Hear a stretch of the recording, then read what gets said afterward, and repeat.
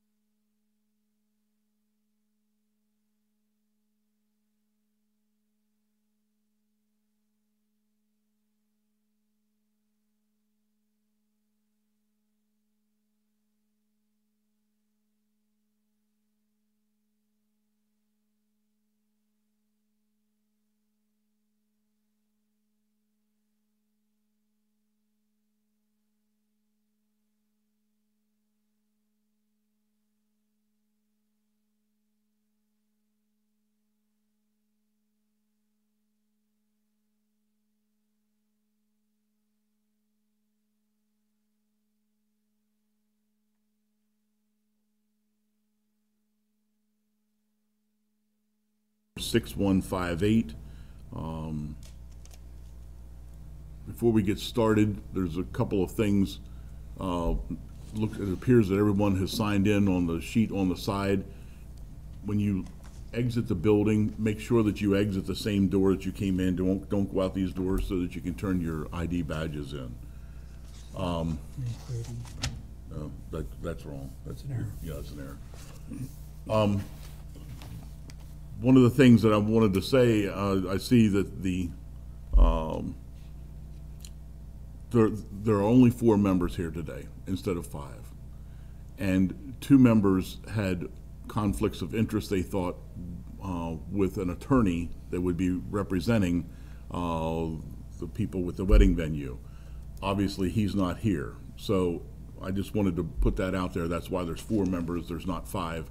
Uh, The other two thought they had, uh, felt as if they had a conflict of interest uh, with who they thought was going to be the attorney today. I'm assuming you mean Mr. Bauhoff. Yes. So he may show up. I was going to say, as part of my sort of preliminaries, that Mr. Bauhoff has uh, criminal hearings in both district and circuit across the street, and that once Okay. those are done, he, he may Okay, show so up. I just, I ju- I just wanted to be perfectly clear, that's why we have four. It was not a dereliction of duties on their part, it was actually, um, uh, they, they felt as if they needed to recuse themselves. May, I just want to make clear, one of your regular sitting members is unavailable, Yes, and the. the other- alternate is also unavailable as a result of, Okay, they, they felt as if there was a conflict of interest, understood. okay? And with the original case, there's only one guy here that was in on the original case.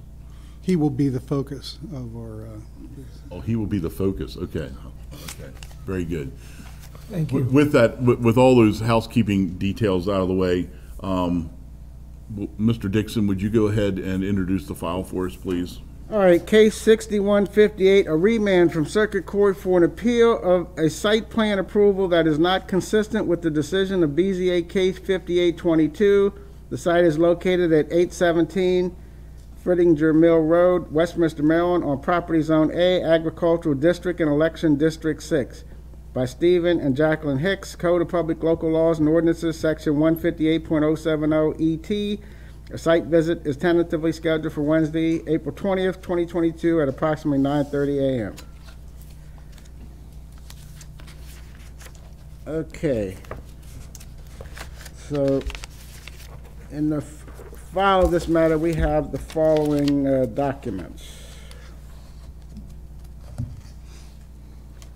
Notice of public hearing, March 17th, 2022.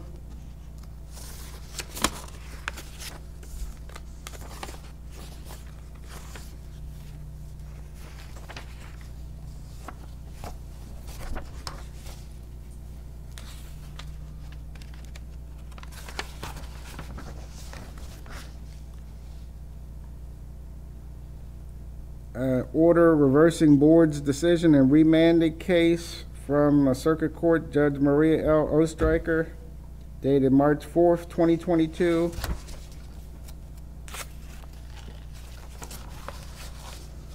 There's the unreported uh, decision from the Court of Special Appeals.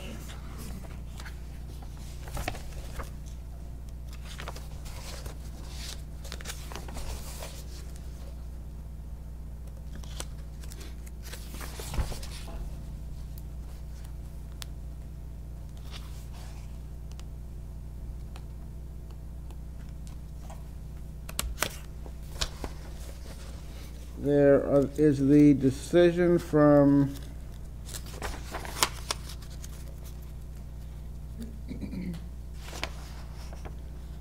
the BZA that was uh, issued July 30th, 2019, signed by Melvin E. Bell Jr., Chairman.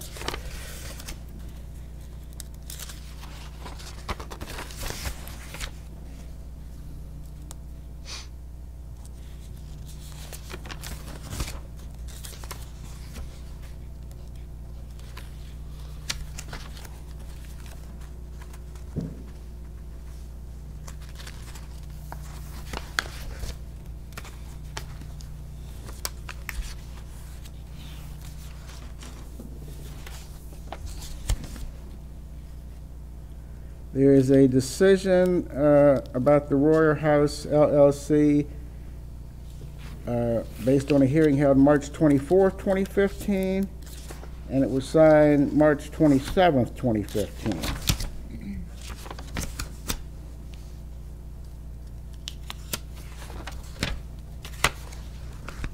And there is a plan from CLSI I would ask that the file be entered into evidence. We have a motion to enter the file into evidence? So moved. Second. Okay, it's been moved and seconded to move the file into evidence. All in favor, aye. Aye. All opposed, no. We will move the file into evidence. Um, One other thing I failed to mention uh, before we started the hearing, if you have any electronic devices, please put them on silence so it doesn't interrupt the proceedings here today. Uh, If you plan on testifying here today, could you please stand and take the oath?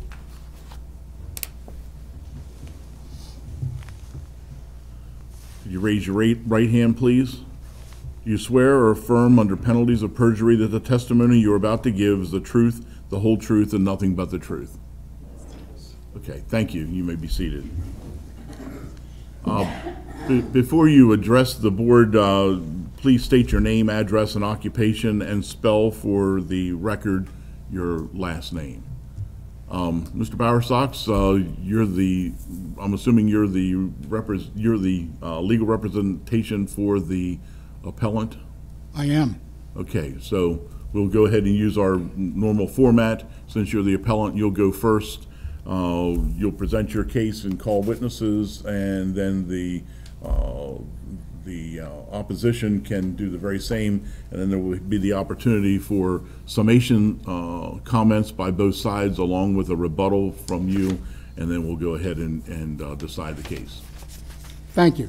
Uh, Very Let good. me just make one uh, um, representation, and that is that the board has, at this time, all the board members have either looked at the video from uh, that transcript or read the transcript, one or the other. Okay, From, from 2015, 2000, March 2015. Yes. yes. The one that you provided to me, I Yes. gave to them, so they've either read the transcript or gone and seen the video. Okay. Thank you. Mr. Bowersox. Good morning. Uh, David K. Bowersox, B-O-W-E-R-S-O-X, 24 North Court Street. I'm here on behalf of the appellants, uh, Stephen and Jacqueline Hicks, who are seated to my right. Um, This is essentially, if I can begin by making some prefatory remarks, this is a remand from the Court of Special Appeals that essentially continues the hearing that began in July, uh, I believe, of 2019 in this case. Uh, The decision Mr. Dixon has identified having been issued July 30th, 2019, and is part of the record in this case.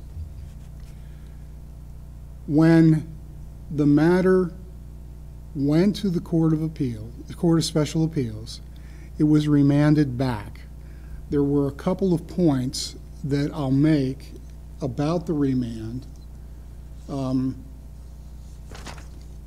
One thing that the Court of Special Appeals said at pages 19, page 19 was that the 2015 transcript of the hearing should have been included as part of the record. I will take care of that as a housekeeping matter this morning. Um,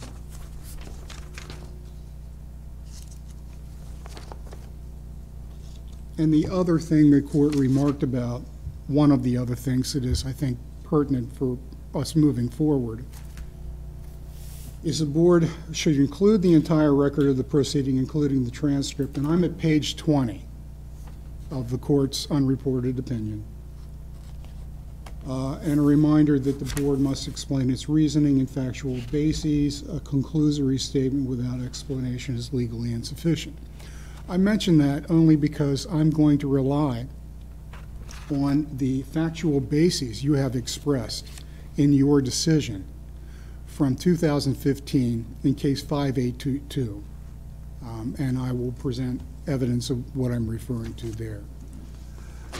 Um, What I'm also going to do, and Mr. Dixon, would, I know you said the opinion's in the file. Do you want me to introduce it as an exhibit? You can.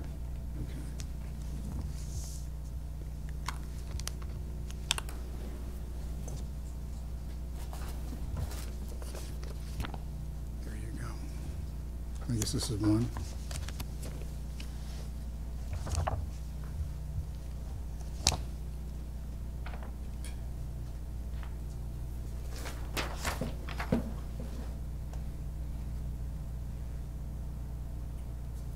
You mark this as appellants one? Okay. Here is an extra copy if you'd want. Thank you. Just leave it here. Just leave it there.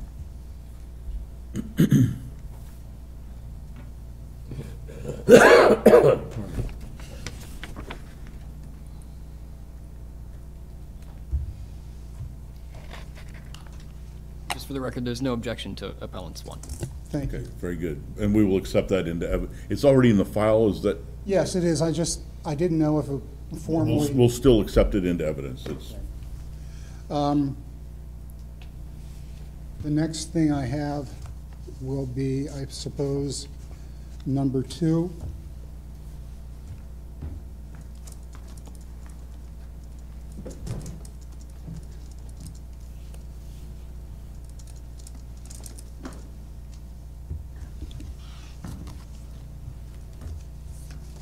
Here is a copy. This is the revised one with the correct name. I think it was in the first few pages.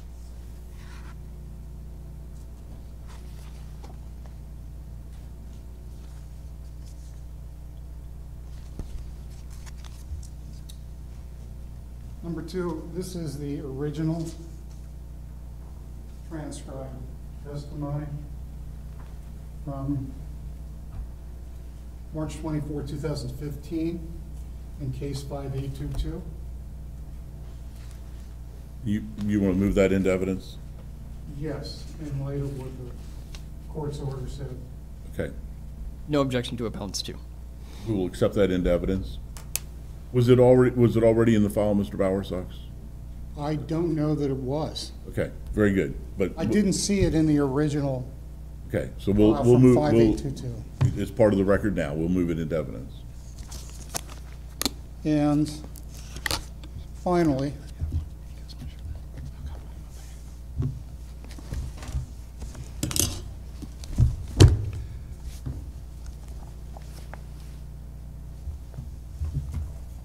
I'd like to offer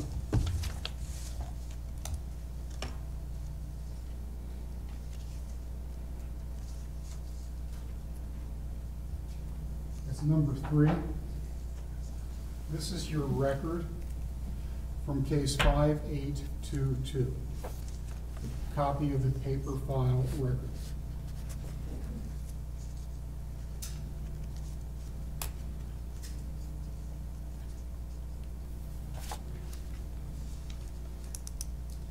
Just ask the, the board for a little bit of indulgence here. This is the first time I'm just gonna flip through and Absolutely.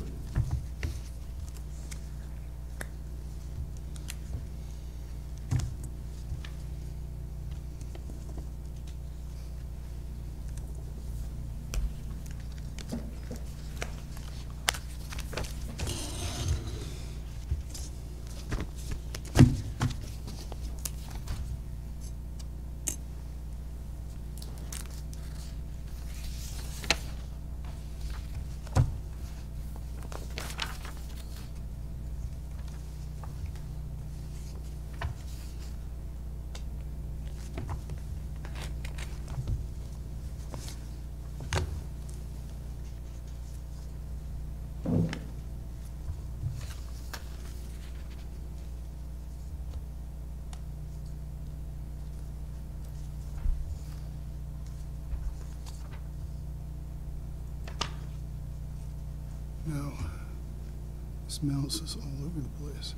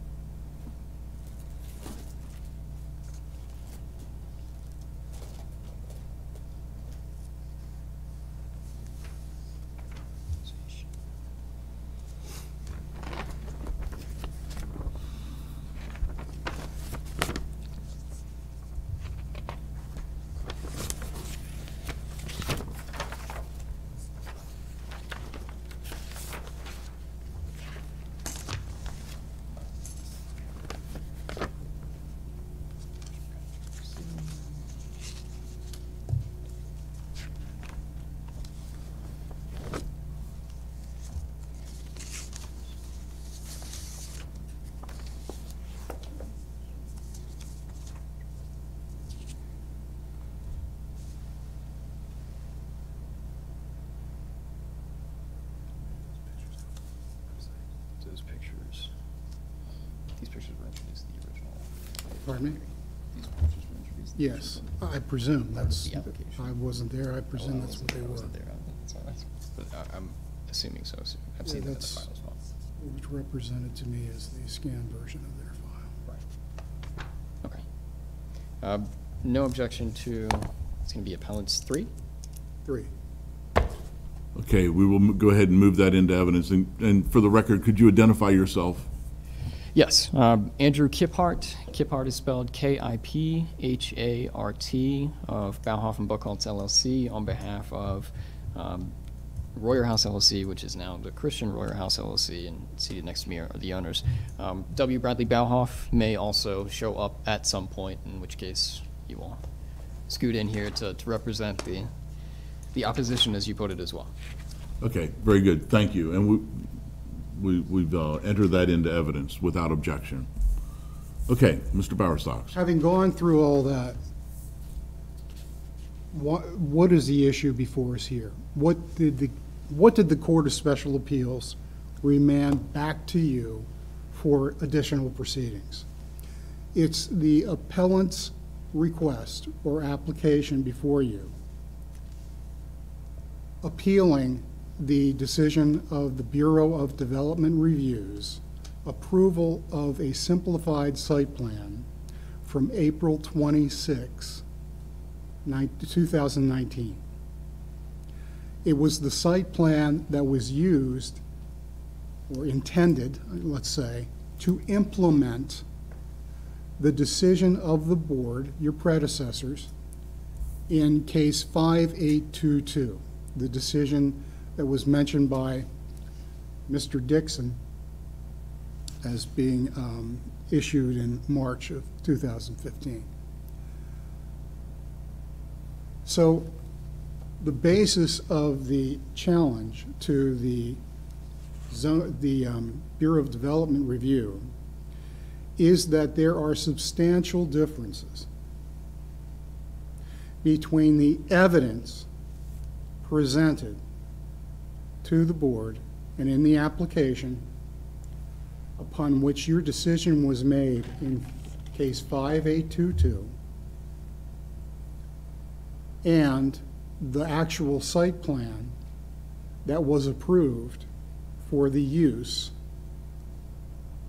approved by Mr. Black for the Bureau of Development Review on April 26, 2019. The basis for this is Code Section 158.1337.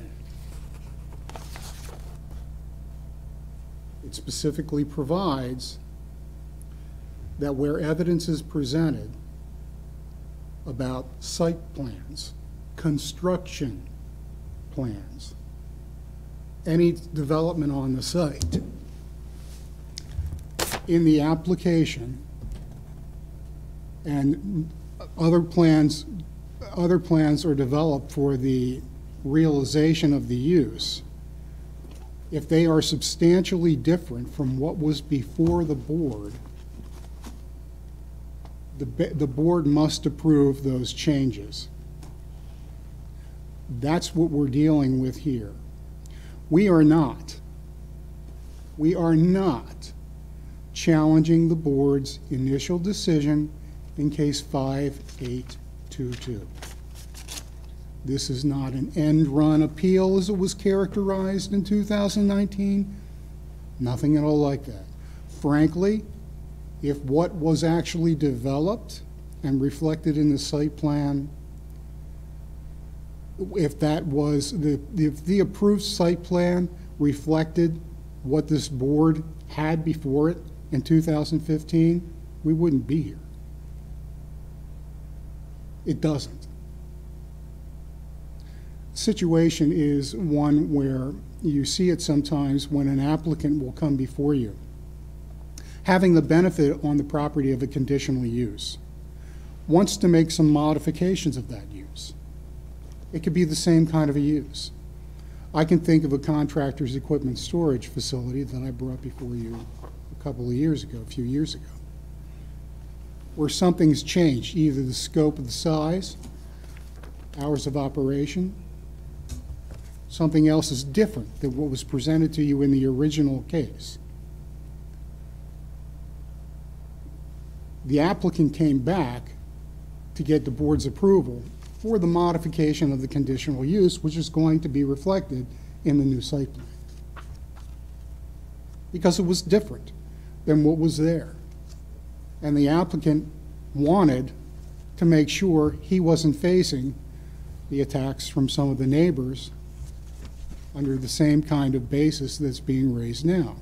They wanted to make sure they only built out and operated within the confines of what you had heard about and had approved. That's what this case is about. It's why the record of the case, it's why the, the transcript of the testimony, and that's why the simplified site plan that was approved in 2019 are all highly relevant to this matter.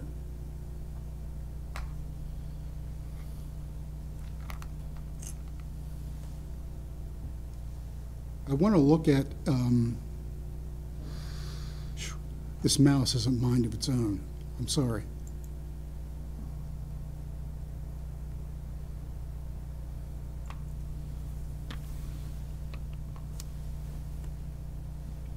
I'm hoping we're going to look at this. It's a double click. Yep. It's unavailable. So maybe we need to get Matt out here.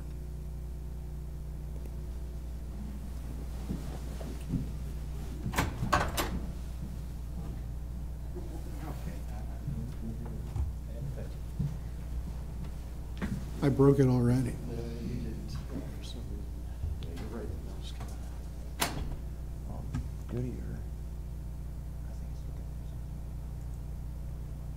Okay, thank you.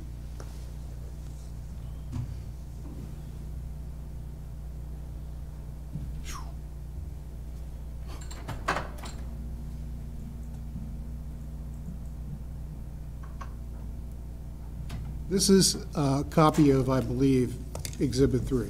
This is a digital copy of Exhibit 3. Um, At the 65th and 66th pages of this record, you will find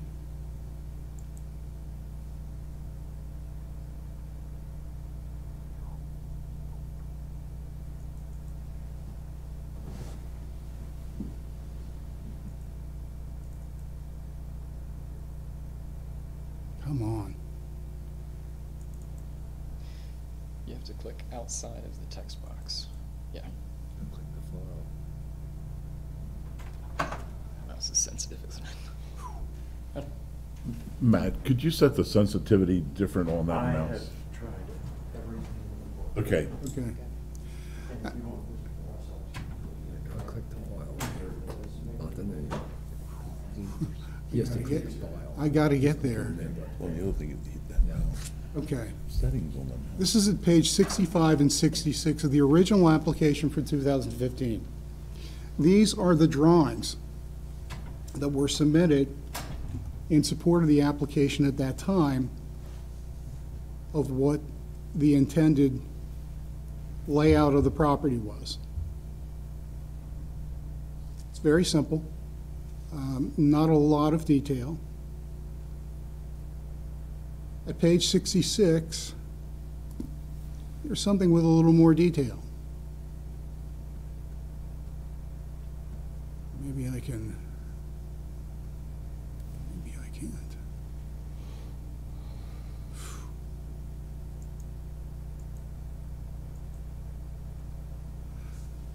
This is a, a little more detail of the layout of the site in the application that was submitted in 2015.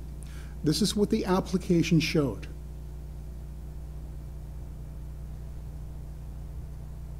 That's all. If you'd like, for illustration, I have paper copies I can distribute to you. Yes, please.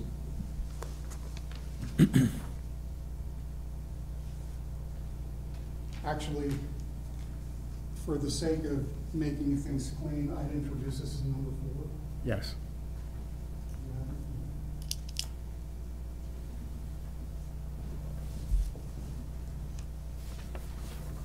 Thank you, sir.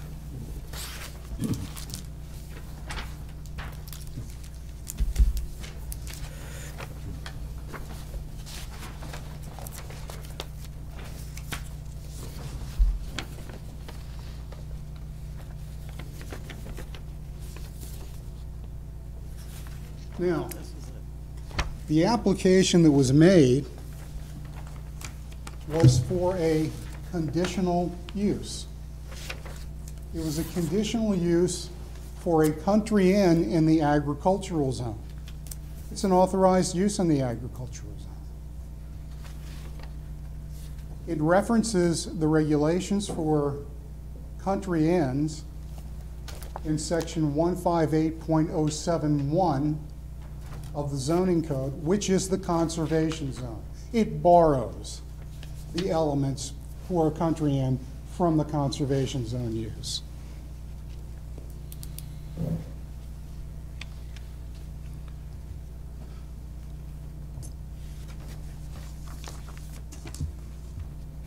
There was also a request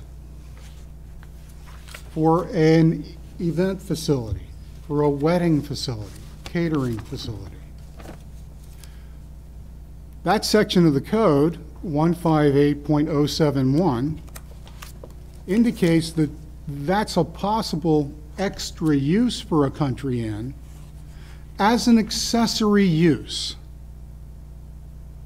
What is an accessory use?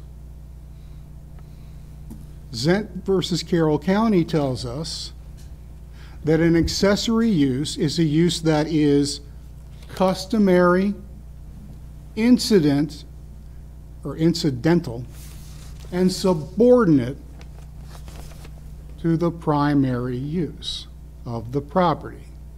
And, and some of you have heard me say this before.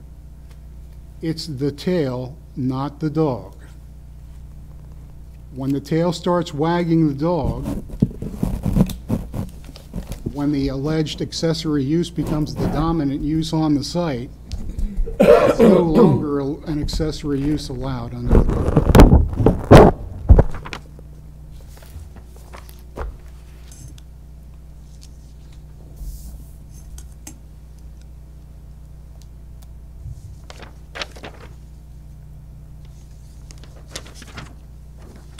I'm sorry, I don't have anything better than that. I'd like to offer for number five.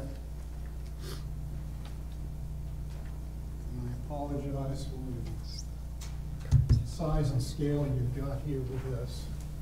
This is a copy of the approved simplified site plan for this use from 2019, April 26, 2019.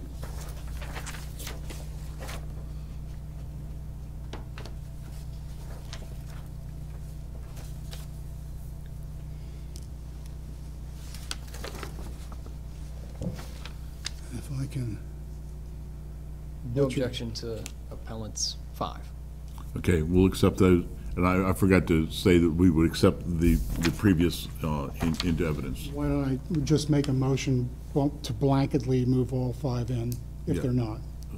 We'll, we'll, Thank you. we'll, we'll accept those as evidence.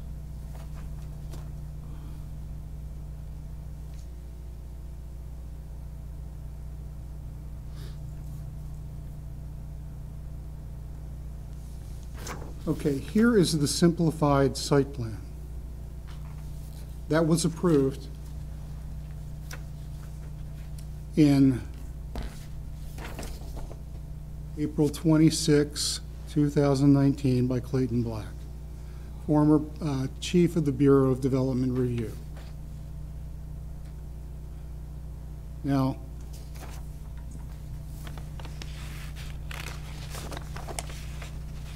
initially,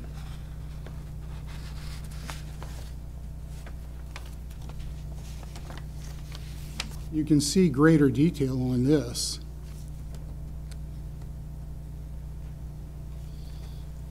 than on this.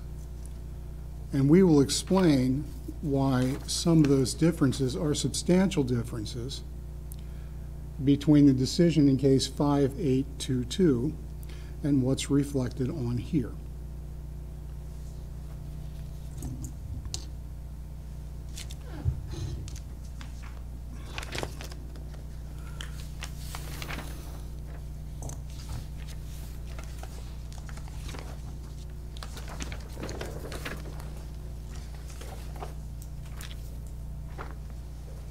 This is number six. And again, for the sake of intended simplicity,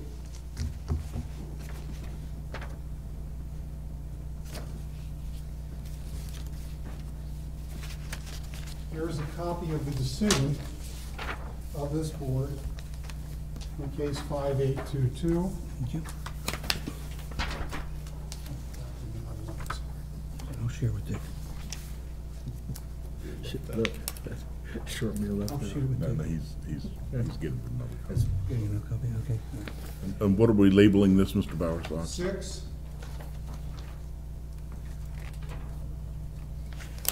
Thank you.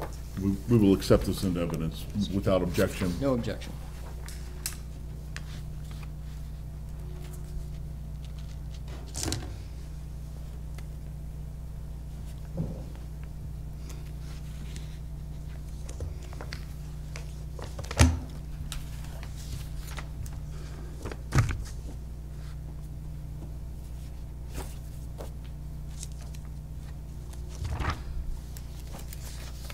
So you have before you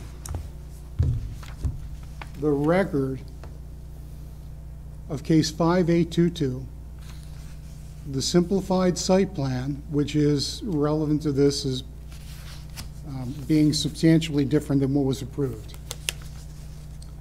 Um,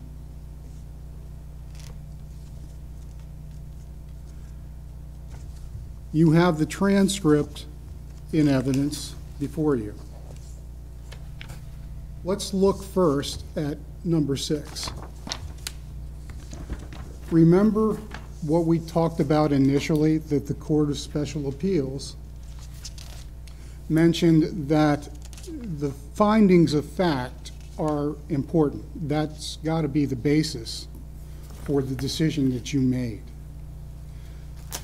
Most of the pertinent findings are on page one. Or I should say the first, first page. They're not numbered, I don't believe. Last paragraph.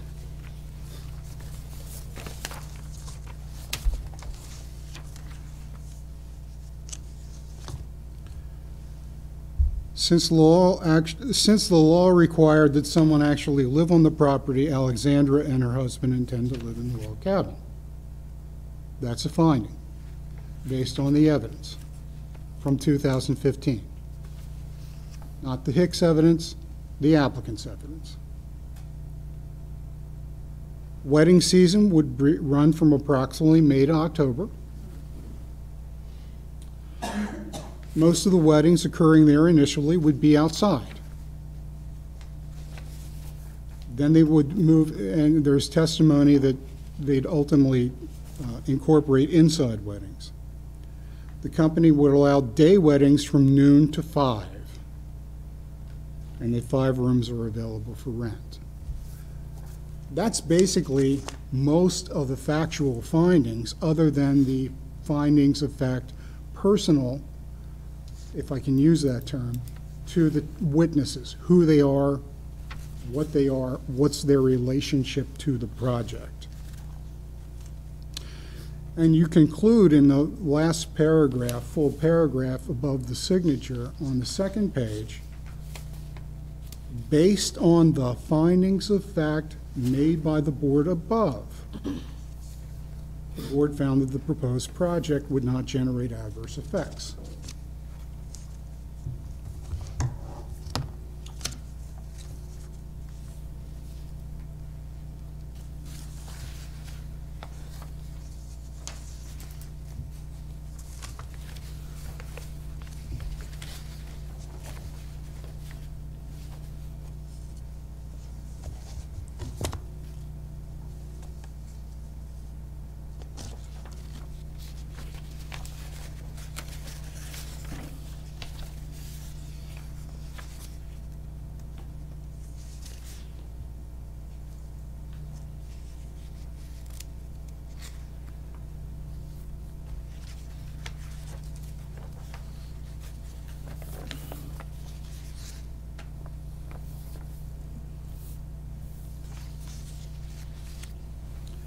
Right, I have before you the transcript. It was introduced earlier. I believe it was number, was it number one? Or number two?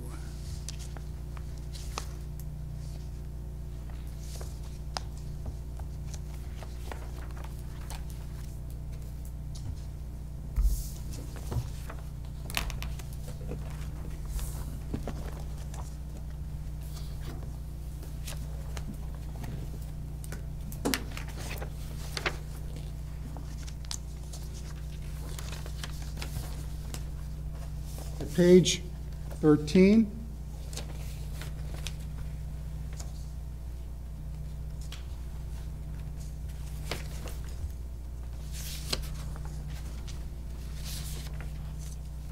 my God, had I known it was going to be this difficult, I'd use the old-fashioned way.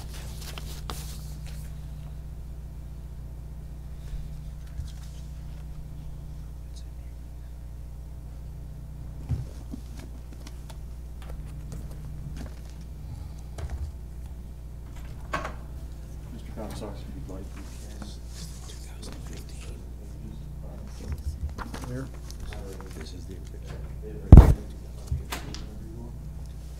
Thank you. He's on this.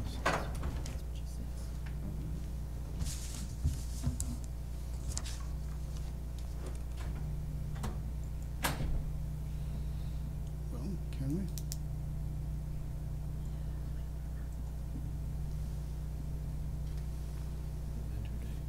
You have to enter it. Enter. Enter. There you go.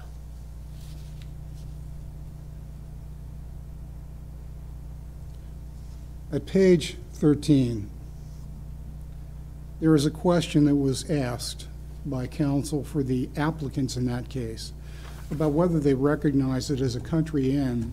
They'd have to have the owner, well, you can see the question. Um, There's, you realize that this variance, somebody's going to have to live on the property, is that correct? Yes. Um, Alex and Zach Campbell would be living in the log cabin on the grounds, and they'd be the caretakers as well.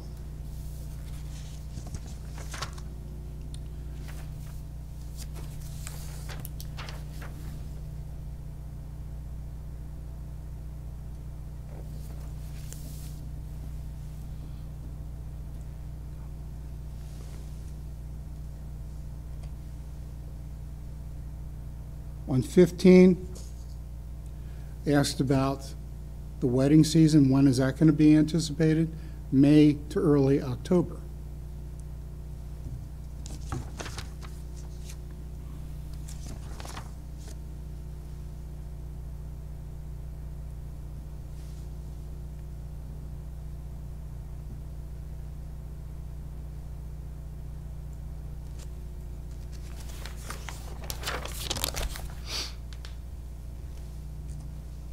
Page 20,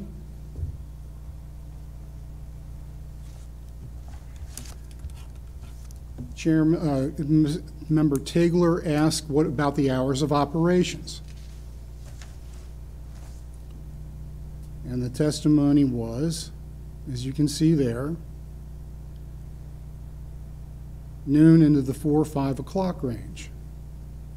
If they want to do a reception there, then it would be after the wedding. But we wouldn't plan on being late into the evening.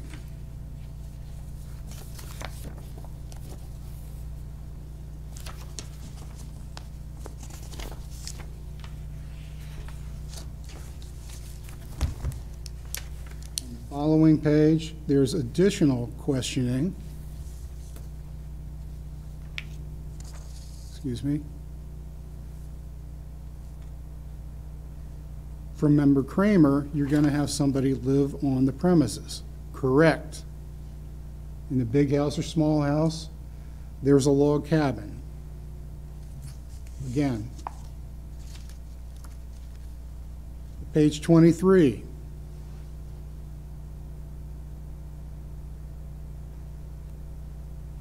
When asked about the number of people attending, How many people are you able to serve in your country inn, and, and will any one particular function? In the inside, up to 100.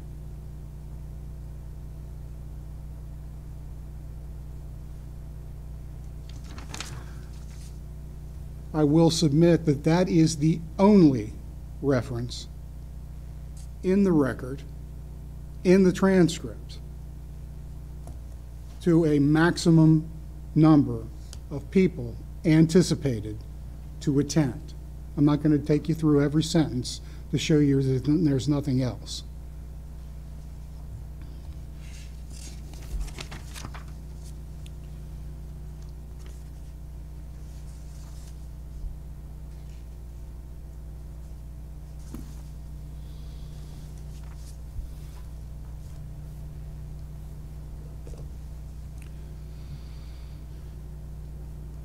Twenty-six. Hours of operations may change. In what direction? So your hours of actual operation could change because if you're gonna have a wedding at noon, your caterer will probably be there setting up around nine o'clock. Yes, that's true. A change in hours of operation to earlier than had been, and a possibility, granted, of earlier than had previously been testified to.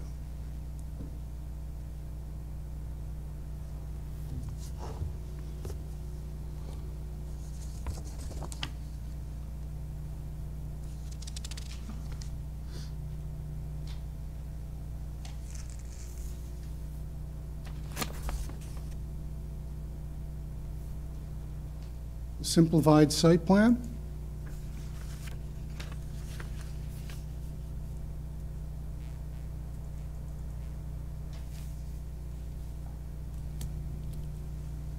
Number of, of events.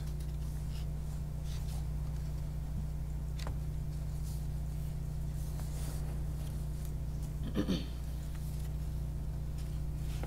heaven's sake.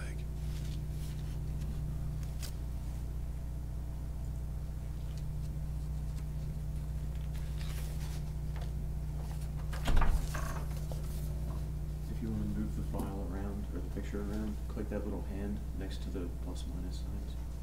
Click the what? The hand. Okay.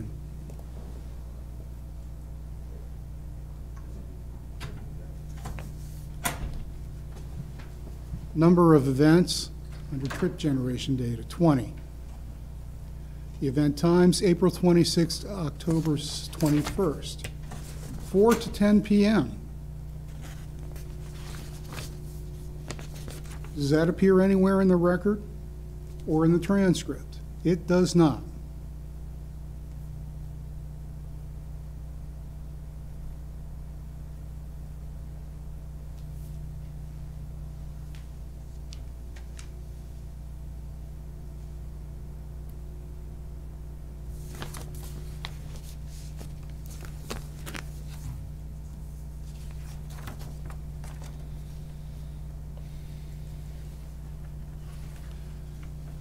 Proposed 49 by 82 foot tent.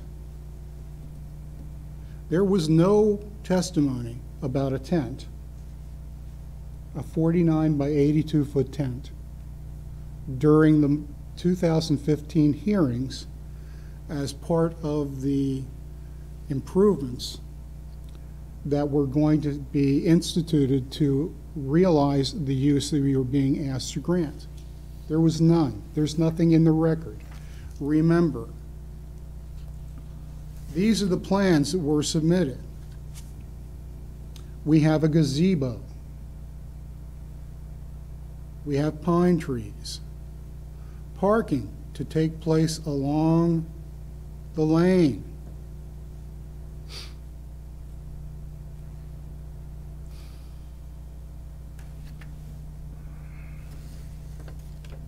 Site plan shows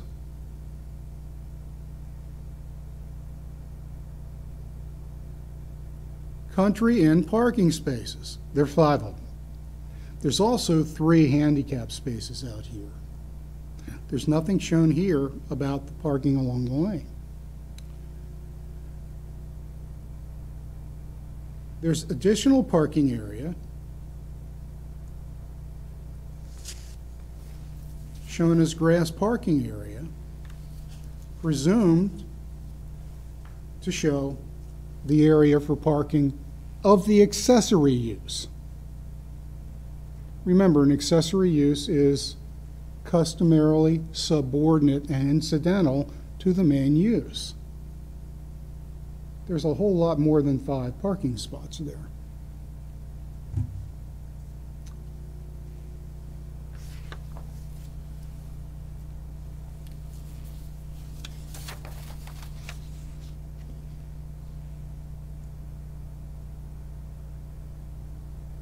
We get to the notes,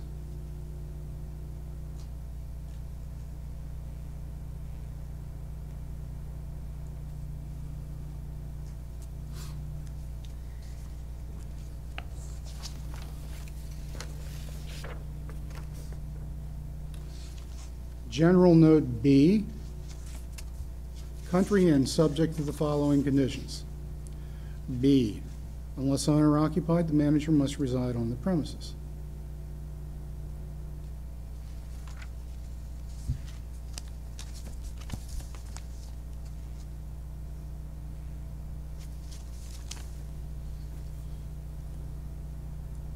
Total disturbed area, 4998 square feet.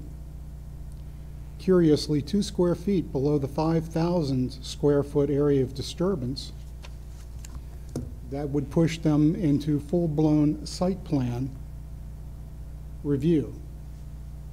And remember,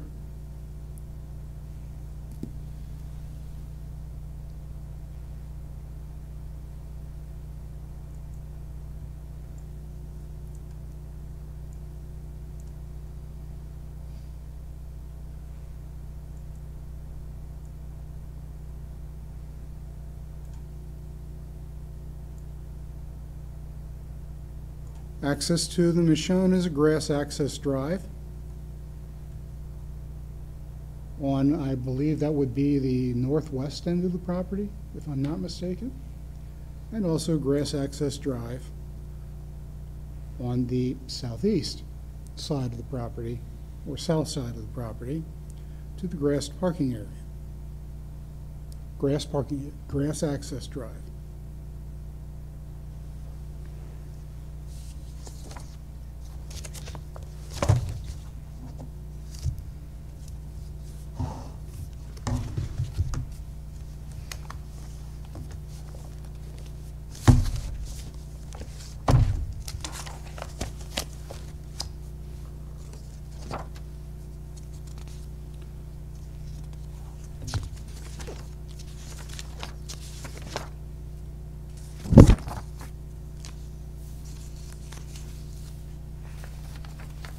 Another feature.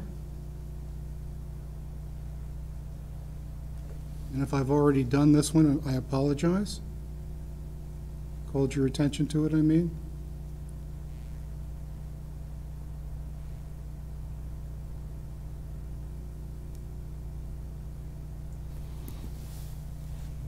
Maximum occupancy, 200 people as compared to the 100 being the only number that they mentioned during the hearing. I take that back. There was also a reference in the transcript, you'll see it, when they discuss parking requirements, and an example was thrown out of maybe 75 people attending a wedding. They are not all going to drive, so they're not going to need 75 parking spaces.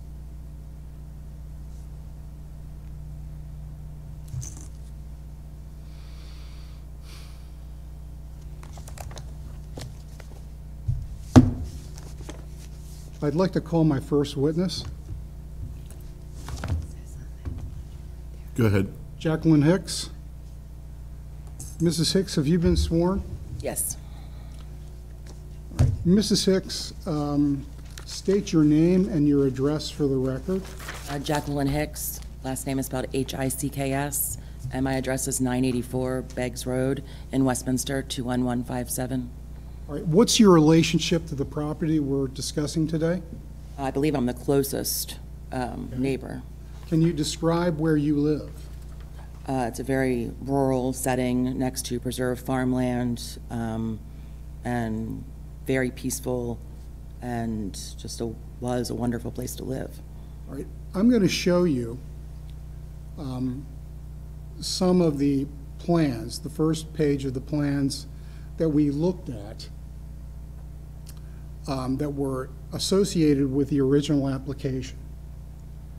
And do you see within the diagram shown, there is a large, there is a block, a polygonal block with arrows coming off of it. Is that the site to the best of your knowledge? Yes, And it- to move it along, the 605-foot arrow, does that run from the site to your home? yes, Okay. So you are the closest adjoining neighbor, it appears. it appears, yes, All right. You've been here all morning? yes, and you heard the, um, the presentation of the documentation, is that correct? correct. All right. Um, The number of event- of events shown on the site plan indicates 20. Is that consistent with your experience? Yes, I don't know exactly, but it, in that neighborhood, for sure, sometimes more, I think. And were you present in 2015? I At was. the hearing before the Board of Zoning Appeals in case 5822? I was, And you testified in that hearing, is that correct? I did. Okay. During that hearing, is, what is your recollection of the total maximum occupancy during an event? 175 to 100. All right, and what is your recollection of the times of the events? noon to five. Do you have any recollection of um, how frequent the events would be? Um, maybe a wedding a weekend, but that was really all that was talked about. Do you recall any testimony from 2015 about the proposed 49-foot by 82-foot tent that Absolutely, we discussed, absolutely not. or that is shown on the site plan? No, And when I say the site plan, the simplified site plan approved April 26, 2019. None. no. From your recollection of the testimony, how were these events to be conducted and where? It was my understanding that they were going to allow people to get married there, and then they would hold any receptions inside the main house. And based on the testimony, went on to describe that the first floor was perfectly suited as it could be completely opened up and hold up to 100 people. Okay?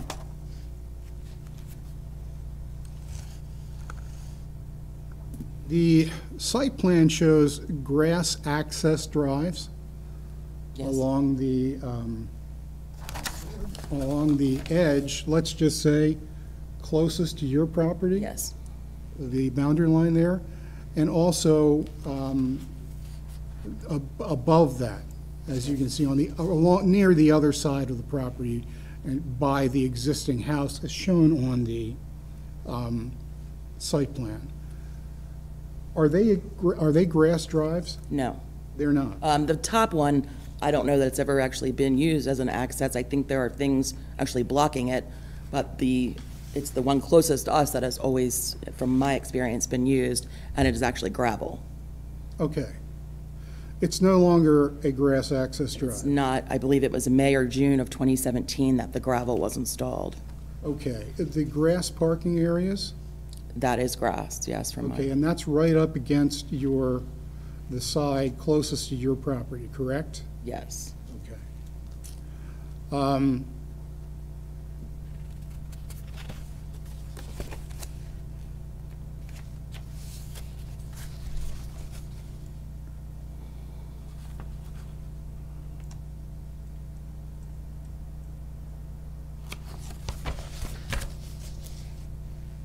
Do you see note three, total disturbed area, 4,998 square feet? I do? I'm going to ask you a, a question. Is it safe to assume, based on what you've seen, that the, um, that the gravel paved grass access drive, or what's shown as a grass access drive, has uh, gravel pavement or surfacing greater than two square feet? Yes, and I have a photo of the Okay. area if need be.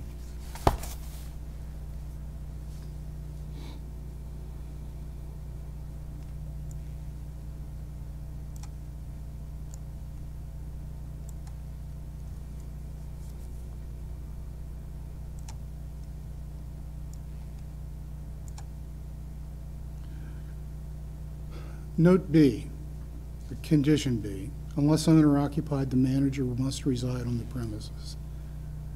Um, Do you have any knowledge or indication whether uh, the owner, the LLC, or its representative, or their manager is residing on those premises? To my knowledge, um, based on documentation I have, no one lives on the property. It- The house and log cabin are both rented out in a whole, not in individual rooms. Okay.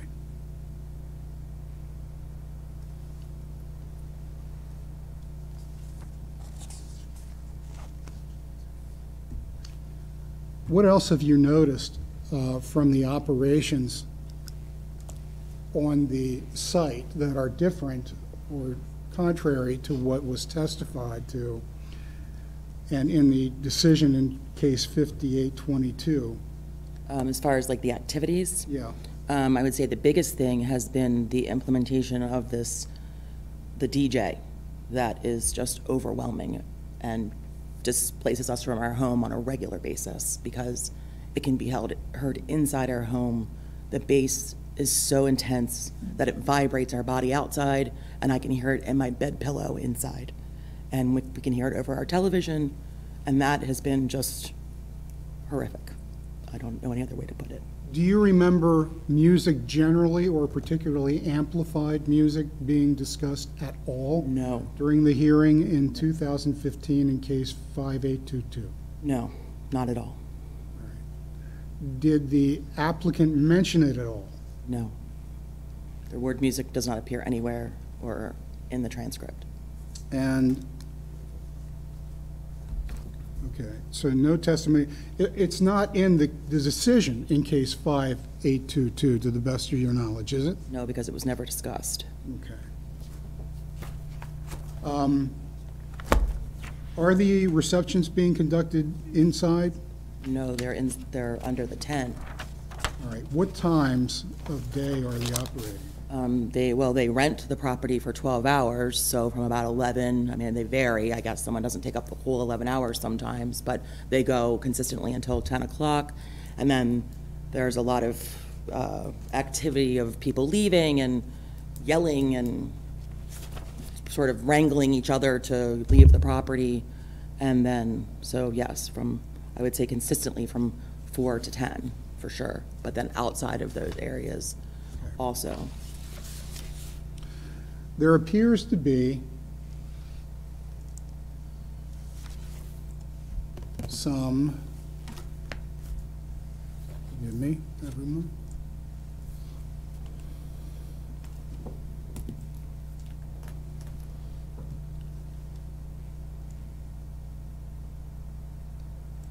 There appears to be some landscaping. Leyland cypresses here. Do they exist? No, some of them do. They looked, it appeared as if they were sort of planted as an afterthought, but then never properly cared for to establish. And so most of them are dead or are dying. There also appears to be a stand of trees Yes, off the boundary line yes, in the Lippy Brothers property, correct. which the board referred to as trees in the vicinity of the pavilion, I believe.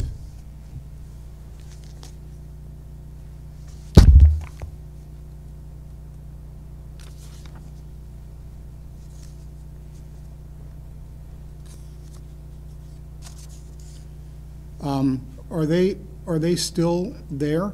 No. Um, not? No, not all of them, some of them, but they're very sparse now. Um, and some of them have fallen over. Um, there've been at least two times where one or more have come over, it seemed. Um, they were immediately, uh, within the, like, the first year or so, lifted, the, the- like, the lower limbs lifted way up, and so that decreased it. And then I could only assume that perhaps that wasn't healthy for the tree, and they've since sort of started to die on their own, and now we've had high winds a couple of months ago, and some of the, one, at least one of those trees, other trees have come out, but they're very thin. You can see right through them where they were a buffer before, but most definitely no longer. Okay, I'm showing you the exhibit, um, the second page of the exhibit that was introduced as the plans that were offered with the original application in case 5822. Um, Near the top of the diagram shown, um, there's a line, this is 425 feet. Do you see that? Yes. Okay. Inside the line, with the rest of the site improvements shown, is a line of pine trees. Do you believe those, uh, from your recollection, are these the pine trees that were being referred to at the hearing in 2015? That's the only ones that could be, that they could be. There are no others that I, That were actually on the Lippies property? yes, correct.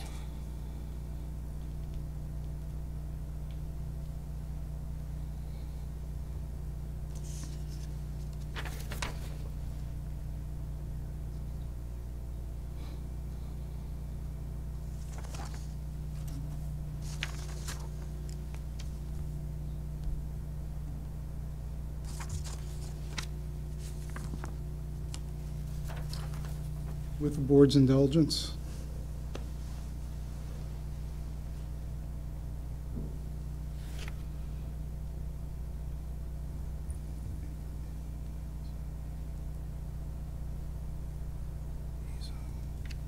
I don't believe so. Talking about? Yes, there's these, all pockets are the same. This also includes the, um, outside of, so that's, that's a, that's one pack. Here's one pack, and here's one pack, so there's three. And they're highlighted, like the, some of the, the important information has been highlighted.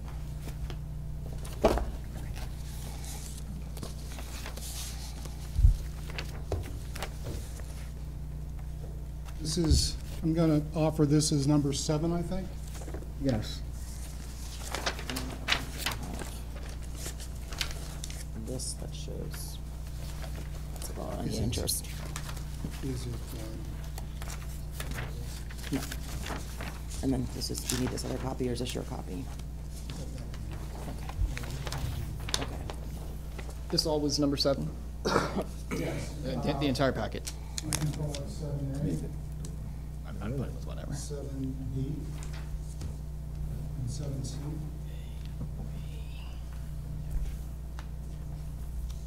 Got Four, Back, I didn't so see. A, A, B, C, D. An extra here. They're, they're different. Oh, A, B, C, D. Yes, for, for Seven, A, B, things. C, D. Got it.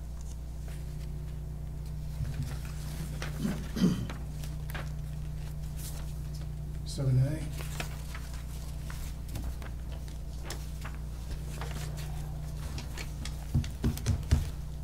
The record, no objection to exhibit seven A, B, C, and D.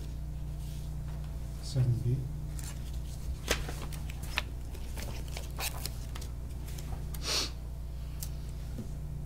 I don't know the right order. Seven C? Wouldn't in the This is C. No, that's B. It's in the original file, which is Okay. exhibit one.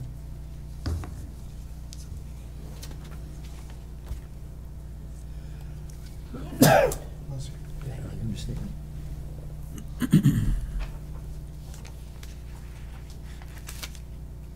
And seven B.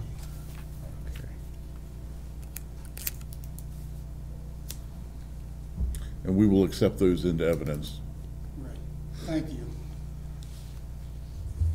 Ms., Mrs. Hicks? I'm going to call your attention to these two documents that are marked as evidence as 7A and 7B. Can you describe what they are? Uh, these are printouts of the Christian Royer House's current website as of yesterday. Um, they discuss the, uh, offerings of weddings and then a separate tab pages within the website for events and rentals Events and rentals where? at their facility. Okay. In, in the, I'll call it main house, as it's shown in the applications, in the plan submitted with the application, or in the log cabin? Um, this would be pertaining to the weddings and then, uh, event parties. Okay, okay. A and B pertain to the events. Yes. Okay.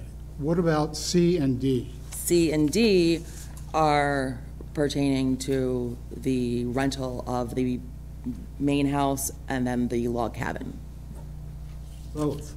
each, yes. How many rooms in the main house? Five, to my understanding, five, and it's stated on here.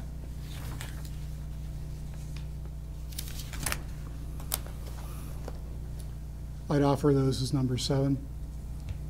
Okay, yeah, evidence. we- we've, we've, we've entered those into evidence. Mrs. um, Hicks, is there anything else you'd like to tell the board? Um, nothing that I can think of. That's all the questions I have for Mrs. Hicks. Okay. Are there any questions of Ms. Hicks's testimony, and only of her testimony? There are. Okay. Ms. Hicks, you, you testified that you had been present for and testified at the Uh, 2015. I'm, I'm sorry, before you get started, for the record, uh, please state your name and address a- again before Sure. you speak. Um, Andrew Kiphart, K-I-P-H-A-R-T, Bauhoff and Buckholz LLC. We are located at 2333 Baltimore Boulevard. And could you pull your chair closer to the microphone? Sure. So that we can hear you. Thank you. Do you need me to repeat all of that? You need to put the microphone right in front of your face, because Well, it's when you already turn to one side, we can't hear you. Okay. Thank you. Andrew Kiphart, KIP, H-A-R-T, um, of Bauhoff and Buckholz LLC. We are located at 2333 Baltimore Boulevard, Finksburg, Maryland. I represent um, Royer House, Christian Royer House, LLC. Um, Now, Ms. Hicks, you testified that you were present at the 2015 original approval and uh, testified there as well. Correct. Uh, And you stated that, to the best of your recollection, uh, there would be no weddings or events until 10 PM. Is that correct? Yes. Objection. Oh. I don't understand the question. That's not what she said. You just said until 10 PM. Is that what you meant? So, uh, forgive me for, for paraphrasing. Um, Based off the best of your recollection, how long would events be occurring at the Royer House? Um, of the 11 or 12 hours that they, the setup and all the activity of that, and then the receptions are typically four or five hours? Is that what you're asking? So, Don't, Oh, sorry. don't ask questions. Okay. Do you understand his question? I guess I do not. No, no, I do not. Could you rephrase your question? To the best of your recollection, as of the 2015 testimony, what were the, the hours of operation for the Royer House? 12 to 5. Do you recall uh, a statement that there would also be receptions held after? Uh, There was the possibility, she said, if there was a reception or someone wanted to have one. So there was a possibility that that 5 o'clock could be extended for a reception. Yes. But not late into the evening.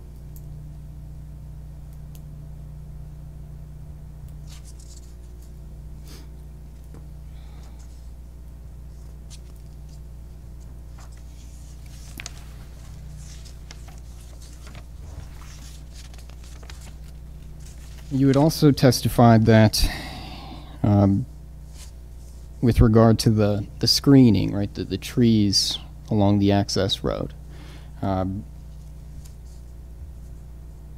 you had stated that some of those trees had come down.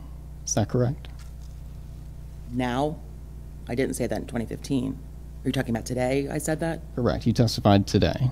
Yes, that those trees have, yes, were cut and then have, some have come down. Okay. And you said, uh, with respect to the, the cypress trees, that, I can't remember your exact testimony, but that they didn't, they didn't look healthy. Is that, is that fair to say? Some are completely missing, others are half dead, and there's a few sort of hanger-oners. Okay. Um, Do you have any evidence today to show that trees are missing, downed, or, Um, Well, let's see if it's, well, this photo, I could get it very easily from the, um, the uh, real estate listing would show it, and which is what this picture is from, from 20, I mean, that's, shows, I don't know what you, I mean, you can, I'm sure the board was there and saw it for themselves.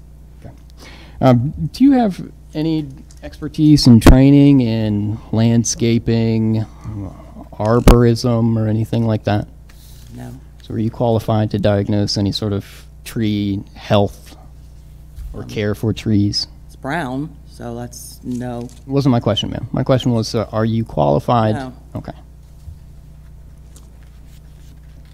Uh, You also testified earlier that um, with the, the DJ, the music can be heard inside of your home. Is that correct? Yes.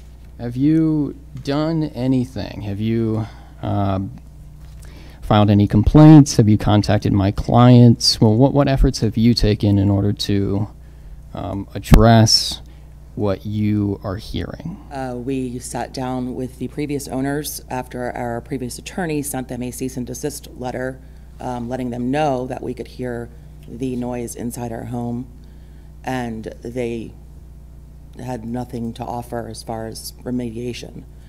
Um, We've also contacted the sheriff's department multiple times. We've had communications with the sheriff over the years. Uh, I've spoken to Jay Voigt about it. Um, I've taken out the decibel meter back when they were available and taken my own readings, and many, many, many things. So, to your knowledge, has anything come of any of those complaints? Have my clients ever been cited, fined? I don't know.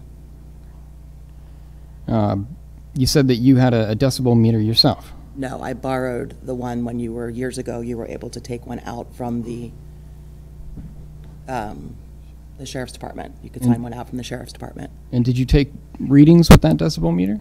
Yes, And what did those readings show? Do you recall? they were over the limit. And what is the limit that you're referring to? I don't have it off the top of my head. I believe it's 65 during the daytime, but I don't have the, and that noise ordinance is apparently not enforceable. And you don't remember what the decibel reading showed? I would have to look it up. Are you talking about the cutoff for the noise ordinance or what it showed for me? I'm talking about what you measured. If I could pull my phone out, I could look and tell you that because I have video on my phone. and Just that- answer the question. I can't tell you.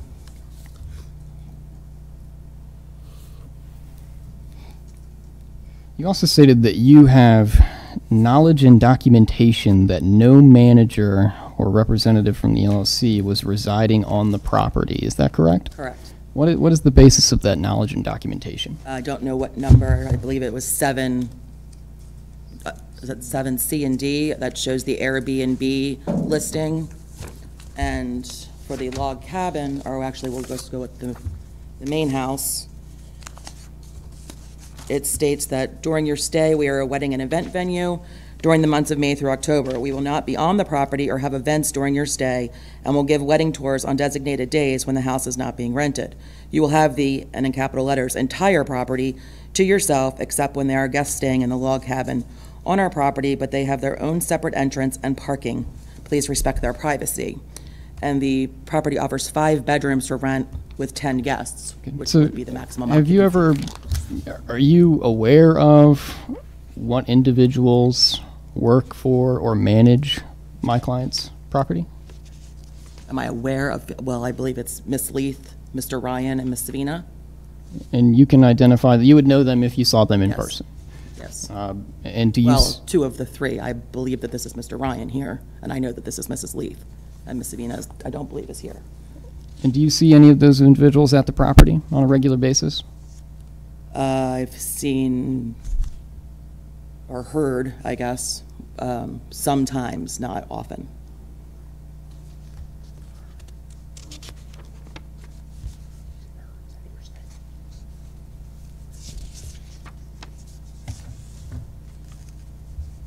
Um, You testified that the gravel driveway had a a greater disturbance than, I believe the question was more than two, two square feet, is that right? Is that the question?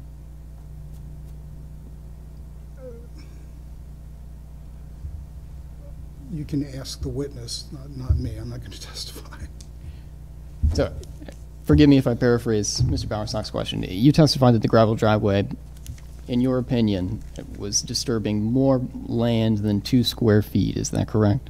I don't know that I specifically testified, I- I- but that is my under, that's my understanding of the Have, situation. have you ever measured the gravel driveway in any way? Well, there's um, a distance measurement on the site plan, and it runs along, Not my question, ma'am. Have you personally ever measured the gravel driveway? no, I've never stepped on the Have property. you uh, hired anyone to measure the gravel driveway? I driveway? would not have access to do so.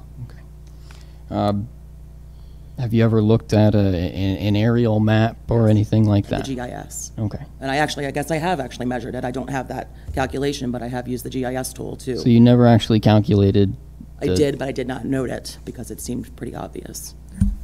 So you have no evidence here today to, to corroborate your testimony that, Just the photo.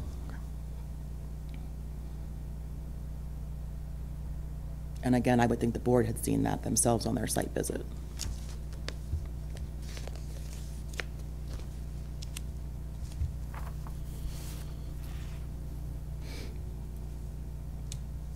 So during the, the testimony in 2015, did you get the sense that weddings and events would be held outside? Uh, that the weddings would be, but any receptions would be held inside.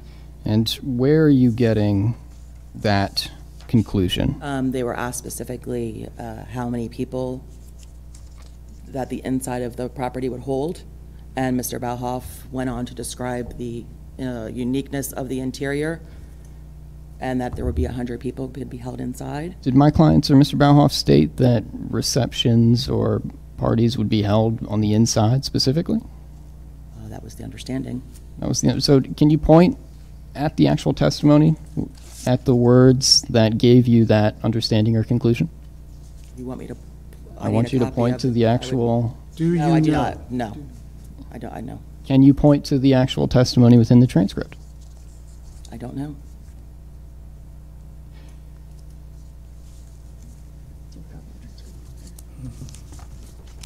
So Ms. Hicks, I'm going to show you a copy of the transcript Okay, from the original 2015 hearing. sure.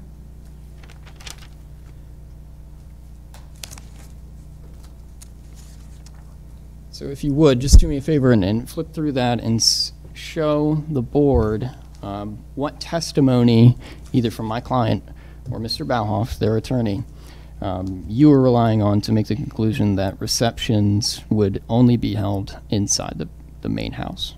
I'm going to object. I don't think she mentioned, she saw it in the transcript. Now, if, if the board wants to indulge her while she reads through the transcript here in front of you, that's fine. But I heard her talk about what she recalled from the hearing. If she's wrong, Mr. Kiphart can offer some evidence of that. I- It's, it's hard for him to offer evidence if it's not in the transcript, Mr. Bowersox. I, that, I that's. understand. So, and she testified that she felt as if the, at the 2015 hearing, the receptions would be inside the house only, was her testimony, if my memory serves me correctly. That's correct. And if I could just add, i- her recollection or opinion is based off of the testimony as transcribed. So what I'm trying to get at is, right, point me to the specific words used, testimony provided that gave you that opinion or recollection. Show me where, where it is in the transcript. I think it's a fair question. And and I, I think it, Mr. Bowersox, your, your point that he could point it out, if it's not in the transcript, then it's not in the transcript. So, uh, will, Ms. Hicks, can you go ahead and answer, can you provide us? Uh, I'd have a, I would need time to look at the transcript and find the information. It was based on the, We'll, we'll go ahead and call about a ten-minute recess at this point, so, so that you can do that, okay? sure. Very good.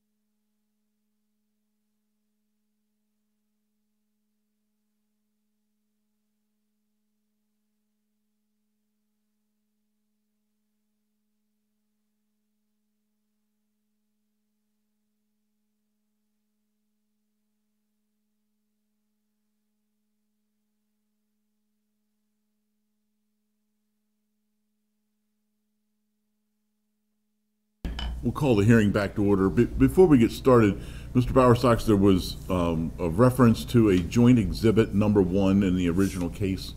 Yes, That's not in the file. Is that what's on the screen right now? that is not. Do you know? 5822, Yes. Do you know what the- that joint exhibit, it is. Hang hang on to your hats and uh, What did you say? Hang on to your hats. hang on to your hats. Hats. there seems to be some compatibility issues between you and the mouse. Yeah. I'm That that not, wasn't testimony, that was just an observation. never been a fan of rodents. Um, Let me, I think it's near the back of this, so let me check. Forgive me.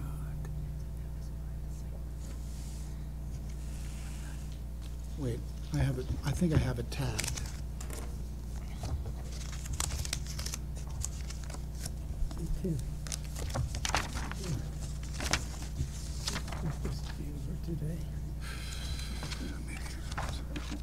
It will. Thanks for that vote of confidence.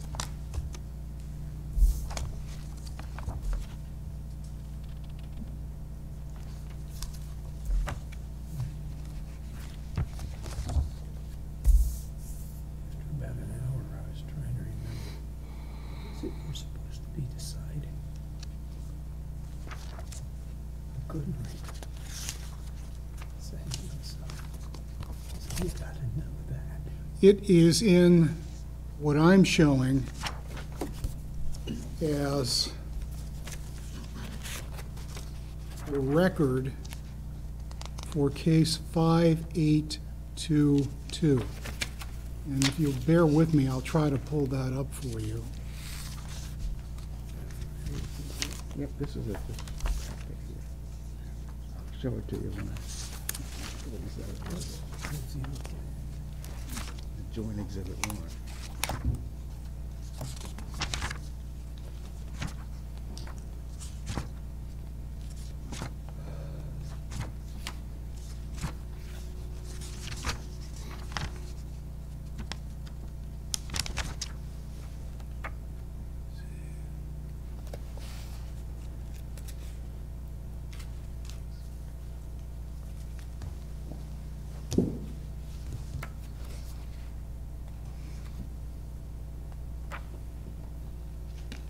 That's joint exhibit one? No, it's not. I'm trying, I'm trying, the, the, the- we don't have the pages tabulated in the scanned copy that I was provided, but I think it's right here.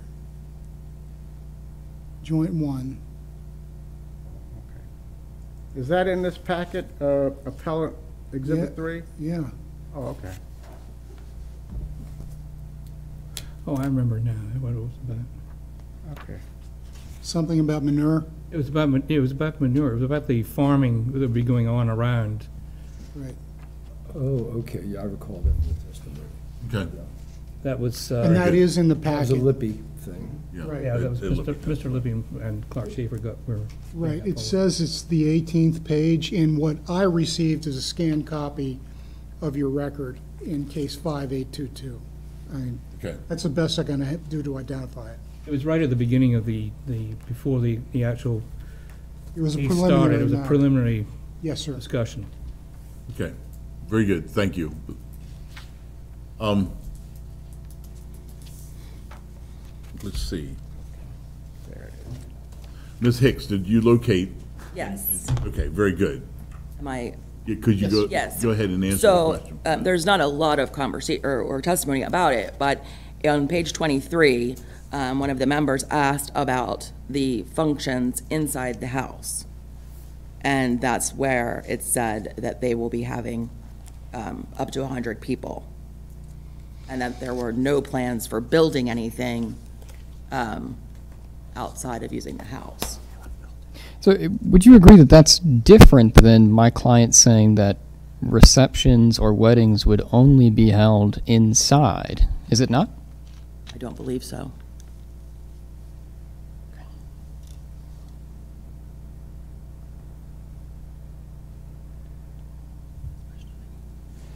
Um, there was also discussion of outside events. Was there Yes. not? Weddings. There was a distinction made between weddings and receptions. And can you point to the record where you're getting that distinction, where that distinction was made? Uh, Sure, there was talk of the weddings, and then, um, did you want a page number? I do. Sure. So then they talk about if there was a reception, then that would be after. And I will just need to find the page.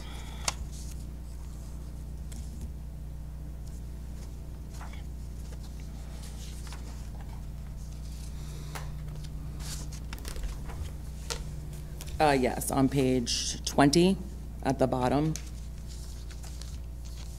Just bear with me while I flip there.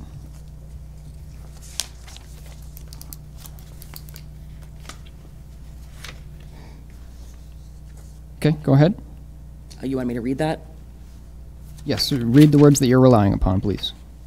uh, that we would be doing day wed- weddings mostly as the event's time came around.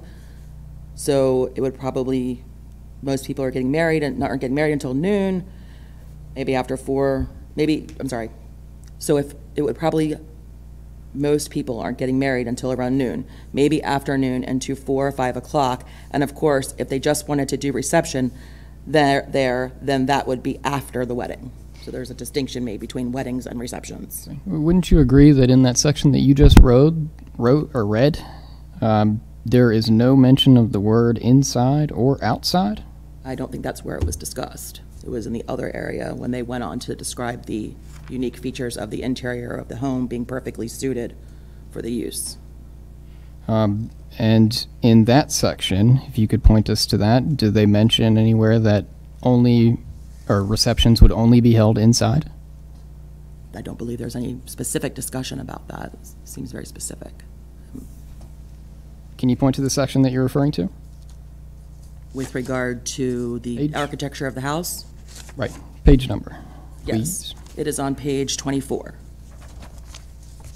Midway down. And where on page 24 does the speaker say that receptions would be held only inside? Oh, I thought you were asking me about the architecture of the house and how it's perfectly suited for the use. Let me ask the question a different way. Can you point to any page in the transcript where my clients or their representatives say that receptions would only be held inside?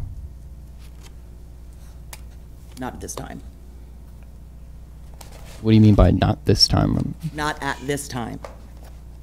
Because I have not had ample opportunity. I, I don't know what you're trying to ask me, and I feel like, Do you not understand the question? I understand the question. I I'm think not she sure you understand my answer. I think she answered.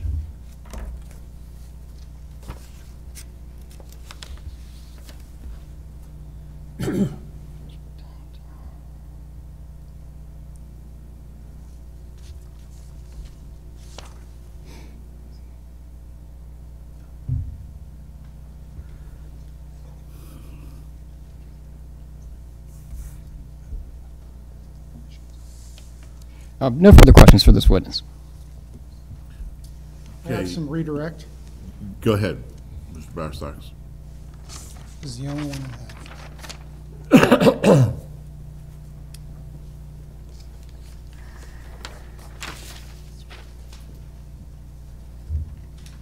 Ms. Hicks, I'm going to show you something that's being marked as number eight. Can you identify that? Yes, this is an aerial of 817 Fridinger Mill Road, the Christian Okay. Royer House property. Now, I'm going to ask you quickly. Mm-hmm. The trees along the lower part of that image. Yes, Are those the pine trees that we talked about before that were shown inside the 425-foot line? yes, Okay, that the site plan showed as being on the Lippy Pond. correct. And there looks to be a gravel or chip driveway between the trees and the other improvements on the property Correct. In the vicinity of where the uh, grass access strip was shown on the site plan. Correct. Is that what you were talking about in your testimony before? As far as the gravel drive versus a grass drive? Yes. Yes, And the pine trees that you're seeing there, are they still there? some of them. Some of them. Yes, I think some of these middle ones here, and then they're very thin. Okay. But that doesn't show the Leyland Cypress? No. Okay. Right off of Mrs. A. Um, I, I would object only to foundation. I, I don't know when the picture was taken, who took it, whether it's a fair and accurate depiction, et cetera. Source of the photo? The sources of uh, Redfin is the listing from when the property was sold in 2019, August of 2019. This is from the real estate listing from Redfin that shows multiple pictures that are still available for viewing, and this is just one of them. Did someone give this to you? No, I printed it myself. Okay. Did you manipulate the photo No. in any way? No, I would not know how to do such a thing, Okay. nor would I. Uh, so, so uh, the testimony is that this photograph is prior to 2019? No, it is in 2019. I took, I or- printed this yesterday. Yeah, but. but the photo was the taken- photogra- The photo, It's from from 2019, when the Or property was before. listed for sale. okay. I, I would ask how the witness knows that that photo was taken in 2019. You didn't take that photo, correct? No, Do you know who took that photo? I would imagine the company that listed the property, the, the photographer. You said you would imagine, so is it fair to say that you don't know who took that photo? Someone above, that works with the realtor. The source of it was from a published, Yes, an Commercial MLS listing, an. MLS listing. all right. So y- you are attesting that this is what you saw on their website as a photo of this property Yes. from their listing? Yes, You haven't altered it in any No. way? absolutely not. Okay. Right after this is number eight.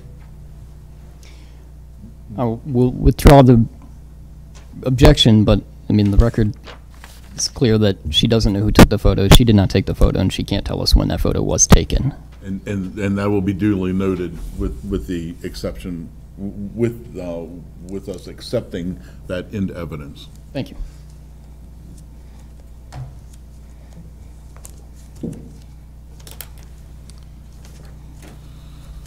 I'm going to ask Mr. Dixon. um, I have a copy of what purports to be the record in case 516, excuse me, 6158, the proceedings here today. From July 22nd, 2019, it's a letter from Jim DeWees, Sheriff James DeWees, dated July 22nd, 2019. Is that in the record of this case? I, I don't recall that. I'll have to, I'd have to look at the file. Is it, is it in this, uh, what you have as appellant's No, exhibit That's from three? 5822, Okay, five eight two two. from the ca, from this case today that we're hearing, 6158. 5822, okay, let me see what's in here.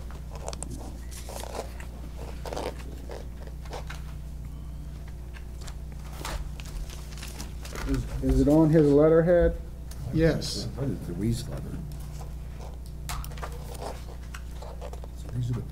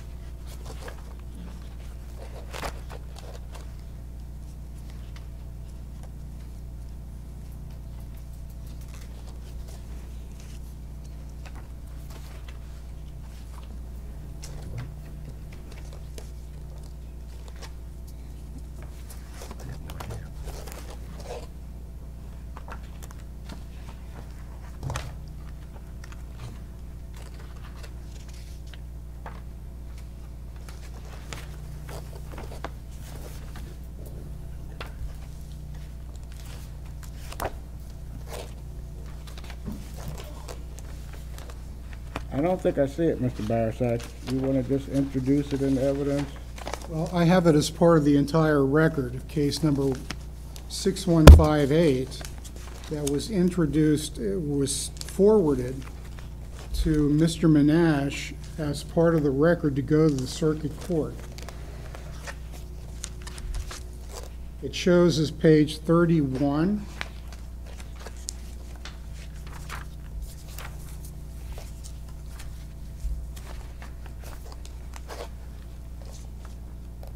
Unfortunately, it's not in six, or excuse me, 5822 where I'd pull it up. Or do you have a copy of it? Just this one. Let me show it to counsel real quick.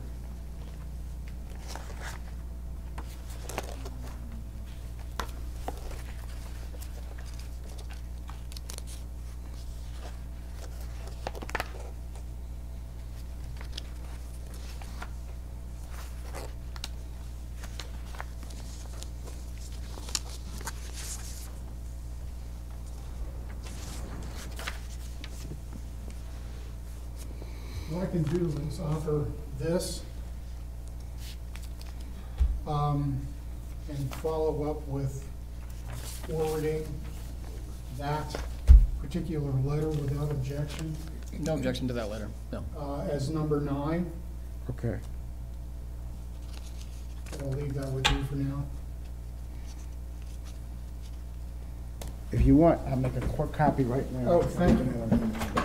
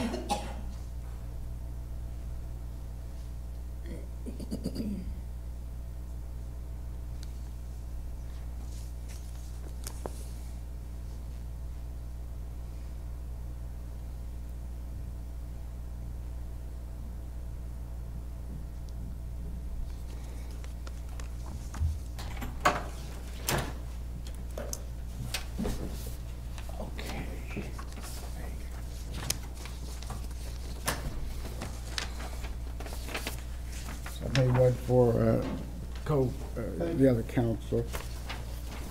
Nine, okay. Nine, nine, Mr. Dixon? Yes, nine. And without objection, we'll go ahead and enter this into evidence. Thank you. Exhibit number nine.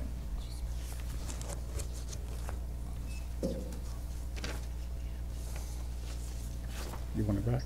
No, just, can I have it? right? Oh, you want that? I'll use that. Okay.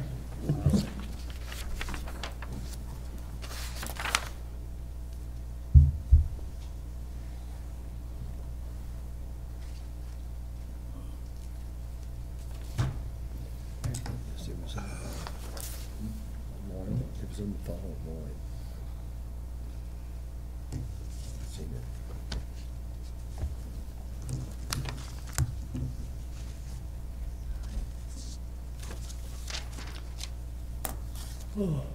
May I resume? Yes. You testified, Ms. Hicks, that um, you made several attempts to address the, per- the noise that you were um, perceiving in your home from the site. Is that correct? Yes. And some of those complaints went to the sheriff's office? Correct.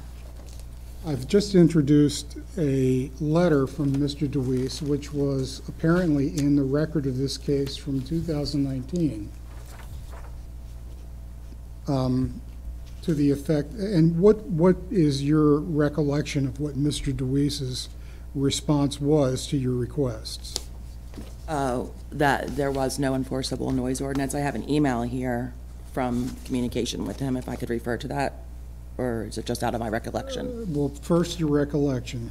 What Um, did he Just tell that you? there was, they did not, they no longer, for some reason, had the equipment, uh, pro- then could offer it, and or even use it themselves, and that their officers were not certified, and they did not have the funds to get that back in place, that they had actually requested funds from the commissioners, but were denied, and that he had not been aware of it initially, and was working to get it resolved.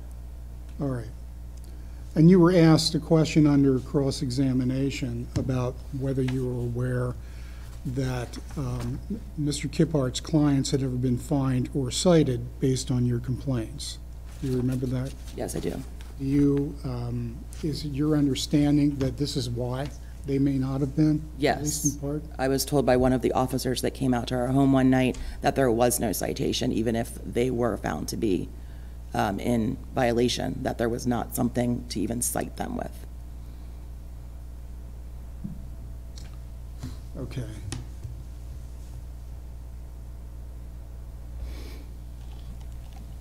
Words indulgence.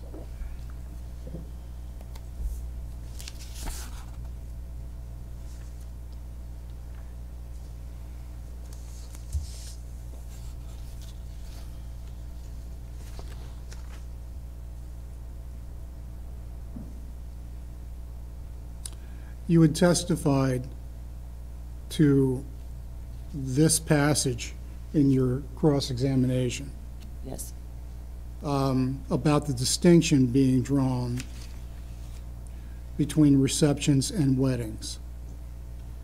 Is this what you're understand, this is, this at least part of what you're understanding of the difference between outdoor weddings and the conduct of receptions inside is Yes. based on? yes, as well as, yes.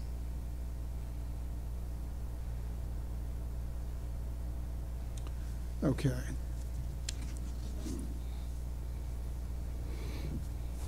I have no further questions. Um, I have brief recross. Um, Ms. Hicks, do you still have the, the transcript in front of you? I do. Could you turn to page 24? 24? Yes, All right, so page 24, Member Kramer, in that second paragraph, I'm just going to read those, those final three sentences. You have a walking trail in the back, you have an arbor. Do you have functions or do you plan functions outside under that arbor and so forth?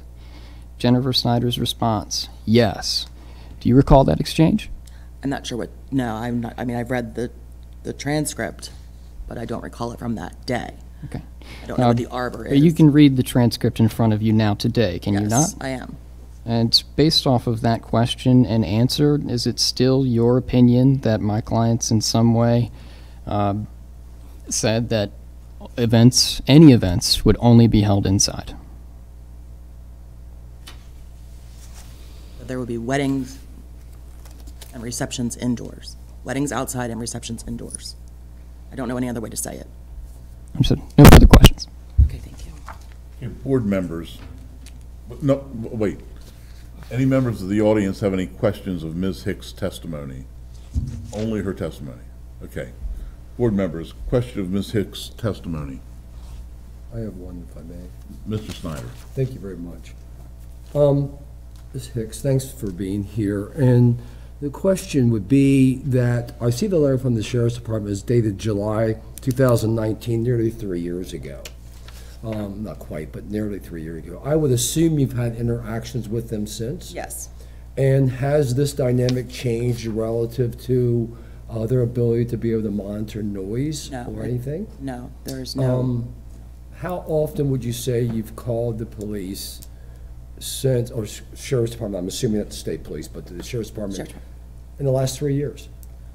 Um, well, we try not to call because we don't want to be a burden, but I would say approximately eight times Okay. Understood. typically leave our home. And what was their response when they got there? Obviously, you interacted with It's them. been different. Um, uh, there was one particular that, uh, officer, I don't know what their titles are, but, um, that came out, uh, I believe it was Officer Bud. Um, he basically stood on my back patio and said that he couldn't believe that such a, uh, activities would be happening in this area. He was dumbfounded.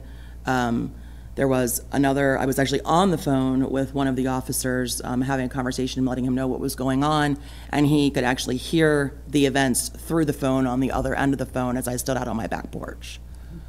And that's been basically all of them just sort of, Understood. Any Hands other further, a- any other uh, interactions directly with Sheriff DeWees relative to the situation since 19? I've never actually had um, interactions other than the emails that I received through my attorney and conversations relayed in letters. Understood.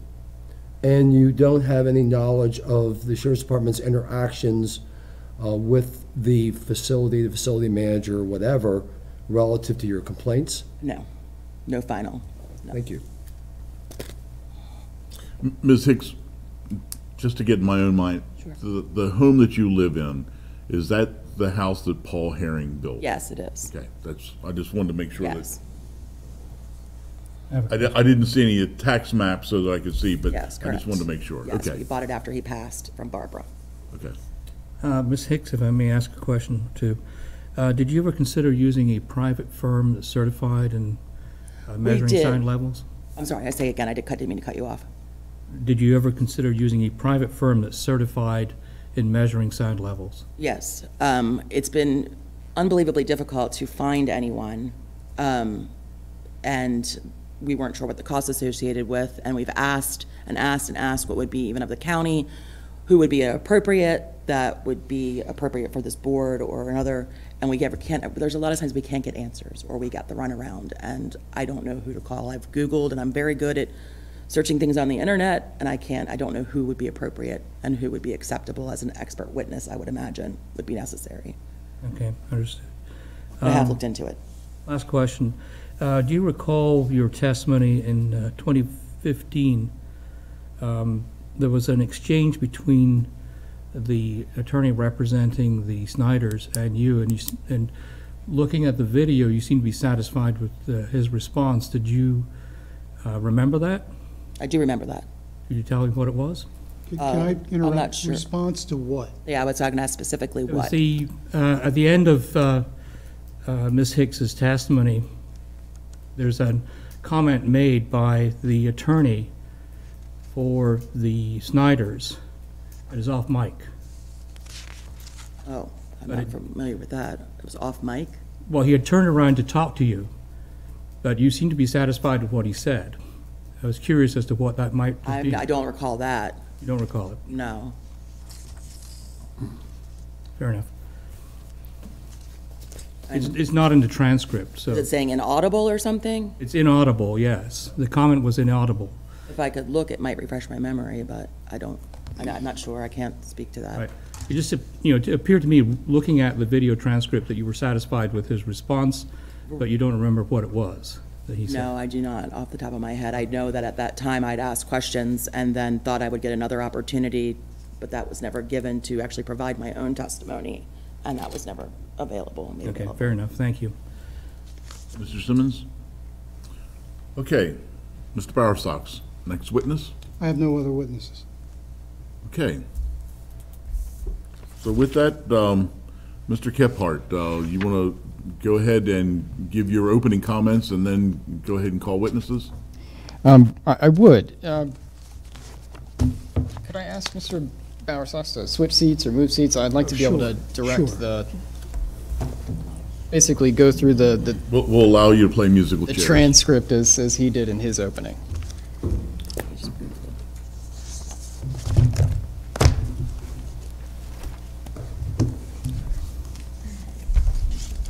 So Mr. Bowersox and I actually do agree in terms of the, the legal standard here. Um, And that is the, the substantial change standard, right? No substantial change shall be made in the plans presented to the BZA without the approval of the BZA. Um, And it it is their burden today to prove what substantial changes, if any, um, have occurred between the testimony and evidence presented in the 2015 hearing and the site plan that was approved in 2019. So what I'm going to do today is just go through the transcript. I have flagged um, and I'll try to be as brief as possible, um, all of the instances in which my clients testified as to their specific plans with respect to the operation of the business, especially those plans with respect to all of the issues that um, the Hicks have identified in their presentation presentation earlier today. I- I've sort of couched them in a few different camps. They appear to be hours of operation, occupancy, um, number of events, inside versus outside events, um, screening, and um, music and/or noise. So, with that, I will proceed with the transcript.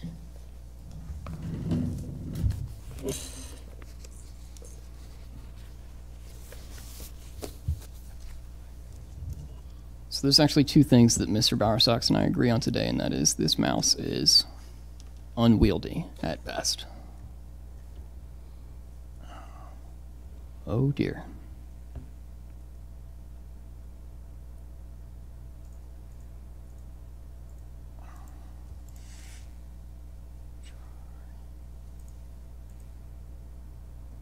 Are you all still able to read that on your screen?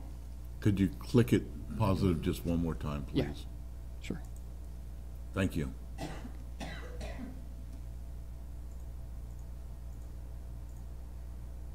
Right.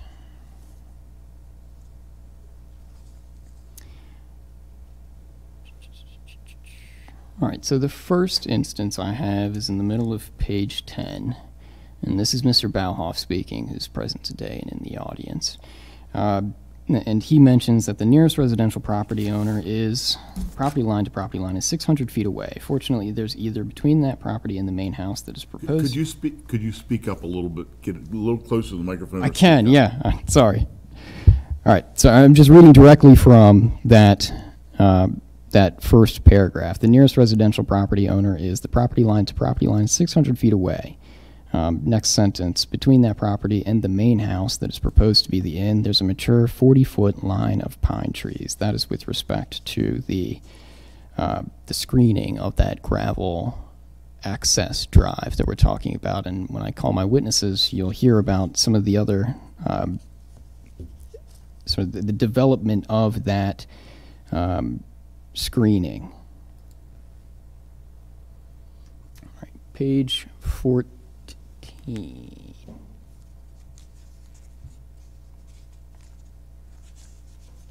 So here at the bottom of page 14, we have um, a question from Mr. Bauhoff to Miss Snyder.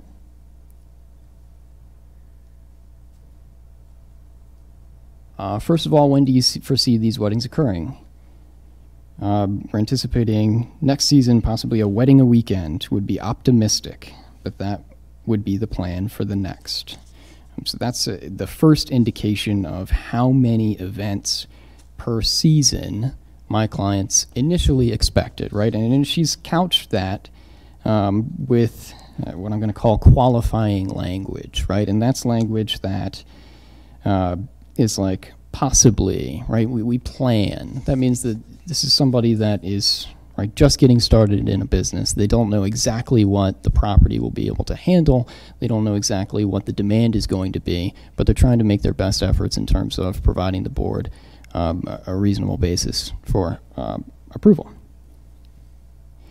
Um, next page.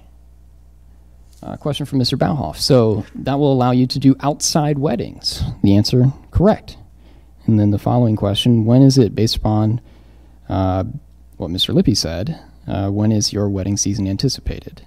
And again, the, even the question here is, is qualifying, right? Well, when do you anticipate your uh, wedding season to be? May to October, early October is the answer there. moving forward. And if any point you need me to slow down or speed up, please shout. I'll try not to be duplicitous with what we're doing, but a lot of this hinges on what's actually in the transcript. All right, so here, member Tiegler asks, uh, Ms. Snyder, what will your hours of operation, hours or days of operation be? Snyder responds, initially we haven't really discussed that, but we would be doing day weddings mostly as the event's time came around. It would probably, most people aren't getting married until around noon, maybe afternoon into the four or five o'clock. And of course, if they wanted to do the reception there, then that would be after the wedding. Now, we've heard much to do about um, the 10 p.m., right? Uh, figure that is put on the 2019 site plan.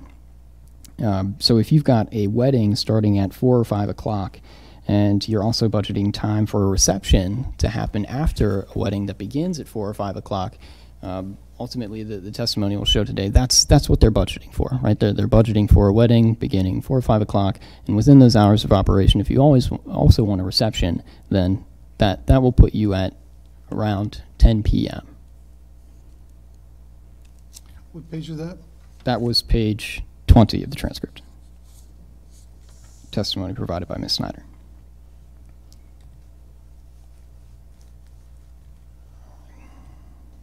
Page 21. Uh, you're aware there would be some noise ordinances and that you can't violate them. Jennifer Snyder, yes. Can't violate them. Yes, I'm aware of those. So the question was asked twice about noise violations in noise.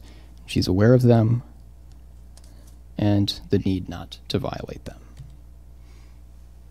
Page 22. This is with respect to parking.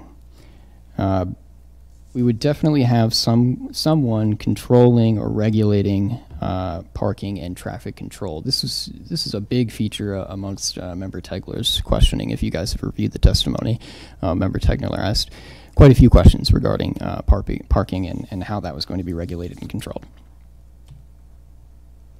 Um, page 23. How many rooms within the big house will you have available for people to rent over the weekends or whatever the function may be? Five.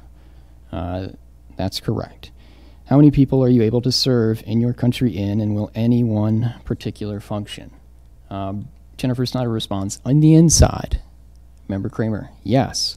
Jennifer Snyder, up to 100. So in Mr. Bowersox's earlier um, presentation, right, he had um, alluded to this 100 number as the only number with respect to occupancy.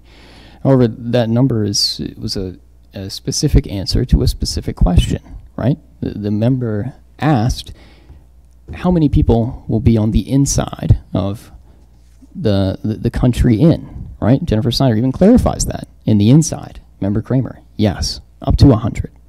Um, and when I call Ms. Snyder, she'll, she'll provide the, the context for that argument as well. Moving into page 25, we have uh, a discussion amongst um, the members and Ms. Snyder with respect to um, Johnny on the spots, porta potties, and um, outdoor bathroom facilities. Um, this didn't really feature much in uh, Mr. Bowersox's presentation today, so I'll just highlight that for you. Um, 26, um, we have uh, the sort of the framework for the adjustment of um, ordinary operating hours based off of right the, the business experience once they begin um, operating on the property. So member Kramer, Kramer asks, so your hours actually of, of operation could change because if you're going to have a wedding at 12 noon, your caterer will probably be in there setting up something around 9 o'clock in the morning. Jennifer Snyder, yes, that's true, right? So we've got sort of an, an, an adjustment period here happening both at the beginning and indeed at the end. In Jennifer Snyder's earlier testimony, when member, uh, I can't recall which member it was, but the, the member asked um, about right weddings and the receptions occurring after, right? So weddings four to five o'clock was when they were beginning, and then receptions would inevitably occur after that. So you've got a you've got a, a clear presentation here of the anticipation of greater hours of operation in order to accommodate the business plan that is developing through the the testimony and the site plans to be submitted.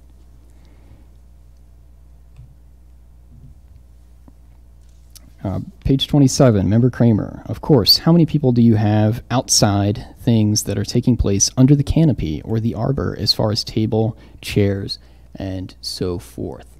So again, here we have um, discussion of events happening outside, right? Ms. Hicks' testimony was that there was a there's this clear distinction between weddings and receptions, and weddings would only be held outside, or weddings would be held outside, and receptions, other events, would only be held inside.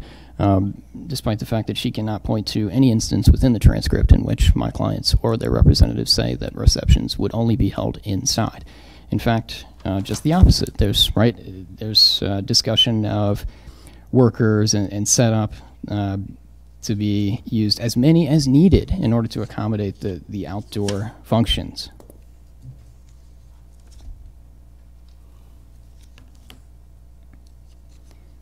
And forgive me, that discussion on outdoor functions I actually skipped over. That was on page 24. And this I highlighted in my cross-examination of, of Ms. Hicks earlier, right? Member Kramer asks, you have a walking trail in the back, you have an arbor, do you have functions or do you plan functions outside under that arbor and so forth? Jennifer Snyder's response, yes. There's a, a clear indication for the, the, the plan to conduct events, weddings, receptions, right? It- this is functions. Functions could be right any event. This is ultimately a, not just a, a country inn and a wedding venue, but they, they host other functions there as well.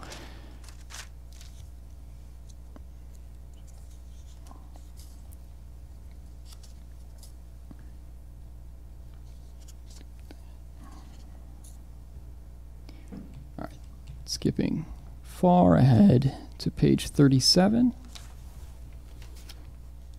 Um, this is actually um, Steve Hicks, who is um, uh, the husband, your clients are married, correct? Husband of, of Miss Hicks.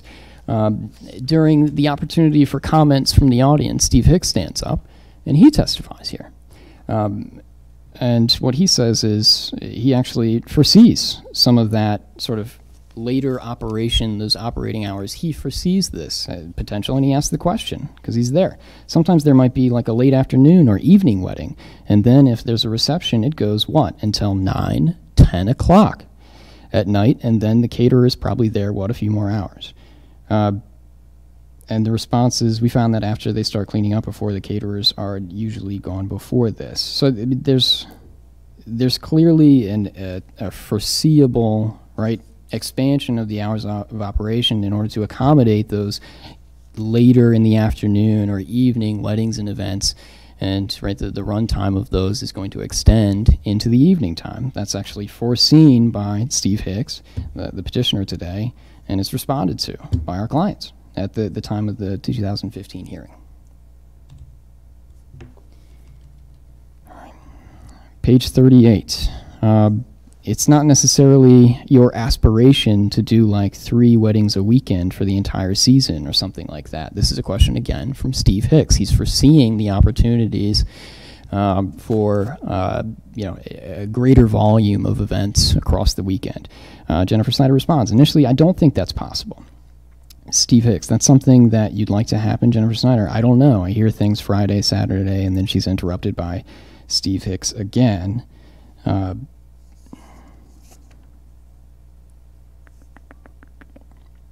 and I would also just highlight uh, Steve Hicks' initial testimony after hearing all of the, the earlier testimony that I've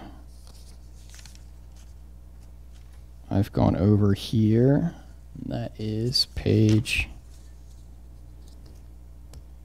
35. Excuse me. Steve Hicks. Sure, hi, I'm Steve Hicks, spells his name. So everything sounds pretty good. I'm concerned about these trailers. And, and I believe Miss Hicks even said something similar, that, that they felt that at least on the day that uh, my clients had been forthright in responding to their concerns. Uh, Mr. Bauhoff even, I believe, fielded some questions as well. Um, so, in the presentation today, they've they've highlighted a number of um, a number of issues, right? And, and I've sort of characterized them on my own, but I'm sure Mr. Bowersox will, in his closing, highlight the ones that he feels are, are most appropriate. But they tend to be um, in, in some similar veins. Those are hours of operation, occupancy, noise, um, parking, screening, and indoor versus outdoor. So, what I'd like to do now is call some of the witnesses that I have brought here today. I have Jen Snyder and Mark Snyder. They were um, the original um, applicants that were approved for the conditional use. They also submitted the amended site plan as it was approved in 2019, and I will have them testify as to you know that their how they operated the business within the confines of the testimony in 2015 and the amended site plan. Um, and then I will call um, the, the current owners um, who are operating within that amended site plan as well. So I'll begin with uh, Ms. Jen Snyder. Before we do, may I request a short recess? Yes. Thank you. Five minutes, 10 minutes? Five minutes. Okay, we'll go ahead and, uh, we'll have a five-minute recess.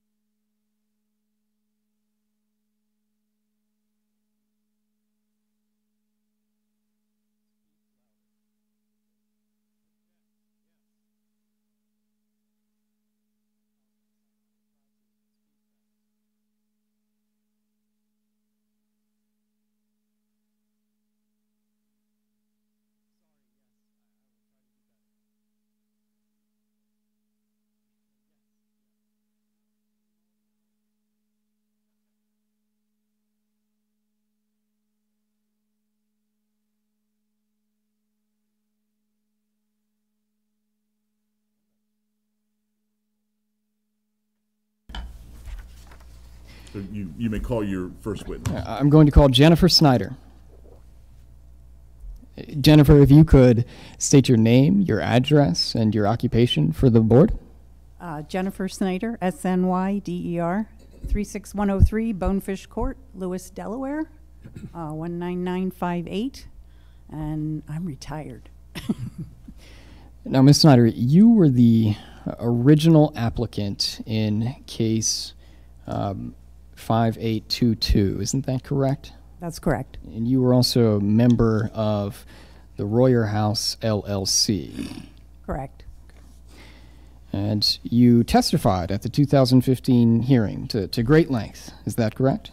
Yes, that's correct. Um, and you also contracted to have the simplified site plan, which is on the screen in front of you. Is you had you contracted to have that made up? Is that correct? Correct. Okay. Uh, so, Ms. Snyder, I'm going to direct you, if I can get this to cooperate.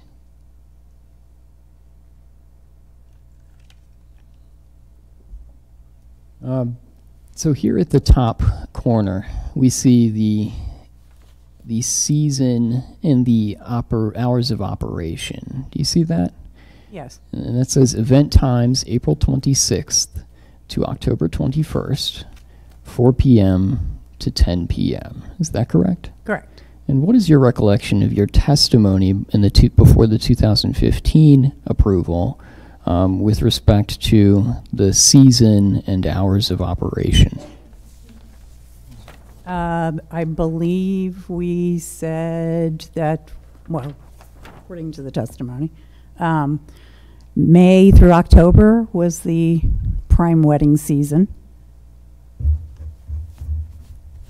And with respect to hours of operation, what is your recollection of your testimony as to what your hours of operation would be? So that weddings generally start somewhere between noon and five, and then there's a reception afterwards, if that's what they choose. Now, uh, you heard my earlier presentation when I, I read through parts of the transcript. Is that correct? Yes, Uh, so, do you also recall, either in my presentation or your own recollection of the testimony before 2015, um, what I phrased as an adjustment period? That is a period which would allow you to um, provide setup or takedown of whatever events were occurring on the property. correct. And you testified to that effect at the 2015 hearing, isn't that correct? Yes.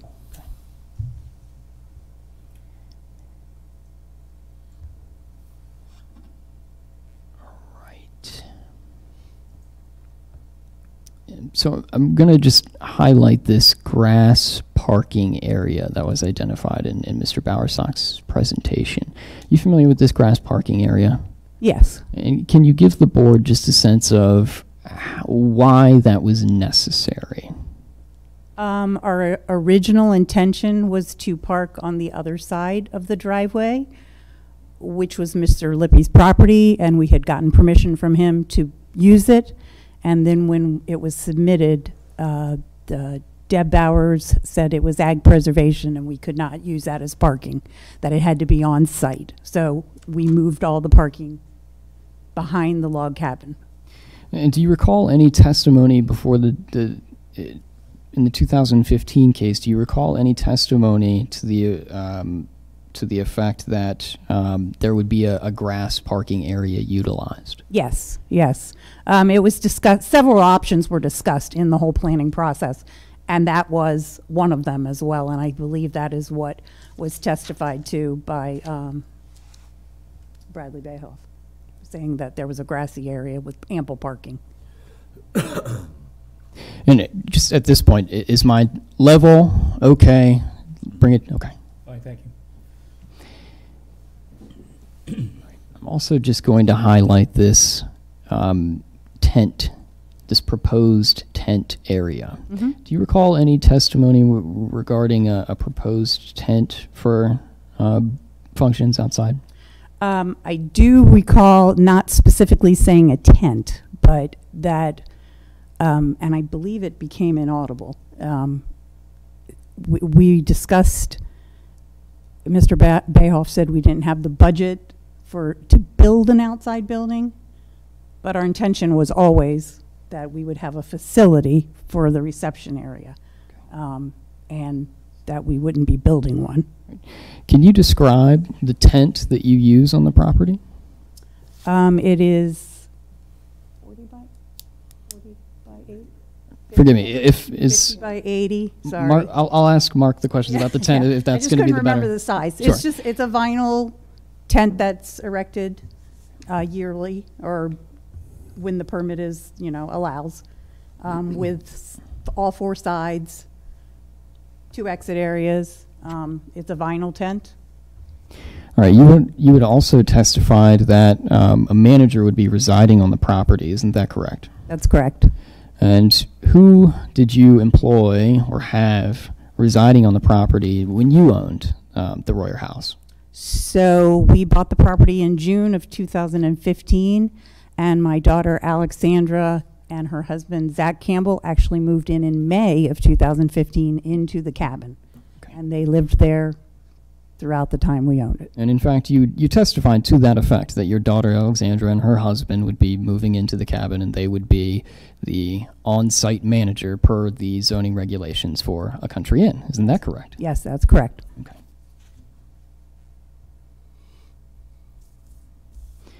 All right, let's talk about the screening of this um, gravel drive.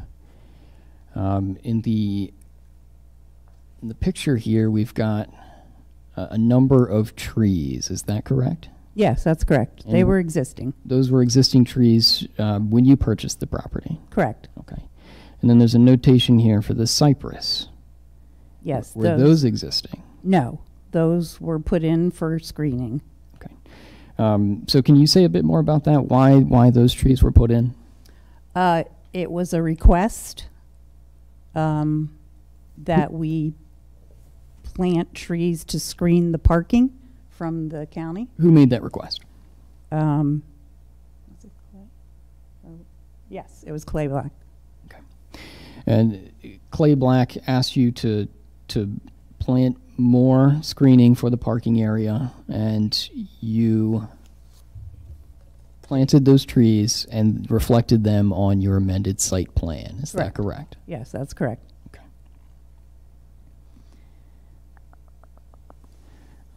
How about this gravel driveway that gives access to the grass parking area? I remember um, during Mr. Bowersox's presentation, there was um, some, some discussion as that was not a grass drive, that was a gravel drive. Can you clear up that distinction? So it was an existing access drive. There was a, like a fire pit back there. Um, so there was an existing, it had, um, some kind of material down, but it wasn't like large gravel. It was just flush to the ground. So it was already existing when we bought the property. So it was there was never a grass drive on the property when you owned it. Is that correct? A grass drive? No. It it was always gravel, correct? Oh, yes, just to the, to the pavilion. And, and so when you were hosting events at the Royer House, um, how how was parking handled? So we had uh, two people always uh, monitoring parking, and a third person usually at the top of the driveway, um, just to kind of control. And then someone right at the access where the, uh, right past the handicap parking, to direct people where to go, and then someone actually directing where to park in the parking spots within that parking area.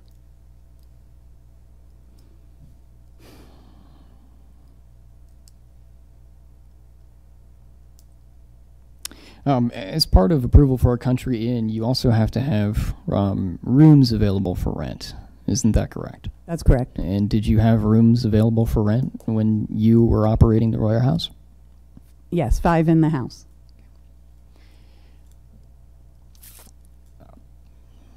Just the board's indulgence for one moment.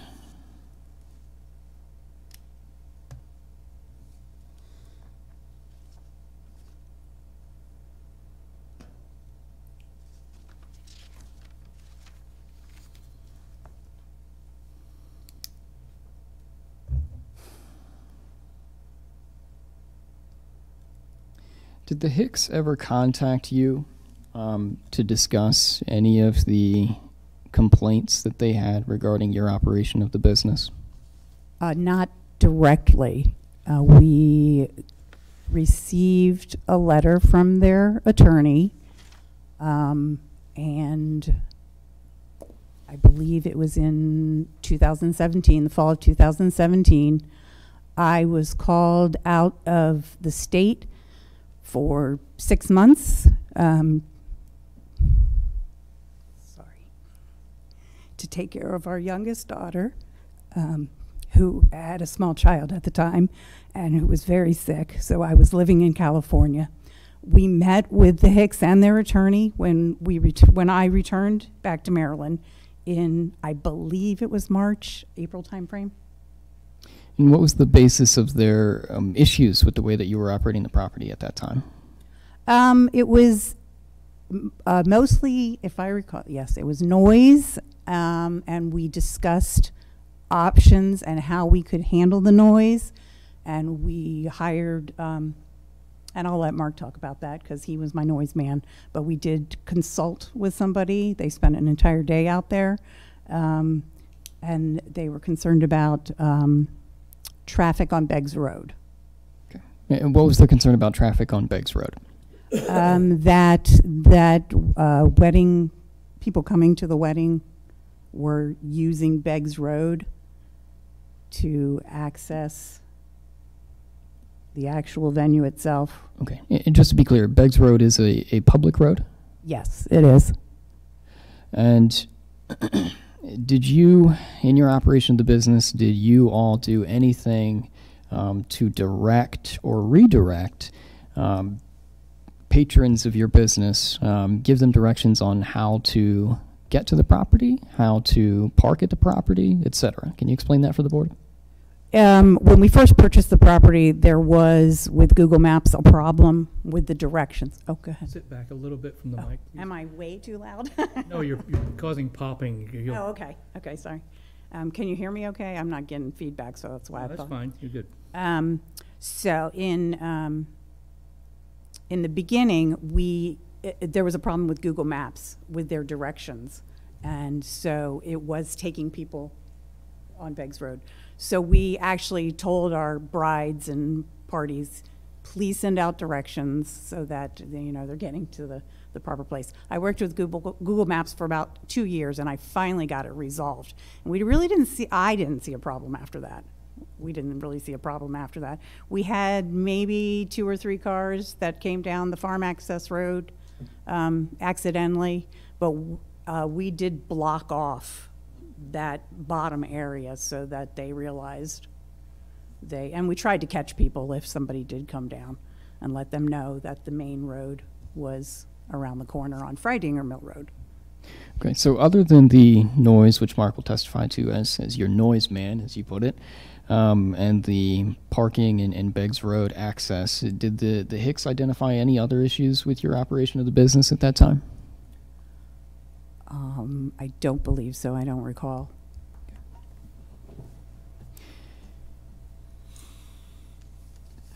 Were you ever contacted um, by the police, the county, or any other governmental authority with respect to any complaints regarding your operation of the business? Um, the county twice in the very beginning before we even started having events. And what were those contacts? Can you give the, the board a sense of what? Um, you mean who contacted me? Correct. Um, so, um, Mr. Black contacted me initially saying they had gotten complaints that we were taking down trees on our property. Were you taking down trees on your property? Yes, they were dead. And did you replace those trees? Um, not the one that they're, that we took down, a big one that was over in front of the house. Um, so it, over in front of the house, can you just direct me? I'll try to use the mouse here. The house, oh, the house is up further. Yeah. Yeah, see, that big house right next to the, I mean, the, yes. This Okay. is the house. Okay, right down is a tree right there, that one. This guy. Mhm. Okay. Yeah. So we had trees taken down. We had a professional arborist come in. He evaluated all the trees along the driveway, all the trees along the property line, the existing that we had discussed earlier, uh, basically all the trees on the property. Um, we took the big one down in front of the house, and he recommended limbing up the ones all along the driveway, which are uh, red ma- red maples, and then limbing up the ones that were existing along the property line, um, which were discussed earlier, because that would ensure they would stay healthy. A- And you followed all the directions of the arborist that you hired, is that correct? Yes, that's correct. Okay. And just to be clear, that big tree in front of the house that you took down, that tree was not a part of the screening effort for the gravel drive and the parking situation at the Royer House, is that correct? No, that's, yes, that's correct. Um, so, other than um, Mr. Mr. Black reaching out to you about the tree, do, were you ever contacted by the police about noise or any other complaint with respect to the operation of the business? Um, the only other person that contacted us um, was um, I can't think of her name. Oh, um, I spoke with Deb Bowers, who is Ag Preservation. I guess she's still there. I'm not sure. She had um, contacted me regarding a letter that was sent to the Lippies indicating we were using their property to park cars for events. And we were using their shed, I believe it was stated in the letter, um, to store um, equipment for our business. And I wrote a letter, response to, to Mr. Lippy to, with, from his letter, and called Deb Bowers and told her we had not had any events yet. It was June of 2015. We didn't have any events until the fall of 2016. Um, and that also, or I'm sorry, uh, the summer of 2016, and that we, the shed was not part of the discussion, and that we stored our Kubota tractor in the barn, and she said that that was allowed because it was used for agri- agricultural purposes. So, have you ever been contacted by the police or anyone else with respect to noise at all during your operation of the business? No. Uh, during your testimony during 2015, you were under oath, isn't that correct? That is correct. And did you present testimony that was your best effort and anticipation for how you would operate the business at that time? Yes. And did you submit a site plan that was consistent with your testimony in 2015? Yes. Uh, no further questions for the wis- this witness. Mr. Bowersox, any questions of her I, testimony? I do, I do. Um, Good uh, morning still, Mrs. Snyder. Good morning. Um,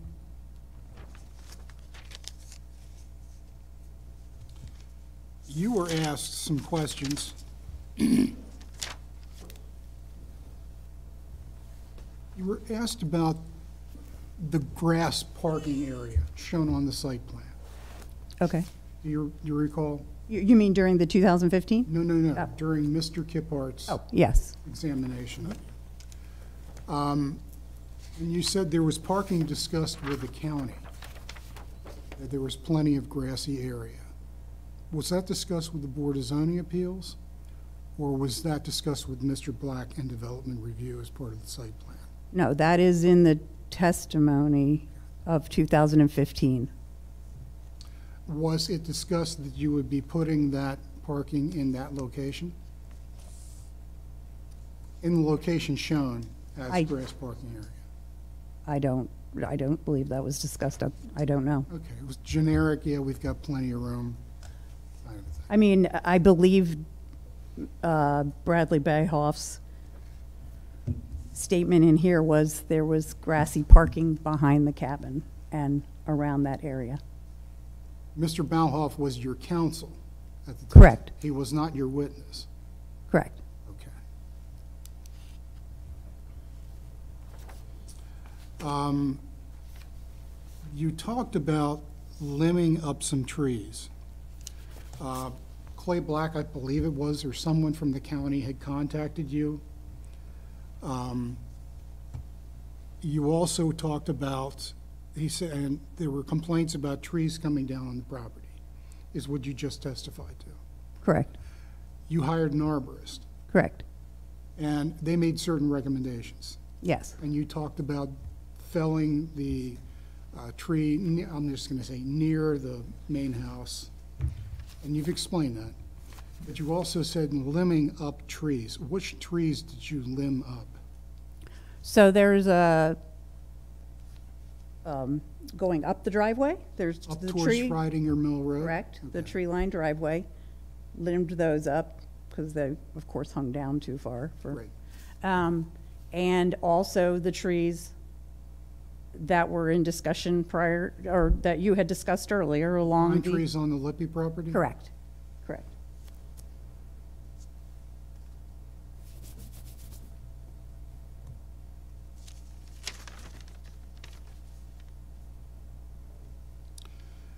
The Beggs Road access um, issue uh, that you say you struggle with Google Maps for, they weren't accessing the, prop- they were accessing the property from Beggs Road, but they had to come through one of the Lippy's fields, is that correct? No, Farm that's, access road through the field? I'm sorry, can, They had to come across a farm access road from Beggs Road? I guess, I, the farm, yes, the farm access road, correct. Yeah, Because you said you blocked it. J- At, not at the top, no, because that, we can't block that. I understand. Down on our driveway. Okay, That way, we felt that if people saw that, it would prevent them from coming down. understood.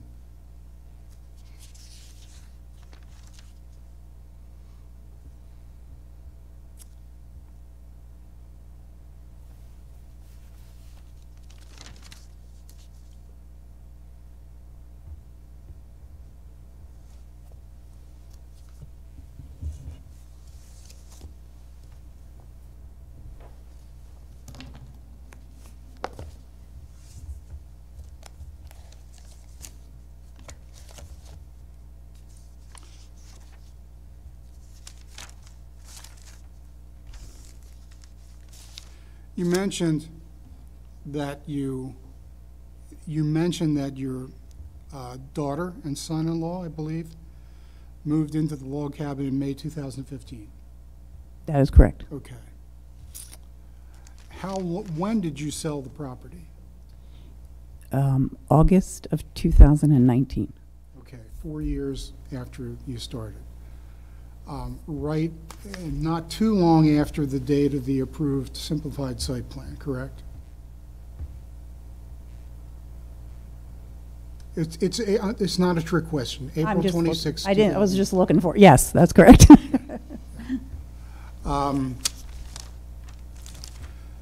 Prior to that time, you had a few different iterations of the simplified site plan, did you not? Two. Okay. Do you recall the notes in the site plan saying there would be no rooms for rent? On the Yes. simplified site plans? Yes, the, the original site plan did say that. And, and they admitted to the mistake and took it out. Okay.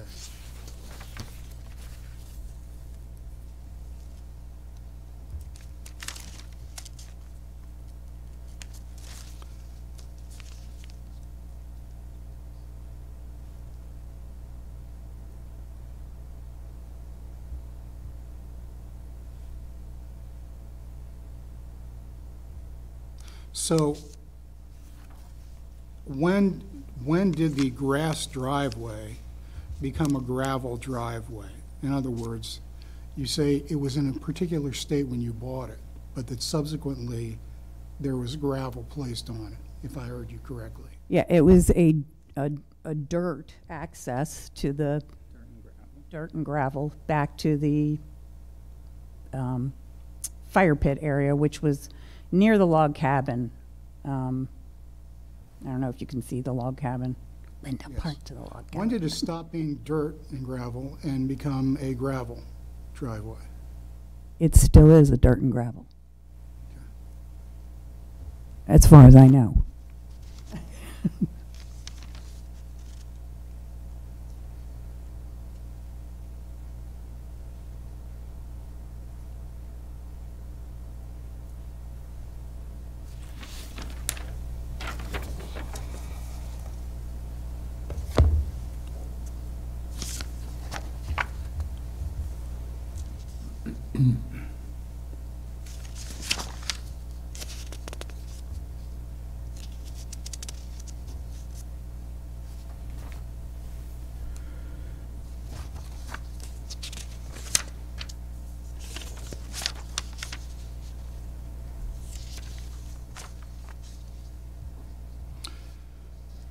There has been, um, I'll withdraw that. Do you remember when you were specifically asked, and, and trust me, I, I get that this was seven years ago, um, um, by Mr. Tiegler, what will your hours of operation, hours or days of operations be? Do you remember what you replied? Just what I've read from the, Okay. from the transcript. If I told you, it says we would be doing day weddings, mostly as the events time come around. So it would probably be most people aren't getting married until around noon, maybe afternoon into the four or five o'clock. And of course, if they just wanted to do a reception there, then that would be after the wedding. Do you remember giving that testimony? Yes, Mr. Kiphart's made the suggestion on your behalf that when you were making the testimony such as that, you were doing the best you could to anticipate what your operation would look like. Is that correct? yes, that's correct. But you had never operated something like this before, is that correct? That's correct. All right. It's a best guess, um, innocently, nothing wrong with that. Is that correct? Yes, that's correct. There's also some suggestion that he made, and you, you finished up the testimony, and I'm talking about page 20 to 21. We wouldn't plan on being late into the evening. Um, You said four to five, but you didn't say that the receptions would continue up until a certain hour after that. Is there a reason you didn't do that? Not that I recall. I mean, there was no time asked, so, They didn't ask, and, and you didn't advise. So they wouldn't have known that you're looking at your plans to go to 10 o'clock, 9 o'clock. well, I think it's rather clear in here that there would be. Where is it clear in here? there would be events after the wedding, and they would go into the evening. And wouldn't plan on being late into the evening? And I guess it's whose perspective of what late is. But you, you made it clear, you're looking at noon till 4 or 5 o'clock. You didn't elaborate at all on the back end of that, did you? No, Okay.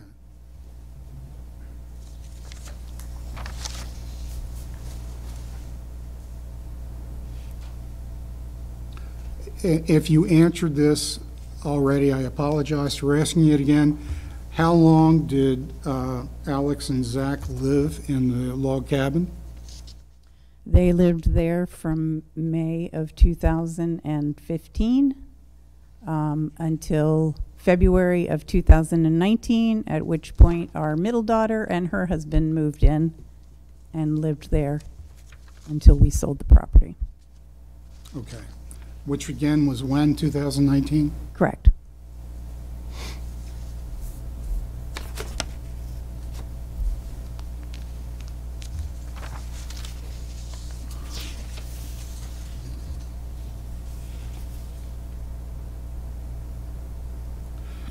You were asked by Member Kramer again about your hours of operation.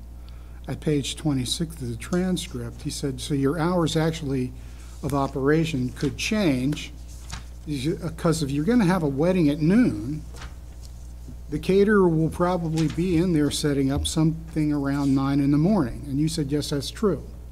And it's hard to argue with that response. But you were asking about hours of operations changing. You didn't mention anything about extending it out or the duration of events going further into the evening, did you? No. Okay. Right. And again, you were, if I understood correctly, you were making the best anticipated guess of what you thought your operations may look like That's correct. and what would actually be happening at the site.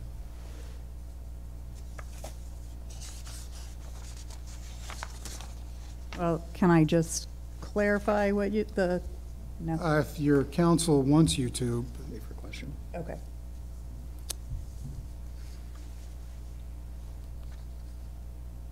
there's been much to be made about whether or not the discussion of weddings also means receptions. And I, I, I say that in the context of, um, th- there's been some issue made about the indoor conduct of receptions and the outdoor conduct of weddings. Um, Mr., do you recall Mr. Bauhoff telling the board on March 24, 2015, as far as events go, the wedding season is somewhat limited, outdoor weddings from May to October? Yes, I do remember that. Right, and he specifically said outdoor weddings. This is at page 31 of the transcript. There's no mention of receptions. And there's been some distinction drawn in the testimony here between weddings and receptions. Why, why was there no additional information provided about the conduct of the receptions? I can't answer that. Is, could it simply be you hadn't thought that through? I, I don't, I don't recall. I, I don't want to put words in your mouth, but I'm saying, I, I'm, I'm, I'm getting the impression that in 2015, you were giving the board your best idea of what you were going to be doing on the property. Correct. That was seven years ago. Things change, don't they? Absolutely. Yeah.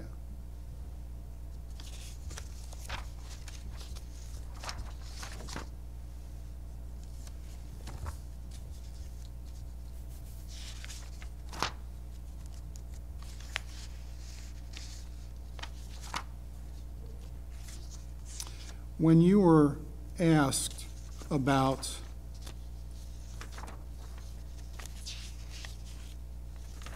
and bear with me.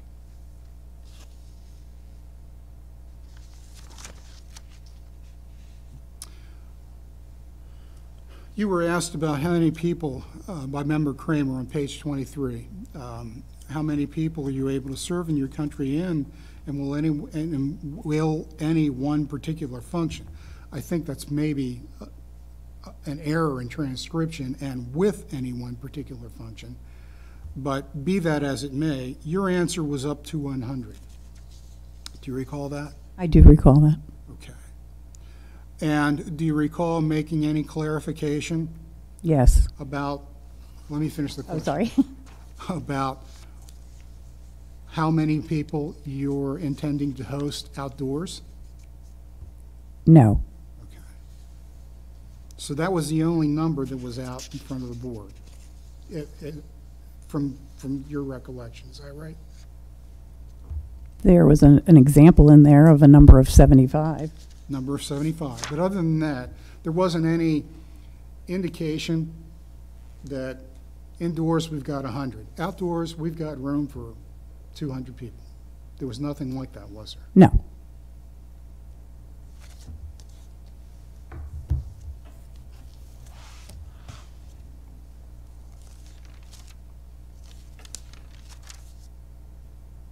And there was no discussion about amplified um, music or broadcast coming from the site during the, um, the outdoor events.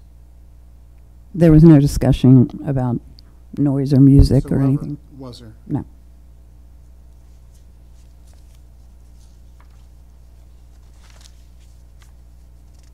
Well, there was the discussion of a noise ordinance, and was I aware of it? And that you'd have to comply Correct. with an ordinance that's not being enforced, as it turns out.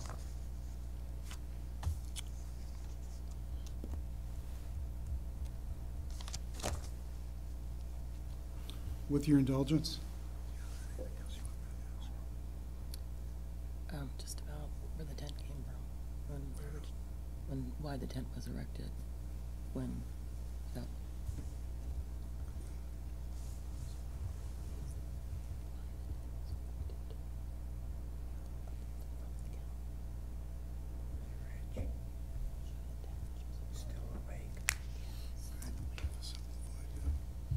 That's-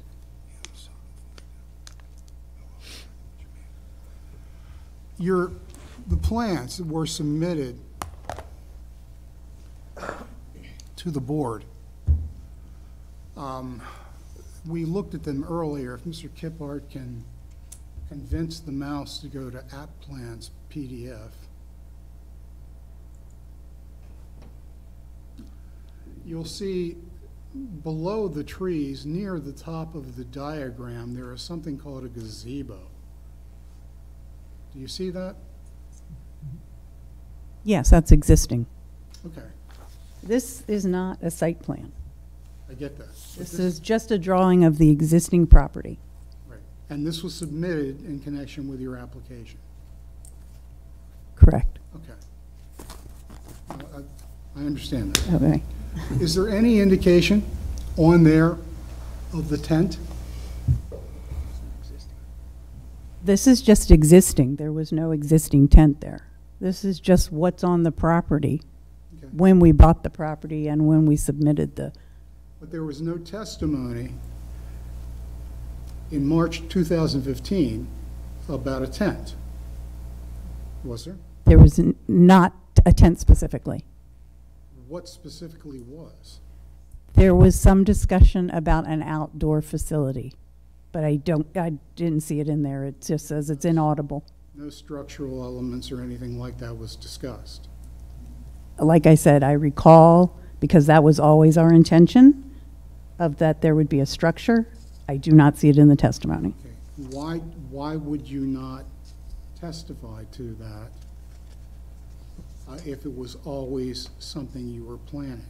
I as part of did. The improvement of the I property? recalled, I recall it, but it's not in there. There's a lot in here that says inaudible, and I believe it was when Mr. Bayhoff said something about not building something, and then there was a clarification, and it says it's inaudible, so I'm assuming that's when I said something about it, but I can't be for, you know, sure of that either.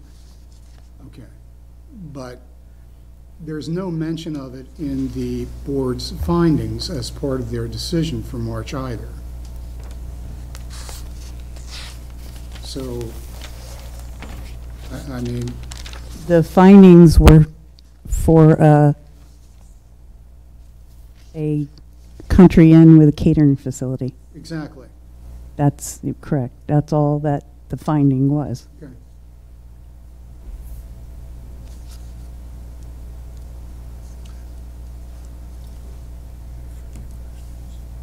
Is there a reason why those details weren't discussed?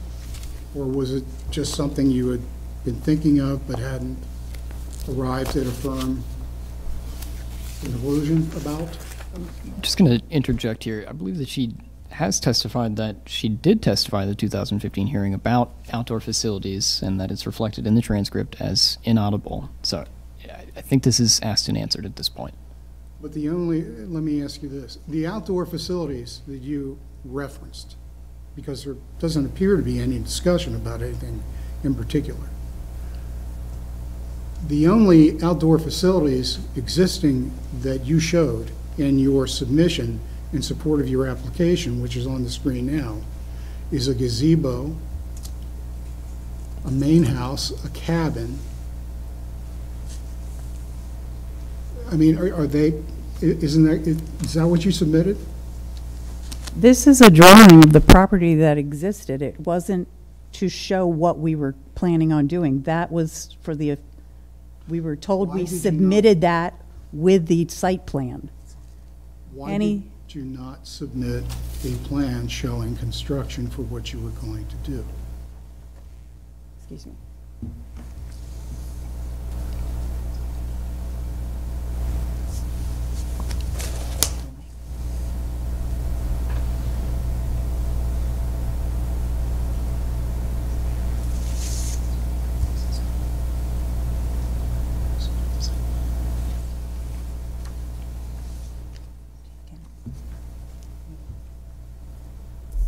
I'm not really sure how I can answer it any differently. I mean, when we were required to Okay. submit the site plan, we submitted it with the proposed tent on it.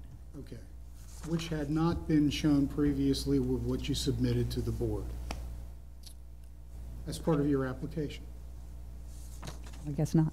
No, I have no idea. If that's, like I said, that is just a drawing of what exists supposedly. I understand. I'm not sure really what goes into the packet.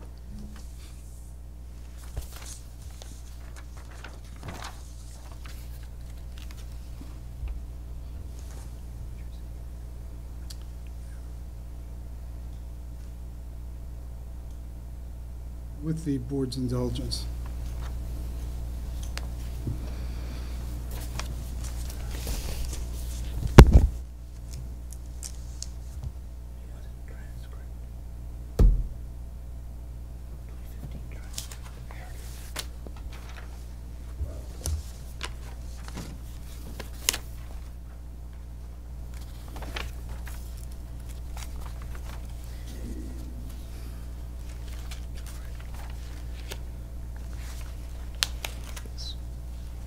Sixteen. So this is the one that needed to be corrected due to the no rooms available for That's, I think, one of the reasons. Right. I'm going to show you something that's been marked for identification, will be marked for identification mm-hmm. as number nine, 10, 10. And ask if you can identify what that is. This is the original, the very first, I believe, site plan that was submitted for approval. Okay.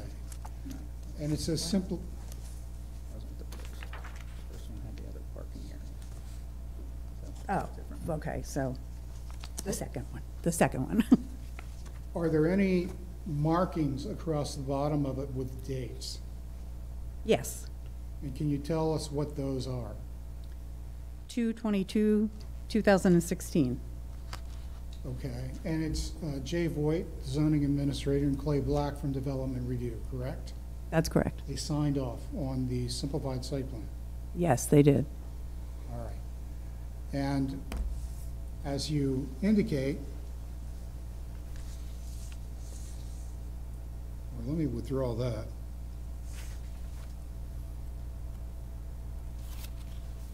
In the purpose note, mm-hmm. it says no rooms, no rooms will be available for rent. Correct. Why was that included on that? I do not know. All right. And this seems to show a formal garden arrangement? That's correct. Okay, And the proposed tent right here. okay. Is that the proposed tent that's shown on the current site plan? That is correct. It is? What's the, what's the dimensions of that first tent? This tent? This tent?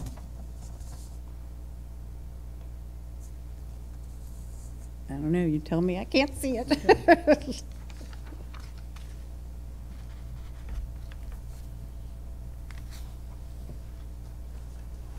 I'm gonna offer this as ten. Okay. Anyone I have?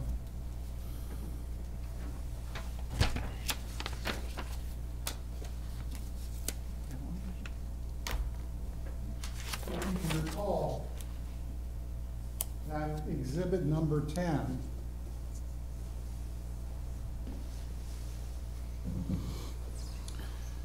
there's a formal garden, at least in part, in the location where the tent is located now, correct? That was not an existing formal garden, no. That was a planned, Okay. that we were planning on doing. Right. And to be used as a facility for outdoor events? Correct. Okay. So the 80, is it 50 by 80 or whatever it is, um, tent that's shown on the current simplified site plan didn't even come up or wasn't even contemplated until sometime after 2016. I don't know what the size was though on that one. Yeah, there was a proposed tent on there. Not the one that's there now. That is correct. Okay. And I was advised to submit a new site plan because the tent was not where we said it was going to be. Were you advised to come back to the board? Excuse me? Were you advised to come back to the board for purposes of modifying your conditional use approval? No.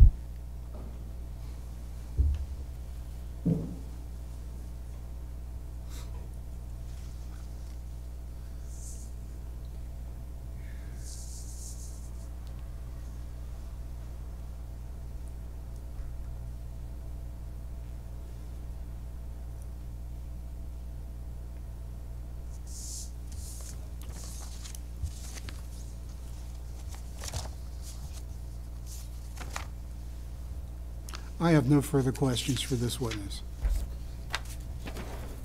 Thank you, Ms. Snyder. You're welcome. Some brief, I'm sorry. Go ahead, you- some uh, brief redirects. Yes, sir. Um, So on the, it was appellant's 10? Yes. On appellant's 10, there was a notation um, that you were asked about that said, "No rooms will be available for rent." Um, Did you type that notation onto that simplified f- site plan? Did you personally? No. Yes. No, I did not. Okay. Uh, Did you ask whoever prepared that site plan to type that notation onto the site plan? No, Do you have any idea why that notation was made onto the site plan? I have no idea. And indeed, you were aware that rooms being available for rent was a requirement for the conditional use approval as a country inn. Yes, I And did. During your operation of the business, you indeed did have rooms available for rent. Isn't that right? Yes, And that notation was later removed. Isn't that correct? that's correct. And that was removed at your request, at the county's request, both requests? What? Uh, Both requests. Um, I'm going to show you uh, what will be marked as uh, appellee's 1.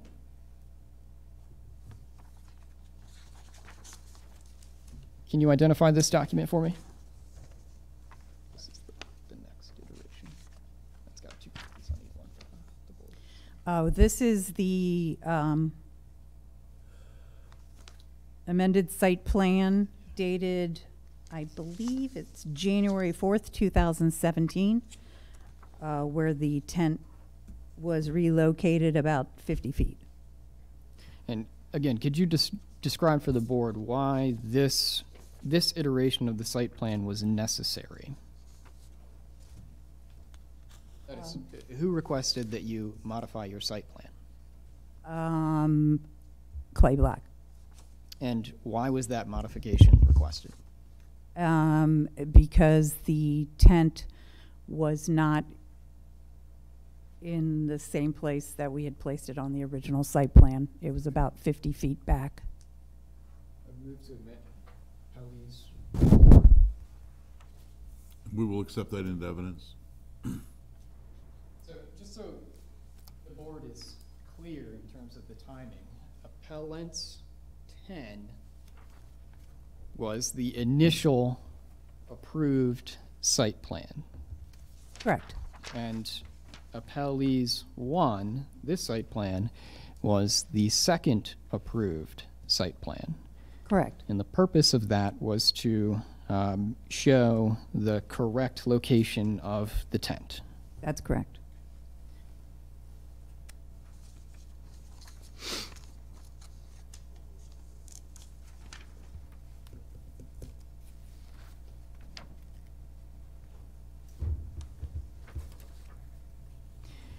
I know that I'm going to be testing your powers of recollection, and we've all pored over this transcript many times by this point. But you recall some discussion of outdoor facilities during the 2015 testimony, isn't that right? Yes. And could you say a bit more about that for the board? What that, what your recollection of those statements were? Um, I just remember their conversation about being asked if, um, we would also do outdoor, um, events by one of the members, and I said yes. And, um, also, uh, Mr. Bayhoff uh, talking about the beauty of the property and the aesthetics of it, and that there's, you know, the availability to do events outside as well. Uh, and there was discussion about um, the arbor as well as the pavilion. Wasn't that right? Yes, that's correct. Um, and I believe you were asked, you know, how many people you would have working to set up outside functions. Do you recall that? Yes, And, and your response, I believe, was as many as needed. Isn't that correct? that's correct.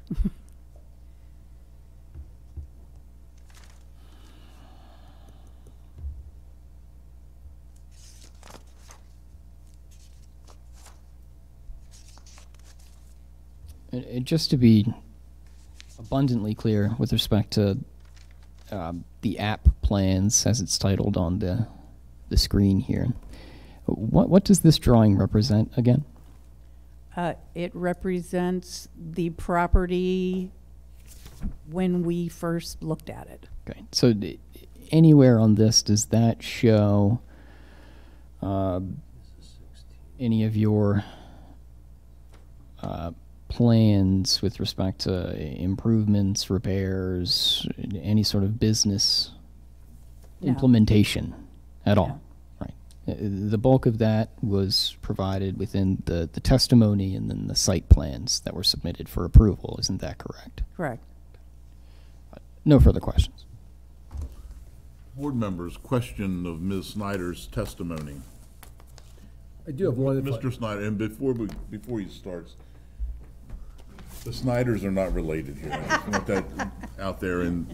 With the same Mark first Snyder and meet last Mark name. Snyder, but anyway.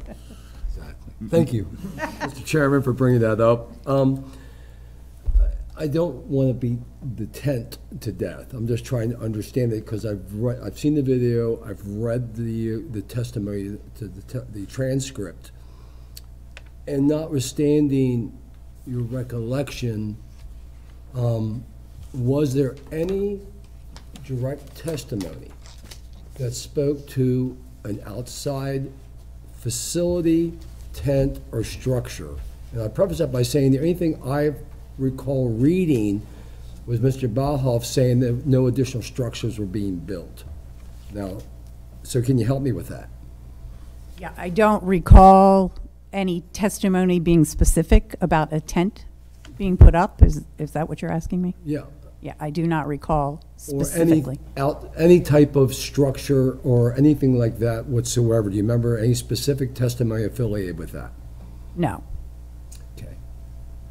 When you, when the tent tent was erected or built, were you required to get a building permit for that? Yes, every year. So, then, okay, so you've answered my question. Thank you very much. I have a question.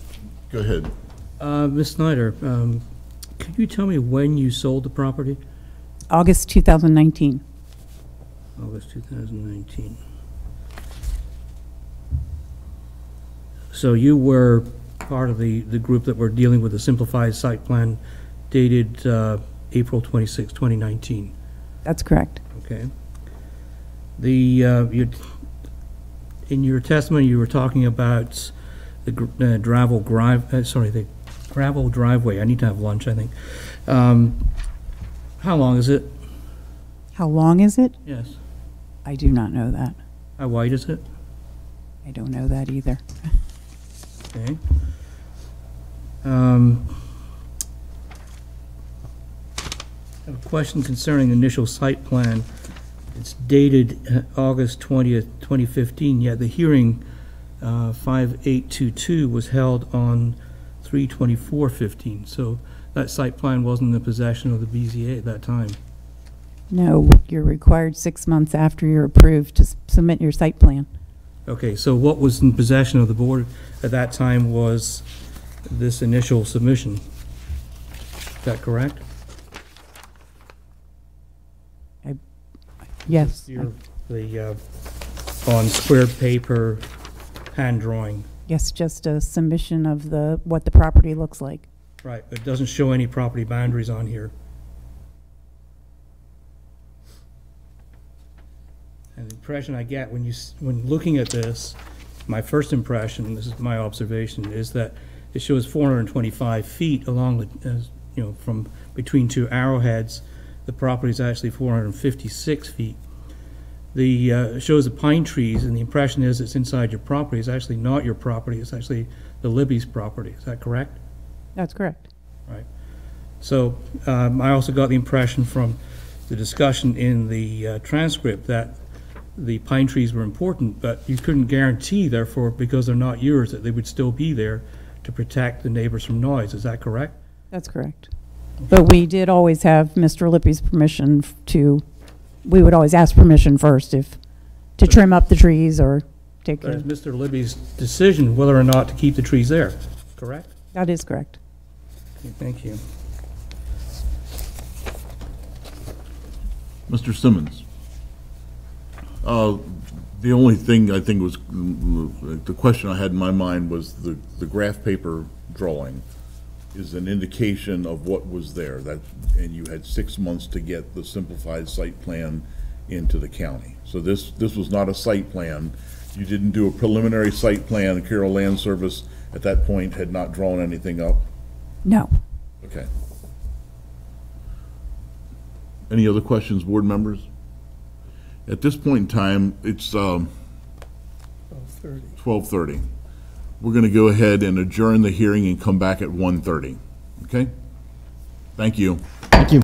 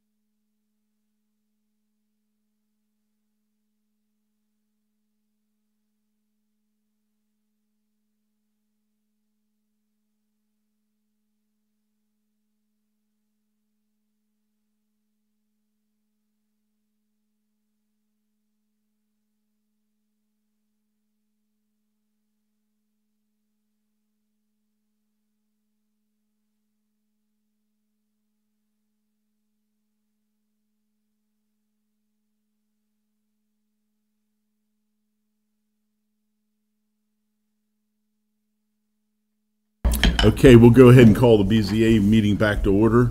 Um, I believe you're going to call your second witness? Is that where we're at in the proceedings? You would be correct. So I do have one brief preliminary. Uh, My, my first witness, Jen Snyder, actually was able to pull up a, a blown-up version of what was appellant's 10? I believe 10. Right. And so I, I just wanted to supplement, Fingers. right, supplement the record with this blown-up version of the, the same document. Um, There was a little bit of heartburn about um, not being able to answer what was the dimensions of the tent. She just couldn't make it out. Um, Okay, so, so you, you, you want to go ahead and recall her s- based on the new evidence? Okay, you can go ahead and do that. I have no objection to it coming in if he wants to avoid recalling her. I'll stipulate to what it is. Okay, That's, that's fine with me. Yeah. So this is gonna be appellants, or appellees two? Can you get that back? Just have no way of- We might need that one back. you might, They won't give it out to us. That's our only copy copy. so,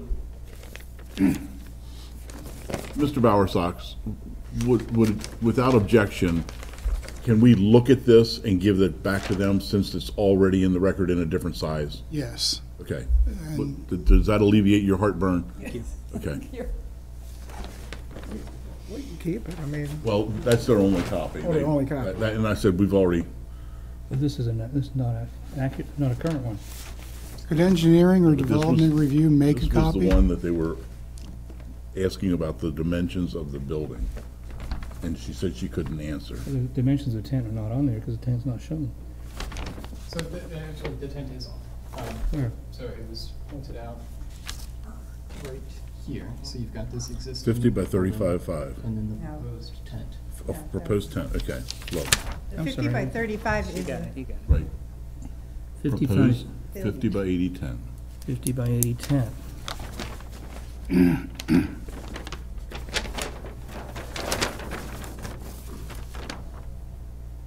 Okay. See, Yeah, I see it. okay? Very good. Thank, May I, thank you for bringing something here that we could actually see. Yes, no problem. may I see that one, one more time? Question based on that. fifty by eighty, ten, what's that, what's that mean? That's, that's what is, that's what was not decipherable on this. Eighty, is that eighty point one zero? 50, What it was, what's the, I don't understand eighty, ten. 50 by 80, 50, uh, 50 feet by 80 foot tent is delineated on that. Okay. It's also on Exhibit 10. That, that's, that's a blown-up version of Exhibit 10. Correct.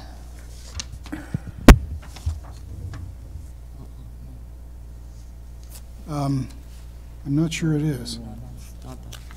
May I see this again? It's not ten because, uh, our original site plan, you guys have ten. Here, here, Where's 10? pass this back to Where's 10? Mr. Dixon. Did I- The only difference between the two would have been the garden. So whatever you introduced with the garden on it, I don't remember which number that I was. already gave him that. What's the date on that? 113. No.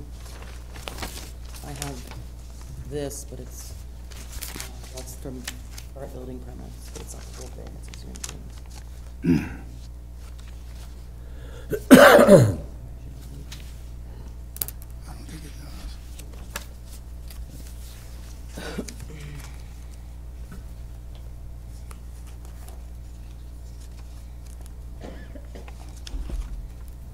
Yeah, it does. Seventy-four, Mr. Chairman.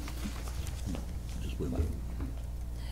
Yes, it's an overlay of the existing. We're waiting for them to make a decision whether it is the same. And that's what this is. And that was, right, Okay. Do- Do we concur that it's, and, and what exhibit is this, for the record?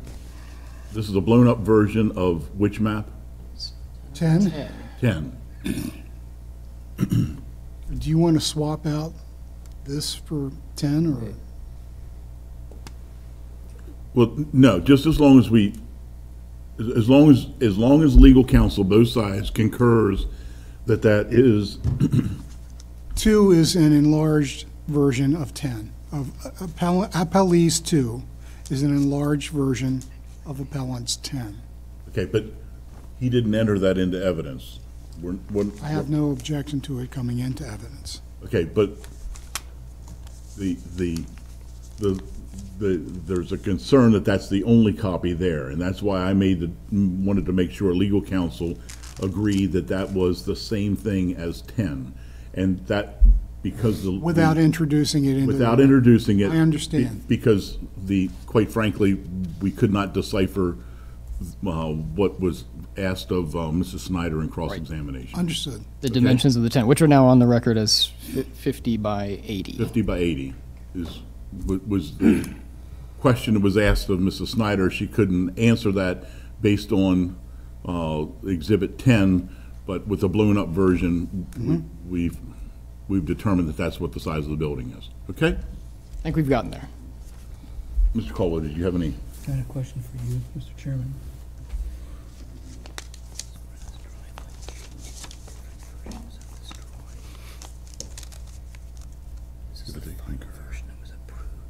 but that's not what we're talking about. We're, this isn't ten, this is the one after. I know, but this. You have to ask that question, I don't know.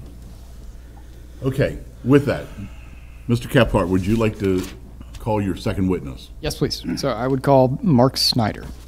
Um, Mark, could you please state your name, address, and occupation for the record, Wait a please? minute, do- put that microphone back. Put, put it, move it back to where it was. Okay, very good. Now just speak into the, you don't have, don't, you don't have to get this close to it, just speak loudly into it, okay? We, we have different issues with you and your legal counsel. Your legal counsel is not quite loud enough, but, uh, Mrs. Snyder was loud enough, okay? So you're assuming I'm going to be loud enough to. Yes. so- Mark Snyder, S N Y D E R, not the Mark Snyder of the BZA Board, uh, 36103 Bonefish Court, Lewes, Delaware. Okay, and Mr. Snyder, you are married to Mrs. Snyder, who was just testified. Yes, And so part of your family business was you were a partner in the Royer House LLC, is that correct? it was a woman-owned business, so I was Okay, so silent. you, you were an employee then? Correct. So to speak. Uh, And what was your role within the business? I was pretty much the groundskeeper, parking attendant, noise monitor, just about all of the odd jobs that didn't have direct bearing on either the uh, um, country inn or the wedding por- portion. Okay. Um, so, uh, one of the issues that the Hicks has with the Royer House operation is um, the amplified music and noise. Would you agree? Um, As I stated, yes. And uh, when did you first become aware of the Hicks um, noise complaints? Um, truthfully, we, we were, you know, continuously addressing the, you know, the sound emanating from the facility from day one. Um, sometimes I was shocked to know that we'd have somebody come to the event that would be a. So, Mr. Snyder, I'm just going to stop you. Uh, uh, We'll get to the measures that you took, but when did you first become aware of the, the Hicks complaints about the noise?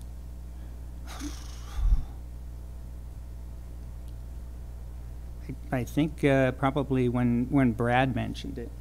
Okay. And do you recall about when that was? Again, I I realize that this is testing the powers of memory. I really don't have a date. Okay.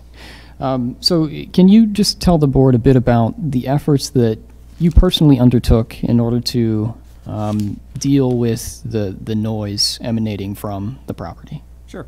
Um, As I mentioned, we, we started pretty much from day one um, consulting to the, the noise ordinance. There's always a little bit of a, of an issue because we were a commercial property uh, abutting an agricultural property, but potentially impacting residential. So we, you know, when I say we, when I, when I would monitor stuff, I would always just resort to the residential code as far as decibel readings. No, I'm just going to stop you there because I want to be clear. What is the, the code that you're referencing? Let me get to it.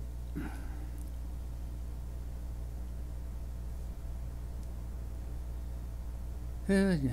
This, this code is, uh, I guess it's Carroll County, I could get to the beginning of it, but it's uh, statute 146.3, noise generation and vibration limits, land use specific limits. So would it be fair to state that the code you're referencing is the Carroll County Noise Ordinance? Correct. Okay.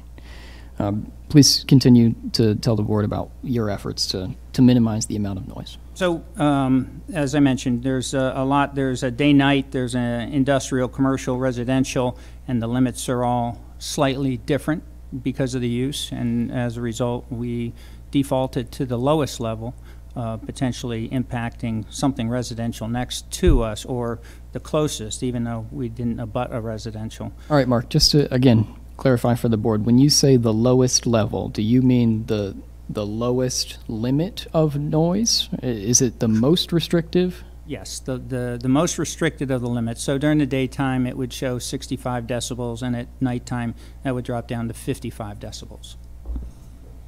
Please continue. Okay. Um, and, and we did that initially um, through, you know, until we could get a hold of what we purchased were two professional decibel readers.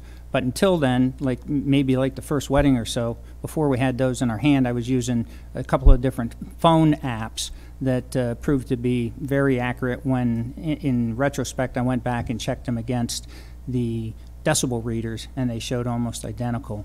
Um, so with that, I would always and, and first address the DJs when they'd show up. We had a strict limit that said no subwoofers because that's the noise that tends to travel the most. So we made sure that if they brought them because the bride miscommunicated, that they put them back on their trailer and they didn't show up.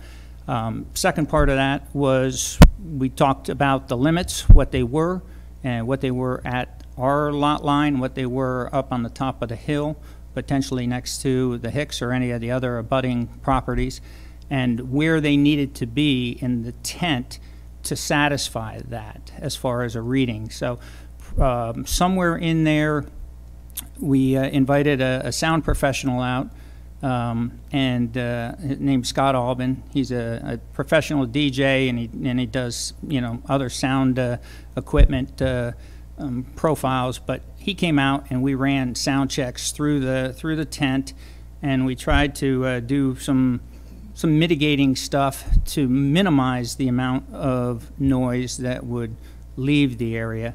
And when we did that, um, that's when we discovered the noise of about somewhere around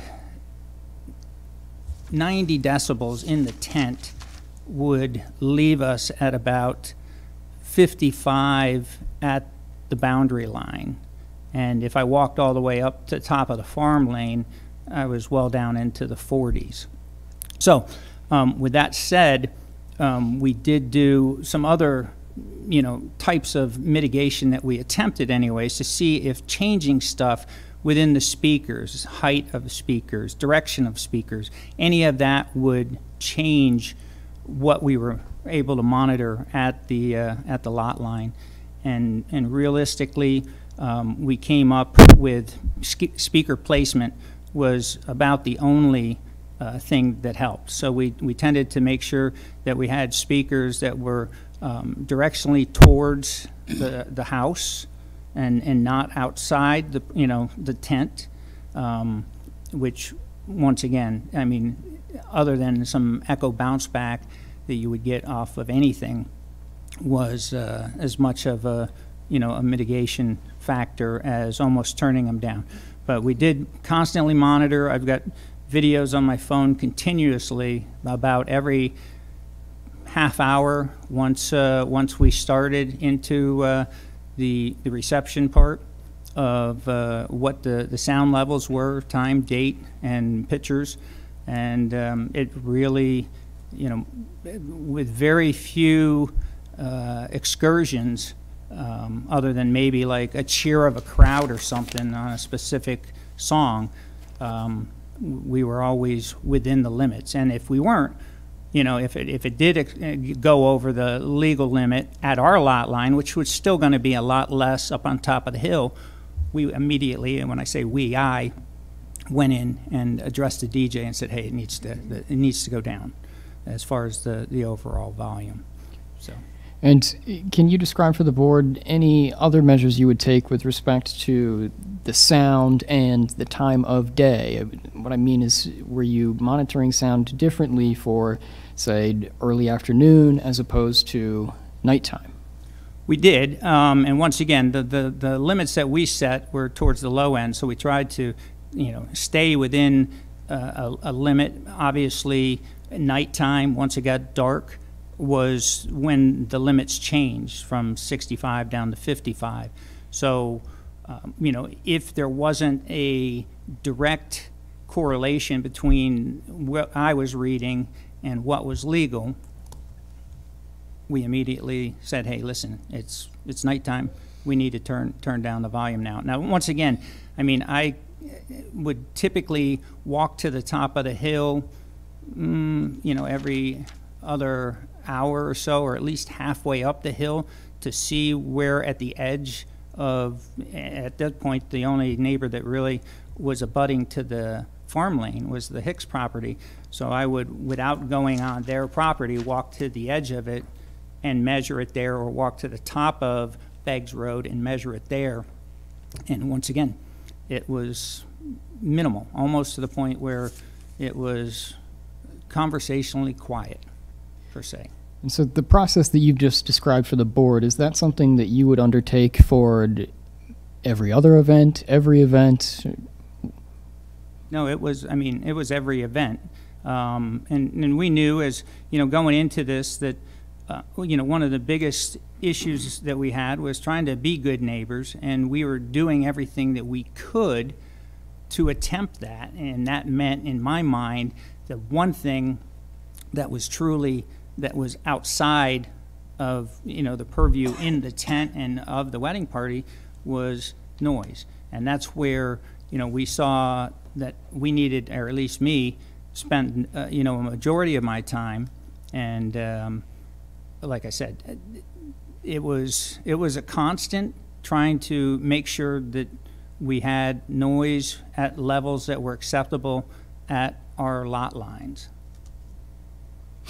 Um, you've, you've mentioned the, the tent a few times as well as the placement of speakers within the tent. Is there a reason that you would place the speakers within the tent or even within a certain area of the tent? Um, you know, realistically, it was just uh, for some of the sound damping that uh, where um, panels were. We decided early that um, we, we kept the back panels of the tent continuously down. We never opened them because that's the side of the tent that would open up up the hill. Um, there were times that you know some of the best sound dampening past the tent was what the Lippy brothers would plant. You know, if we had if we had corn, it was you know just a maze run through there for sound, and it just dampened everything. If they had you know green beans or soy, then it wasn't so high, and we had to uh, you know make sure that all of the all of the sound emanating from the tent was at a lower volume. So, I, I mean, as far as that goes, yeah, the speaker placement became something that we tried to to dictate, and you know, eh, some of it would depend on where the dance floor was, and, and, but we still were fairly, you know, emphatic with the DJs. It's like, okay, hey, listen, we've got cords, you can reach power here, here, here, this is where we need these. Uh, now, with respect to cutting off sound or the end of operations, can you describe for the board what you would do in terms of, you know, events ending time? Well, we, we give them a, uh, a heads up. We always had uh, alarms set on uh, phones, watches, and, and I'd make sure that they knew that the sound had to be down because the you know for us it was a dull roar. I mean, so literally like 44 decibels um, at 10 o'clock. So I'd give the the DJs a 10 minute prior and say, listen, your last song ends in 10 minutes. It's got to be done, and you know no last. Oh yeah, we need one more song. It's 10 minutes, and you know basically if you're not done at that point, you're going to be done because I'm going to click the breaker. And, and the house lights would come up at 10, and so everybody knew that that part was over. And, and that's how we, you know, stopped the sound at that point. Did you indeed ever have to flip the breaker on somebody to shut them down? We did not, um, did not. I think a lot of that just had to be, you know, a, a lot of conversation ahead of time, making sure that they knew we were in a rural area, sound did travel, and, you know, it, it wasn't something that was going to be, you know, perfectly quiet. I mean, it would be nothing different than what we could do if we were just homeowners out there as far as making noise, um, as far as the levels allowed by the noise ordinance. Just as as a business, as we mentioned, we wanted to set that example. And, uh, you know, once again, we, we mitigated everything to the, to the level that we could. And we think that we succeeded in keeping the noise coming out of the tent at, at the proper level. Um, was part of your duties um, with Royer House uh, setting up and taking down the tent? Um, no, I mean, we actually contracted out to have somebody set up the tent. Are, are you familiar with that process? Yes, Okay. And you observed it. yes. Um, so is the tent, the tent is not a, a permanent fixture on the property. It is not. Um, it can be fully taken down It could. um, and removed and stored. Uh, Yes, it could. As a Um, matter of fact, I mean, half of it was taken down. All of the skin was taken down every year to get stored and cleaned. Um, did you have any other um, specific requirements? I believe a, a board member had asked earlier whether a building permit was required for the tent. Is that correct? It was. Okay, and, and did that building permit that you received, that was a, a county permit? Correct. Um, and is that something that you had to keep up with on an annual, semi-annual basis? Yeah, once a year. Okay. And how long, um, or, or let me ask you a more general question. Um, were there any conditions on that building permit for the tent? There were, um, the conditions for us were, uh, typically, uh, you know, six months, half of a year. And, and that's where the county wanted to have a, a start date and an end date, um, as far as when, when we were gonna put the, you know, the skin back on, when it was gonna come down. And, uh, you know, once again, early on, we didn't have as many exact dates, but we didn't need to because it wasn't a full six months um, cycle. Uh, Later on, where we would program weddings out in the future a little bit further, we were, you know, the, the dates were a lot more pinpointed and we didn't have to, you know, give up, you know, a couple of weeks either side just for, you know, because we didn't know when the weddings were coming in. Um, were you also responsible for um, parking at events? I was. And how did you typically handle parking? Um, well, basically, parking was uh, something that happened from from the minute the wedding party started. We wanted to make sure we got their stuff organized and out of the way. And every every time we parked, we, we would set up a, a corral to try to get cars in so that they could get back out as, as easy as possible. Um, so we'd have somebody that would meet them, as Jen mentioned, at the uh, intersection to be able to direct them down the parking lane. And then from there, we'd have somebody that would point either right or left to go up, and they'd pull in, and they'd come up to a rope, and that's where they would stop. And then we continued around to the other side to be able to fill in the spots. And, and a lot, most of the weddings, it wasn't quite as critical, um, just due to the number of cars that, that would, you know, show up, how many people would come in each car.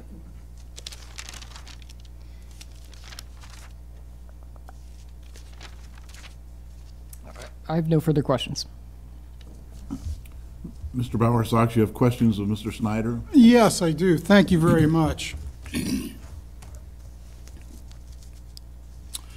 Mr. Snyder, good afternoon. Much of your testimony had to do with noise mitigation. Can you tell me um, what qualifications Scott Albin has? I could, uh, if, if I could call him, I could probably get his uh, information, but other than that, a professional You sound, uh, don't know. not at this time, I don't. Okay. And do you have any background in acoustical engineering? No, sir. Um, When did you buy the two meters? professional meters? I, decibel I don't have that date in front of me. Do you still have them? I do not. Okay. And you were using phone apps before? Uh, Just very briefly. Do you know what kind of phone apps they were? What were the phone apps? Uh, There was one, I believe it was called Decibel X, and another one that was, as I mentioned, readily, readily available. Okay.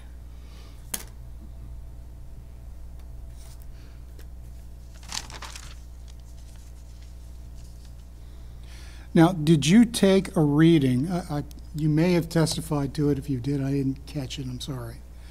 Did you take a reading for every occasion you had receptions and amplified music? Yes, Every one? yes, Okay. Did you take decibel readings at the Hicks property or the boundary of the Hicks property for every one? yes. You did. Well, at the boundary, yeah. That's only, the Okay. boundary, the far uh, southeast corner, at the bottom of, you know, the uh, farm row, yes. Okay. And you said that sound would decrease at the top of the hill, isn't that right? Yeah, the sound would typically decrease, you know, by feet walking away from the tent. Okay. So, uh, okay, and um, sound is also affected by other meteorological and atmospheric effects, is it not? Sure. Okay. You said you knew going in to it, the, I presume you mean the venture, um, that you needed to be good neighbors which is, I mean, I, I I understand that. And you testified about a great deal of steps you took to monitor and attempt to mitigate noise emanating from the property. Correct? Yep. And is this a feature of the activities that was always contemplated? I don't understand your question. Is this a feature, excuse me, is this a feature of the activities on site that you were contemplating when you came into the board to ask for the original conditional use permit? Y- y- You mean as far as if there would be Music, music? Every wedding I've ever been to, there's been music. So I would Amplified assume that music? we were having music. okay. And you didn't mention anything about that to the board in 2015 when you came in? That there was going to be music at a wedding? Amplified music, I am uh, assuming that uh, it was either not asked as a question or not answered. but you're the, you're the applicant. You have to provide the information about the scope of your use. Why would you not mention that? Apparently, you knew you had to be good neighbors going into it. A lot of Um, things, You certainly took great efforts, uh, it seems, to try to mitigate. Um, Why not let the genie out of the bottle up front? there was no, you know, uh, intent to hide anything as far as. Yeah, I mean, we were asked about noise ordinances and we answered it. Mhm. So, I mean, obviously, noise has to come from something. Right. And, but you didn't volunteer anything about the operation. I'm, I'm not quite sure I understand. You didn't mention to the board that part of your activities would involve, after the weddings ending at five, outdoor receptions that could go on until 10 o'clock at night and involve amplified music. Once again, I didn't see anything in the record. Do you remember anything in the record about that? I do not remember anything in the record about that, but there was a lot of other minutia that wouldn't have been covered in such a small time frame as we were allowed when we first met with the board. So I don't know that, So you're relying on the board to assume you knew what you wanted to do? not at all. I'm assuming that if anything, that they've been to a wedding and they knew that there would be music. Does every wedding reception feature amplified music? Every wedding I've been to has. Okay. How about you? Uh, no. Okay? No. Um, About music? sometimes no. Okay. then I understand, and I apologize for But asking out of turn.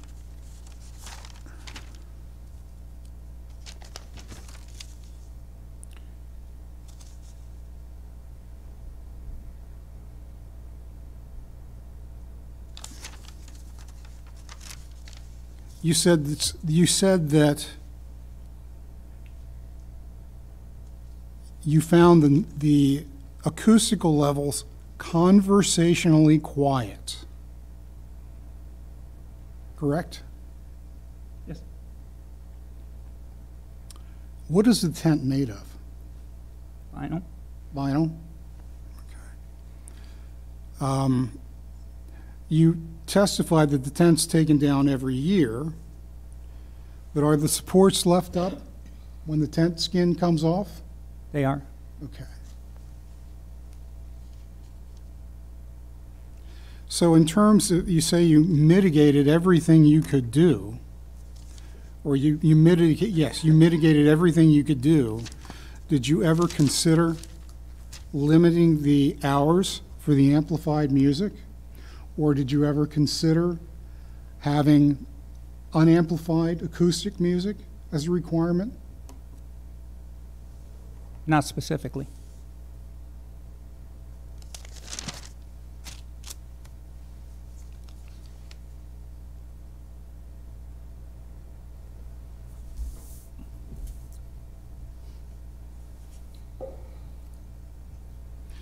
The 10-minute deadline you gave the DJ was 10 minutes before 10 PM, correct? Typically, yes. And was this the kind of activity you were anticipating when you wanted to open this venue?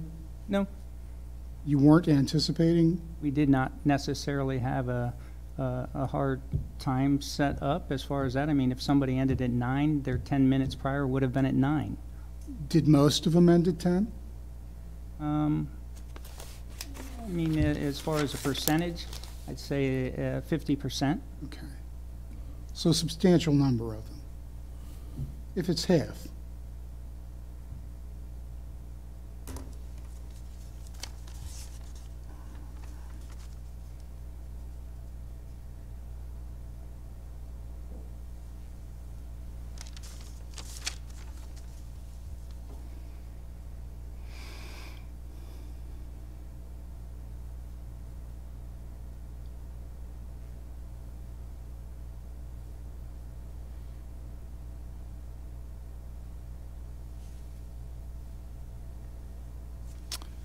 I have no further questions at this time.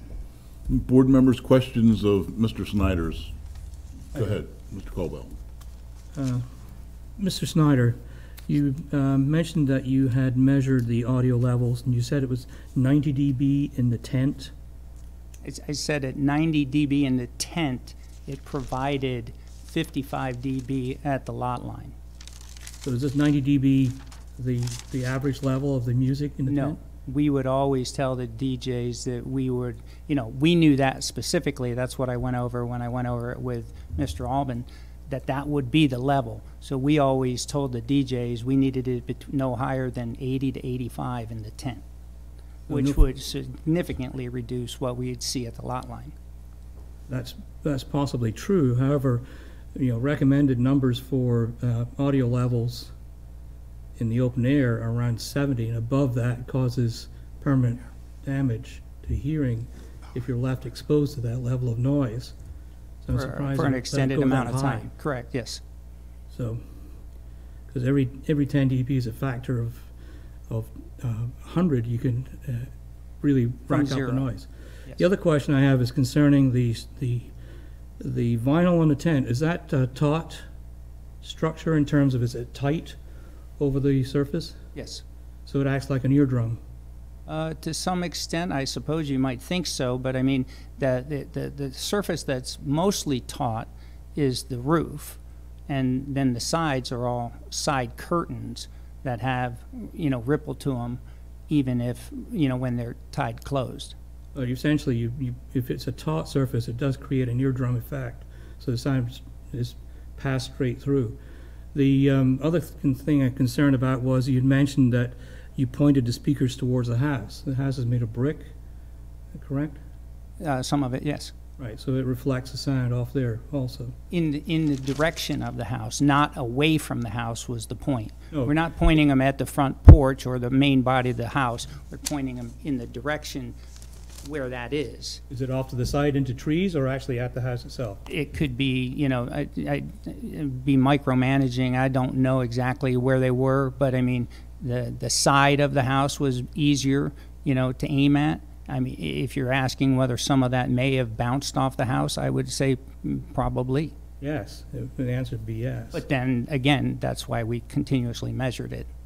Okay. All right, so, um,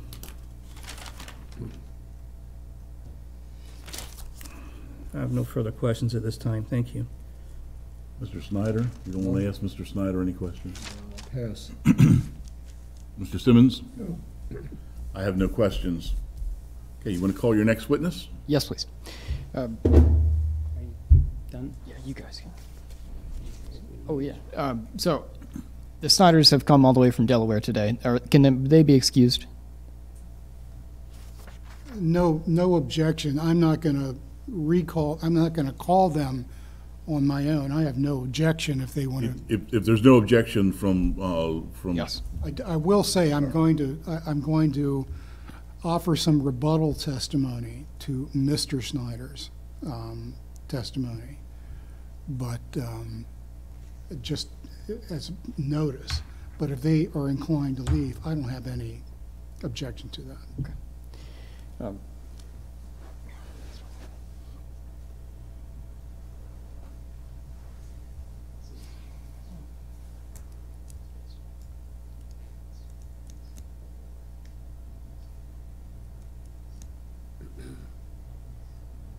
Tick-tock, tick-tock, tick-tock. Stop it.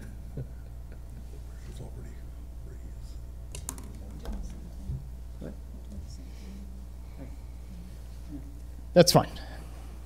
Okay, so This- with, without objections, the Snyders are dismissed. Thank you, sir. Thank you. Appreciate all your gentlemen time. All right. Okay, Mr. Kephart, you want to call your next witness? Yes, it's going to be um, Robert Ryan.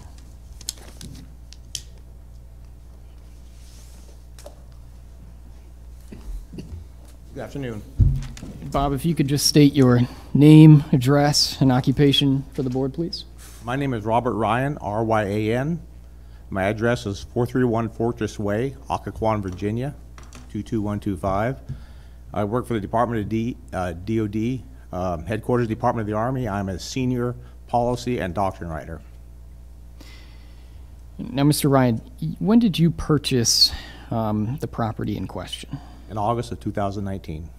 And as part of that purchase, you also uh, sort of piggybacked onto the conditional use that was requested by the Snyders. Is that correct? Yes, that transferred with the property. And you set up a new LLC. What is the name of that LLC? The Christian Royer House. And you LLC. and you have continued to operate, for lack of a better term, the Royer House, um, much in the same way as the Snyders. Is that correct? That is correct. Okay. And what can you describe for the board are your roles within the the business? I do the parking, like Mark Snyder did. I also do the sound control and just basic maintenance and monitoring the entire event to make sure everything goes smoothly. Um, so we just heard Mr. Snyder's testimony with respect to how he would monitor and attempt to minimize the amount of noise emanating from the property. What efforts um, have you made since um, your ownership of the property? We pretty much continued the same thing when um, Mark Snyder stated he no longer had those professional acoustic meters. That's because I have them now. I have two of those. I have two different apps on my phone. Every half hour to an hour, I'm out there at the property line measure, measuring the music level. Um, rarely have I ever had to tell them to turn it down when they get, and it's spiking over 60. I will walk down and tell them, we don't want to touch 65, and then turn it down the tent. Um, we usually have about 85 decibels inside the tent, which I found to be the same thing. And I did multiple uh, alongside ride-alongs with Mark Snyder prior, prior to taking over the property. I've also walked up the hill to, uh, to the roads up there. I've driven around and parked on the roads, and the music is negligible, at those distances.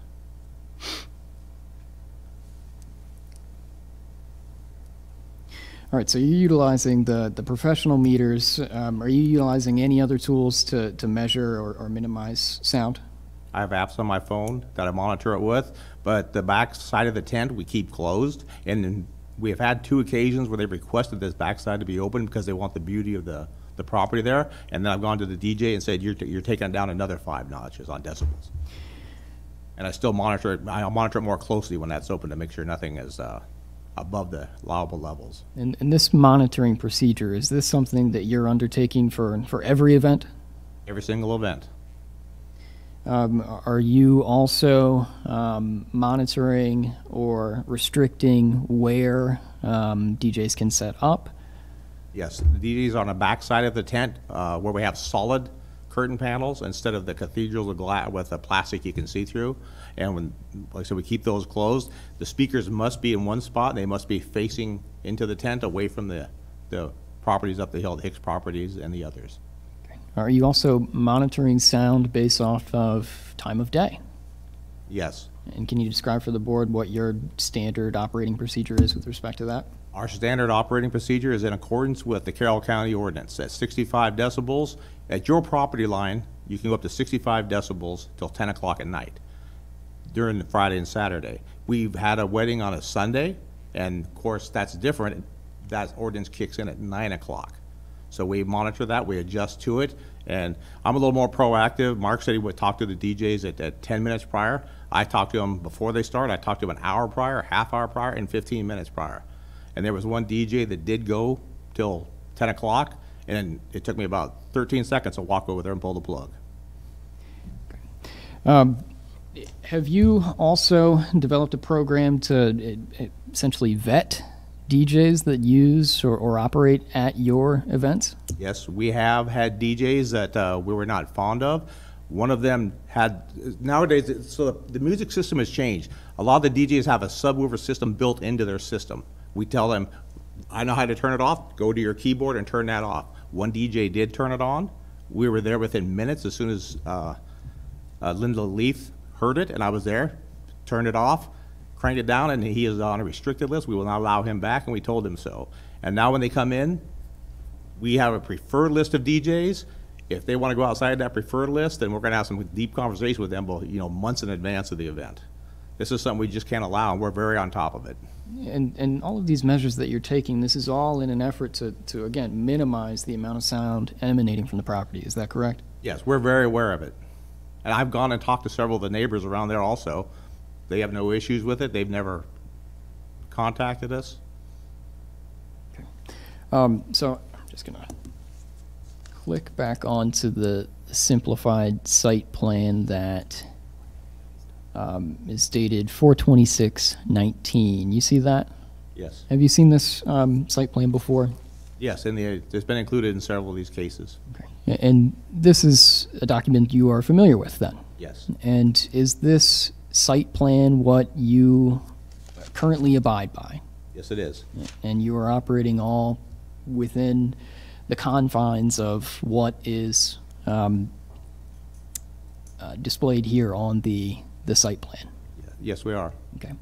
Uh, You said that you are also responsible for parking management. Yes, I am. Could you describe your procedure for managing parking on the property to the board, please? So when, when the event happens, we have people scattered about that come in with the wedding party earlier to get ready. But the, mom- if the wedding's gonna be at four o'clock, at three o'clock, I've gotta be doing parking full-time. Um, Linda's grandson helps me, it takes, it takes two people to do it, one to direct them to the general area where I'm at, and then I specifically tell them where to park and how to pull in. Are you or your business doing anything in terms of directing incoming traffic to um, the proper entrances, exits to the property? No, they come down, ninety-nine percent of the vehicles come down a normal road. There have been a few sporadic people come down the, the farmer access road. I've dealt with the, uh, State Ag Preserve Board representative on that. Because they stated they blocked off the bottom of the property to keep people from doing it. I told the state we were doing that, and they said, we don't have the authority to block it off. But since Jen Snyder fixed the Google system, it's just a rare occasion. I think probably we had maybe half dozen last year come down that road. For those that do come down that road, do you have a conversation with them? Yes, we tell them that's not our land. You- You, I mean, and the thing is, you can't prohibit them from coming down the road. The public doesn't have a right to that road, which the state ag preserve says the farmer has a right to block off, but they're also not prohibited from the road or going down the road. And that's, the- that's the state ag preserve board rule, so I'm not, I'm not allowed to block it off either, like that Snyder's, that Snyder's did. Also, I have been on the property doing groundwork, general maintenance and labor, and I've seen cars come down that road. And I've went over and said, hey, can I help you? They have, they have nothing to do with the wedding. They're looking for the National Historic Site house, they're, they just see something, they're just driving down a road various times. And they have nothing to do with the wedding venue, nothing to do with the country inn, they're just driving around. Um, So you're aware that as part of the conditional use for a country inn, a manager or owner has to reside on the property. Is that correct? Absolutely. Do you currently have a manager or owner residing on the property? Yes, we do. And who is that? That is Ashley Savina, Linda's daughter. And where does Ashley live on the property? Um, Almost all the time, she, she lives in the main house, that's where her room is. There have been occasions where we have rented out the main house, and she will move to the cabin while the people are in the main house, because we have to have somebody on the property. So Ashley is on the ha- uh, on the property, either in the cabin or the house at all times. That is her primary residence. I, I will not say all time, I mean, she's gone on vacation, and I've stayed over on the property myself. I slept in the cabin, I've slept in the main house di- different times, depending on what's rented out. So you, you've mentioned rentals a few times. So another one of the um, requirements for a country inn is that you have rooms available for rent. Um, do you all have rooms available for rent on the property? We do, and we would like to rent them more often, too. We rent them constantly. Um, how many rooms available for rent do you have on the main house? The main house is targeted at five rooms and up to 10 people. We've had people request exceptions, but that's, that's, the design is five rooms for 10 people, and the cabin is for two people. Okay. And if you had to give the board a rough estimate of how often you're renting or, or what percentage of um, the business is through um, rentals, what, what would, what would your best guess be? Uh, Roughly anywhere from 30 to 40% of our income comes from the renting of rooms. Um, so that's that's income based, but I mean, how often would you say are, are you renting rooms out? I mean, is, is there someone in there a few times a month, once a month? Is it seasonal dependent? Give a board It's- it- some sense of that. It is seasonal. During the ski season, we have skiers rent the room, and they'll come in there with two to four couples. They will rent the room. Um, It's rented in the future for a funeral. Um, We've had another person with a funeral want to put 22 people in there. We've had to reject that. Um, So we, on average, we probably rent the main house at least once a month and the cabin more often.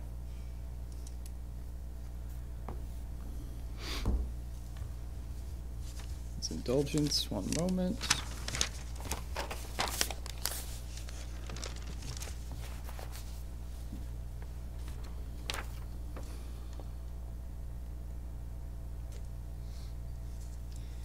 Do you monitor um, the number of attendees for events? Yes, And that's every event. every event. Um, what would you say is the uh, typical size for, let's say, a wedding? The first year we took over, it seemed to be about 130 to 140. Then COVID hit, and right now we're probably down to 110 to 125. I'd say the average for the whole time i- is less than 125. Um, about how many weddings or receptions are, are you guys um, performing since you took over the business? Sadly, we took over the business right when COVID hit, and we've been down. My goal is to get up to 24 weddings a year. Um, The last several years, we've had anywhere from 12 to 17, average of 15 probably a year. And that's, I think we have 12 or 13 right now on the books for this year. Um, how many employees do you have working at the business? We have multiple employees. We have about a dozen total people that we can call up on that come and help. Normally, there's about uh, five or six of us there for each event. Um, Seven of them come from Linda's family, nieces, daughter, son-in-law. I've got a 22-year-old son, and I also have a, a, a person from work that I can call upon. If we ever get into a pinch and somebody doesn't show up, he can, he comes up to help, and he's got a 19-year-old son. So there's about a dozen people that we rotate in and out, but consistently anywhere from four to six per wedding.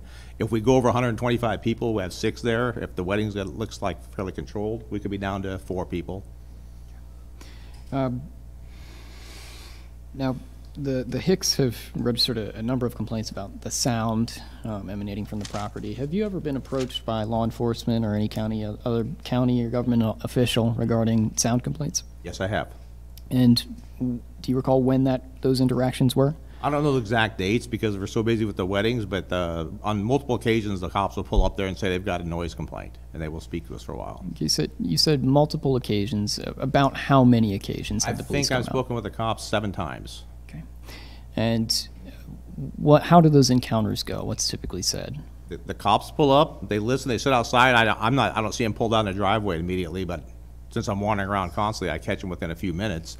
Um, they'll start talking, say, we, we have a noise complaint, um, and I'll say, pull out my two professional meters on my phone. I will walk them to the property line and say, you, they're, you're, they're police officers. They know that the sound, county sound ordinance at our property line is sixty-five decibels.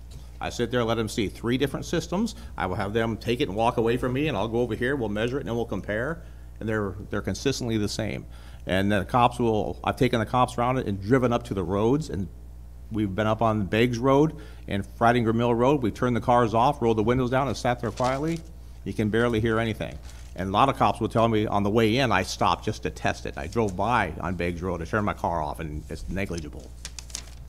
So have you ever been cited or fined for the violation of any noise ordinance? No, but one cop did tell me, said, you know, at ten o'clock, the sound orders change. I'm like, we're well aware of that, and the music shuts down at ten o'clock, or nine o'clock during, if it's a weekday. Have you ever been cited or fined for the violation of any law during your operation of the business? No, we have not. Um, No further questions. Mr. Bowersox, you have questions of Mr. Ryan's testimony. I do, and thank you, Mr. Bale. Um, Mr. Ryan, good afternoon. How you doing, sir? Uh, Occoquan, Virginia, you say is your residence, 4431 Porpoise Way? Fortress Way. Fortress Way, I'm sorry. Yes, sir, I work at the Pentagon, so I'm up here on weekends, working, working the place, and during the week, I, I- we have a condo down there. All right, you bought it in 2019. The property, the, the Christian Royer House, we bought in August, August of 2019. All right. Um, Again, there's a lot of testimony about sound control and mitigation of sound control. Um, I'm going to talk to you about some of that. You purchased Mr. Snyder's uh, decibel meters. They were bu- business property, and they transferred with the business. What kind are they? I don't know the names of them. How do you take care of calibrating them? They, they come with what they come with, they aren't calibrated. Okay. And you've had occasions to take the, I think you said law enforcement in response to the question. Are these people from the sheriff's office that come out? Yes, Okay. Carroll County Sheriff's Office? yes, And you're taking them out and showing them the decibels, uh, decibel readings, um, to try to satisfy them about the noise level? yes. All right. Are you familiar with the report from Sheriff DeWees that his personnel aren't trained? Yes. Okay. Do you have any background in acoustical engineering? I do not. Okay.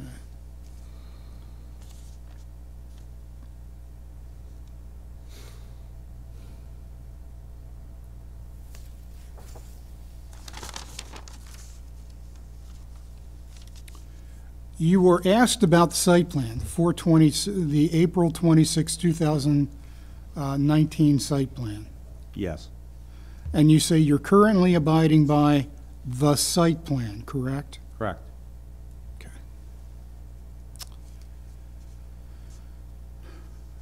And you've been advised that the, the driveway uh, or the Lippy property is subject to an ag easement? Yes. I've spoken, Kim Hawkser from the Ag Preserve, of the state has come out there, and I spent two hours there, and she inspected everything. Okay.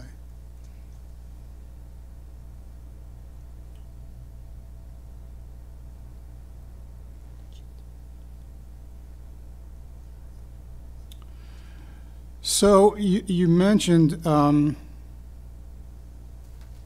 12 employees, 12 ro- rotating employees, sir. rotating employees. They're not all there at the same time, and different ones will show up at different times. How many of those employees are dedicated to the Country Inn? Dedicated is, I don't understand the term of that. How many of them work at the Country Inn? We have, uh, the, Linda and I work there every single weekend, and her daughter is full-time. So Okay. three people are dedicated to it. The other nine are there just for events? They're for, they're for labor and to do things in events, yes. Okay. And you say 30, 40% maybe of your income is from renting uh, rooms at the sir. Country Inn? Yes, sir. How, how many rooms have you rented so far this year? What has been your, your rental history this year? Uh, If you count each individual room, because we'll have, for example, uh, McDaniel College, some parent, two parent, sets of parents came from New York to see their, their daughters there. So all four rooms are rented, sometimes five, depending how it is. So if you count the times, I don't know, the main house forty times, forty rooms, the cabin thirty times. But the bulk of your efforts are put into the eventing, it sounds like, based on the number of employees and the amount of income. I would not say that. Well, you wouldn't say that, but I'm asking you, what is, i- i- is, is that the majority of what you're doing during the weekends when you're coming out? No, mine's maintenance, just doing different things to keep their property right. It's a country inn, there's maintenance on the building, there's maintenance on the grounds. There's all kinds of stuff that has to happen around there.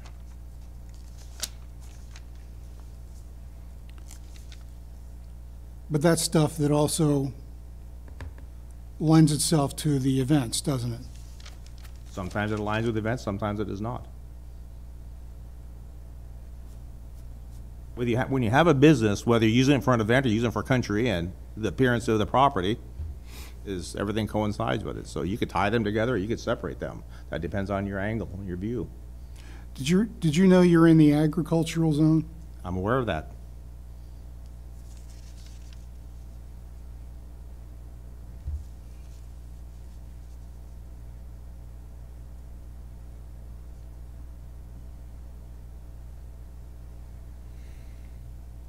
And you say your efforts at mitigation, you've uh, continued basically the same protocols as the Snyders, is that correct? Yes, sir.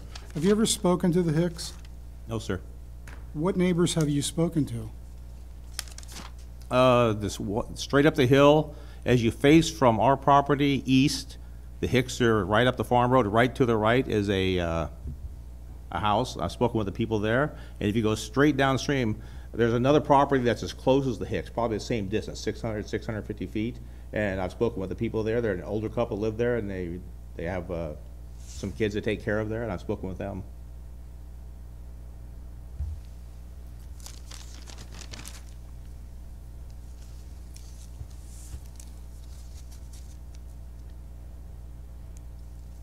You're renting five rooms in the main house? As the, hopefully, yes, we hope to rent five rooms. Sometimes we may only rent two rooms, sometimes three. But I hope we, we'd like to rent five rooms out constantly. And who is the young lady you mentioned that is staying in the cabin? Ashley Savina, she lives in the main house. I said, I stated she Main lives in the house. main house. Is that her legal address? Yes. She's a Maryland taxpayer? She lives with us in our property. That is her residence, that is where she lives. That's, there's no, no other, no other questions about her. She, she lives with us. She's a single mother. Okay.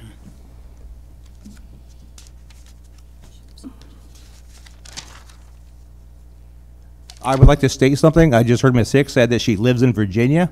That is a lie. No. It is incorrect. That was me asking him a uh, uh, question, no, my attorney a There's question. nothing in the record. Just answer the questions. Okay. Let's wait for a That was me asking my attorney a question, trying to clarify. It's not misstating anything. Yes.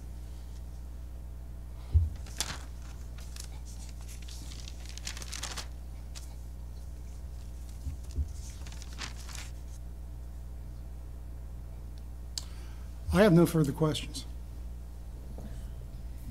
Board members, Mr. Snyder? No questions for me. I have a question. Go ahead, Mr. Caldwell. Sir, I have a question for you. You said in your testimony you're abiding by the site plan. The site plan uh, that you're referring to is the April 26, 2019 site plan. Is that correct? Yes, sir. Okay. On that site plan, uh, just below the area of the tent, You want, I can try to blow it up. if you can, I'll get my hand. Do you need more? So the main house is to the west of the tent, if that helps, sir. Is that sufficient? excuse me a second, I'll have to go over and have a look at it. Yes, down here, it says Grass Access Drive. Okay? We had previous testimony from, excuse me, I'll get back to the microphone. Um, Mrs. Snyder, that was gravel. Yes. When they purchased the property, it was a gravel road going back to a little bit beyond the fire pit. Right, that's what she testified to. And uh, if you look at the, one of the exhibits we have, which was a shot of the back of the property from Redfin, it showed that that driveway extended well beyond that. Is that Exhibit 9? Exhibit nine? Yeah, No, Exhibit 8, Exhibit eight, aerial photograph. An aerial, uh, uh, a low, low a- angle a- aerial photograph. of. Um, Was that driveway there when you purchased the property? Yes, it was. It was there. But That's, that's, if you're abiding by the terms of the, the site plan, that shouldn't be there. That is, gra- not be there. that is tire tracks that kills the grass as it goes further back. It's a grass driveway, and when they drive over it so many times, is you'll follow the line down, it gets more and more grass as you go along.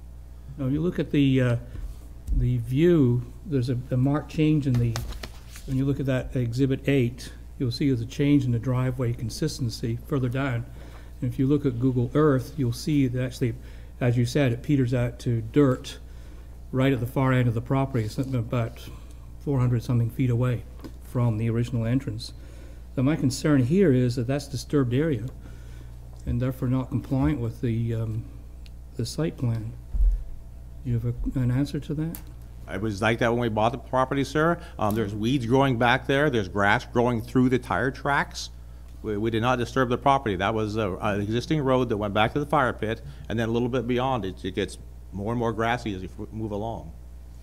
When you look at that Exhibit 8 picture, that looks like a um, pretty clean gravel driveway, as far as I'm concerned. So, As Jen Snyder testified, there was gravel, it was a gravel road going back past the fire pit, and that was the way it was when we purchased it.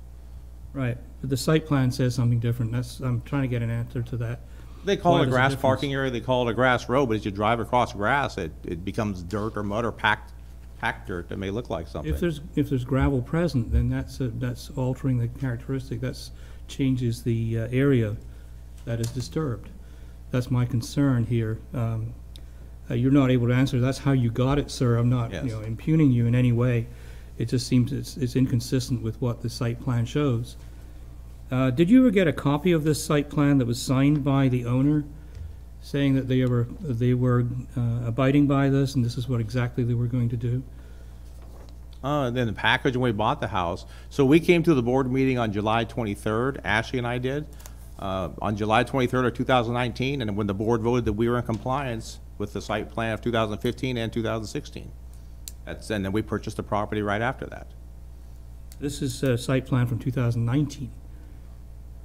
This is uh, April 2016. I'm sorry, 2019, July 23rd, 2019 is when we came to the BZA uh, hearing, and the- they affirmed that we were in compliance with this, uh, all the, all, the- they they confirmed we're in compliance with everything. Okay, And that's why we purchased the property. right. There, there are several versions of this site plan in existence, and some have details like this and some don't.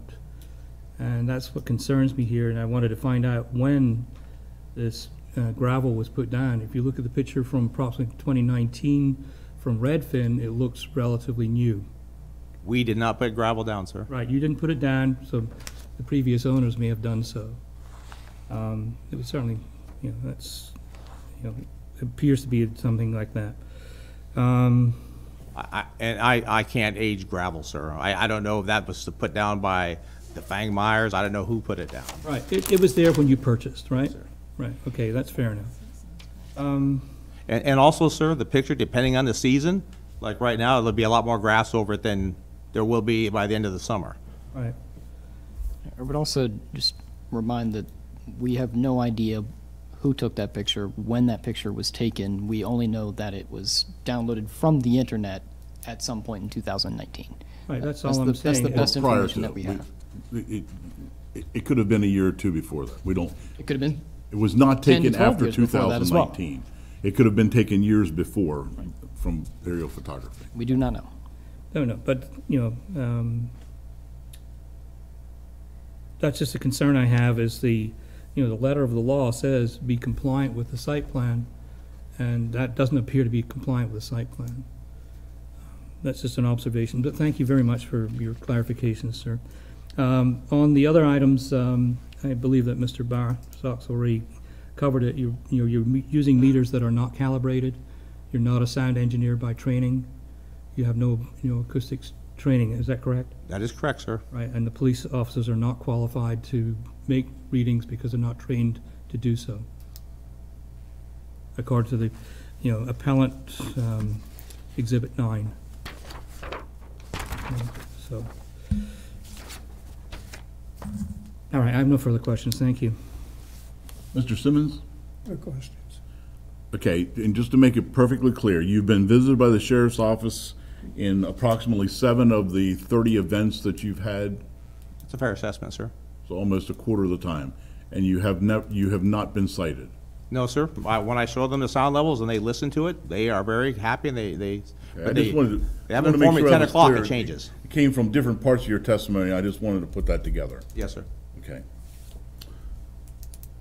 Very good. Um, Mr. Kephart, would you like to call another witness? It's a final witness that I'm sure will be brief. Um, I believe actually some of the exhibits that I intended to introduce with respect to this witness um, were introduced by um, Ms. Hicks, but I would call um, Linda Leith? Leith? Leith. Um, Linda, could you just state your name, address, and occupation for the record, please?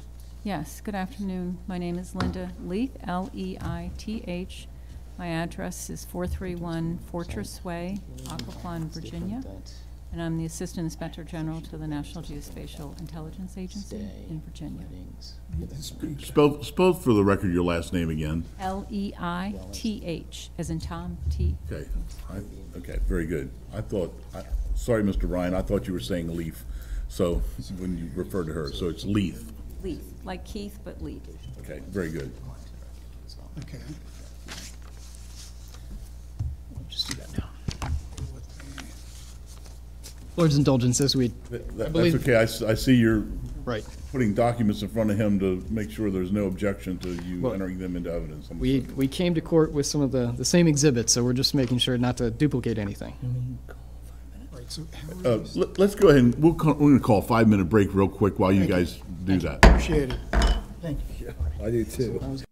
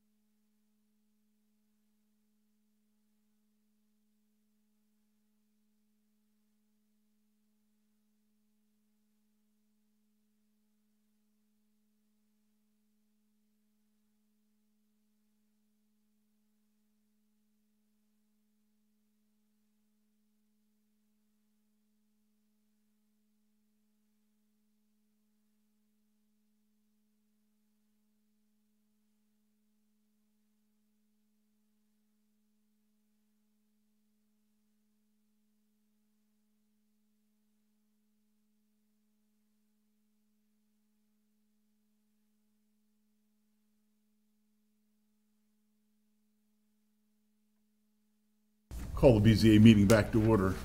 We have concurrence now on what we want to enter into evidence. We do, yes. Um, Thank you. So, Linda, did I have you state your name, address, and Yes, I did. Okay, Yeah, so I'm just going to draw your attention to appellants uh, seven, A, B, C, and D. Do you recognize these documents? Yes, Uh, Can you identify those for us? uh, our advertisement on our website. So These are are just printouts of different tabs on on your website, is that correct? Yeah, That's what appears to, yes. And this um, appellant seven A, can you identify which tab this is? There's a bunch of them, search people free. Which, this looks like the overall, um, So this one. I don't think they're highlighted. Uh, I think this is the overall front page, maybe, So about events and rentals. Okay. think it E- looks like Events and rentals. So rentals. running along the top of appellants seven A, you've got this banner tab from your website. Um, so- Correct. So A is events and rentals, correct? That's what appears to be, yes.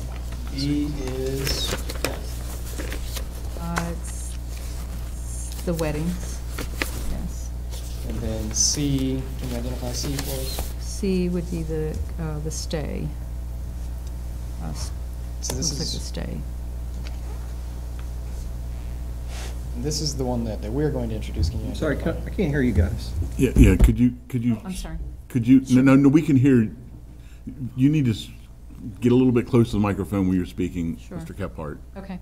Can you identify what I'm going to introduce as, as again, just a supplement to what was already introduced by Ms. Hicks? And I think that's the stay, Okay. yes. So I would move this into evidence as evidence Three. Three. And we will accept that into evidence. All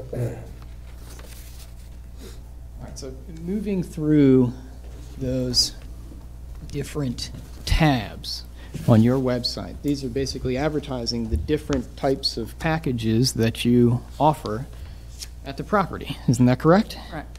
Uh, And so you've got a tab for events and rentals. Um, Can you describe the, just the different packages that you've got on offer here um, at the, the Royer House? Yes, we do small gatherings. uh, It could be baby showers, um, bridal showers, um, meetings. Um, We do host meetings, uh, and they, and we have them priced out by small, medium, or large, and then the time frame.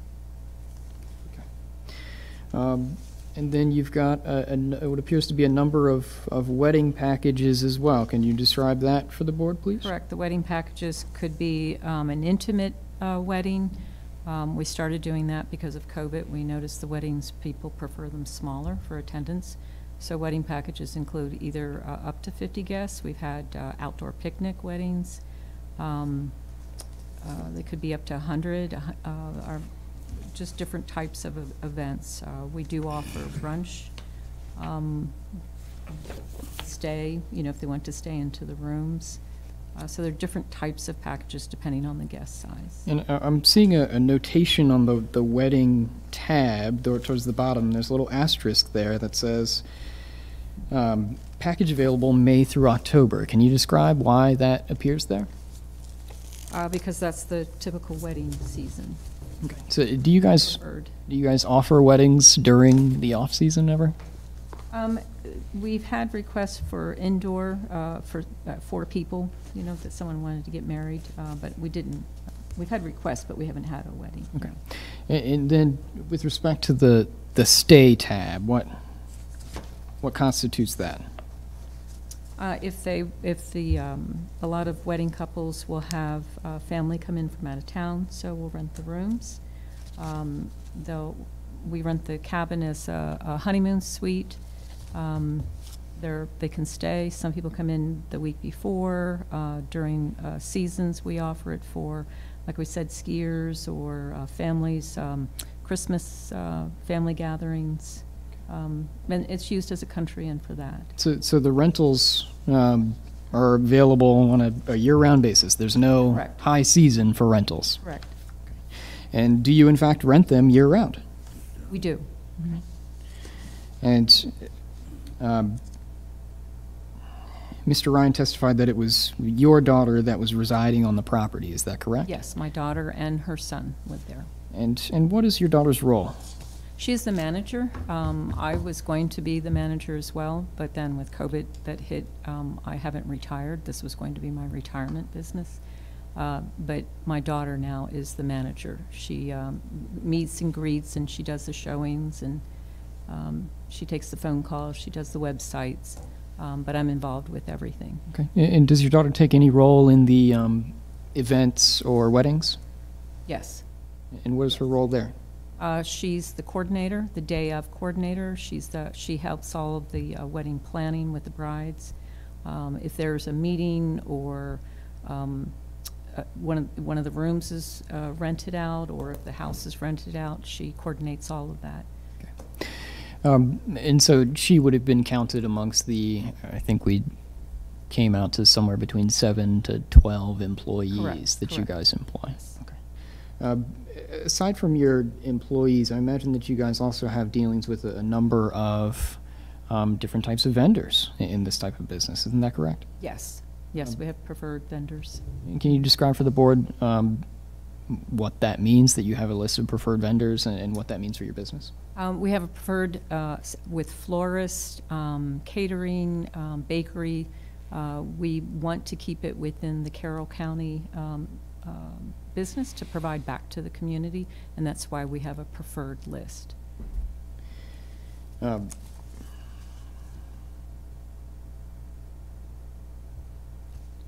So the, the patrons that come in to, to host or, or to have events, weddings, rentals, are, are these mostly um, Maryland residents? Where, where are these people coming from? Some, um, some are uh, from Washington, New Jersey, um, from all over, actually. They come in, um, some are from the um, surrounding areas, but mostly from out of town.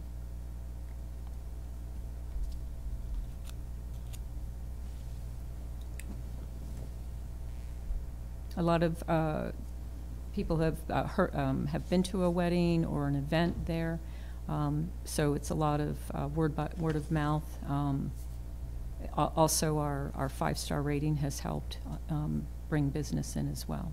Could you say more about your five-star rating? What, what, who, Yes. who gives that rating? How do you get that? What, what does that mean? Uh, The the wedding couples, uh, the people that stay there, we provide an opportunity for them to rate us, and, and actually, ever since we've um, operated as a country and we've had a perfect five-star, my goal is to continue that. Um, I'm very particular about uh, cleaning and um, having the property um, perfect because I want it to be an experience for them to come to the country, the country inn, um, take, you know, the beauty of the Carroll County uh, area in.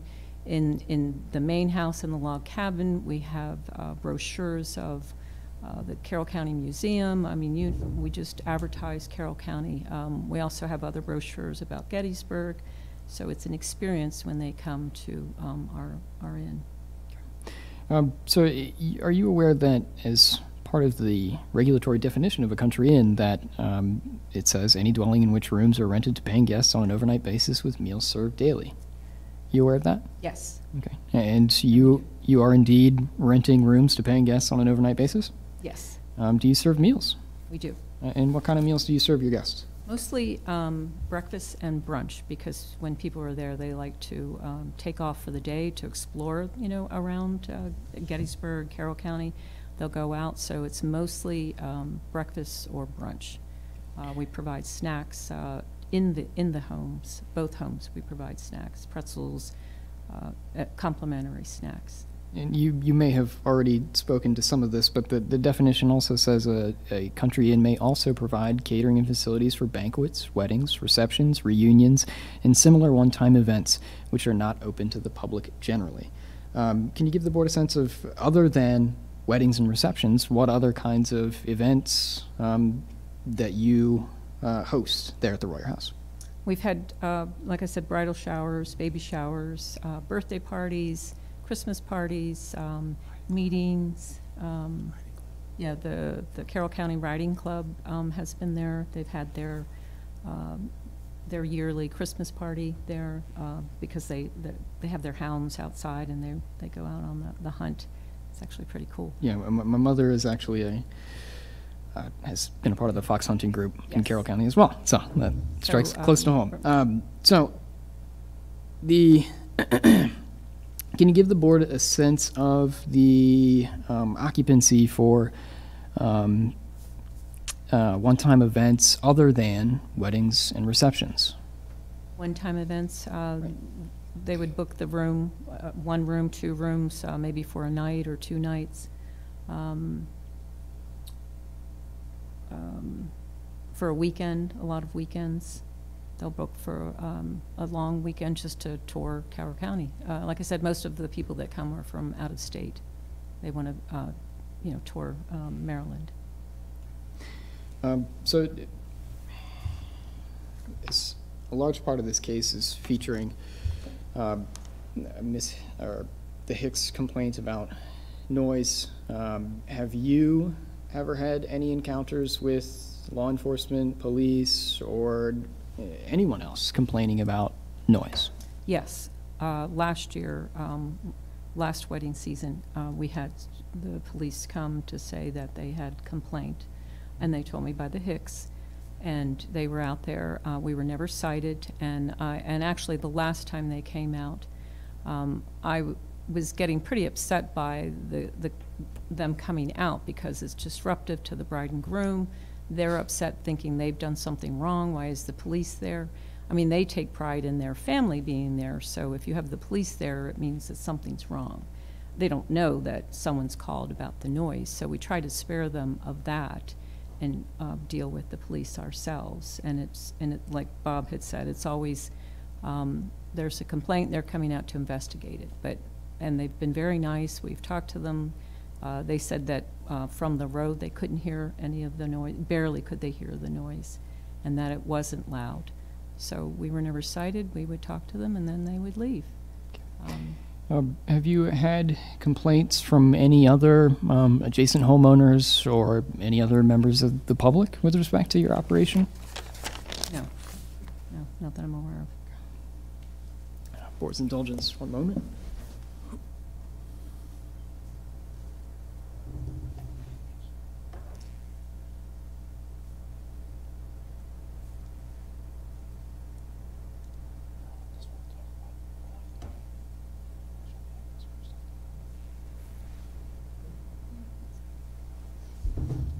Nothing further.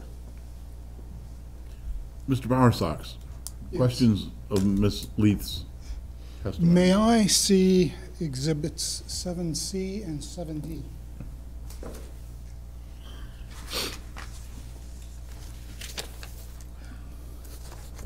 Uh, seven B. I don't have a See seat. over there, Mr. Dixon. And B, C and D. Oh,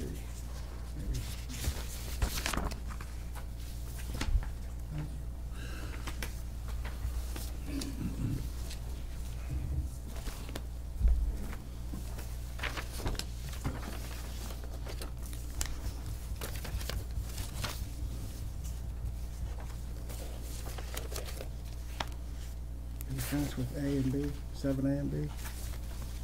I've got a seven B and a seven A. That's what he's looking for. Ms. Leith, just a second,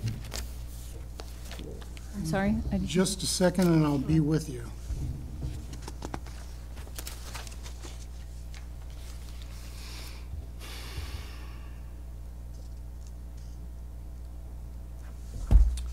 Um, I'm going to show you a copy of what's been introduced as Exhibit 7C.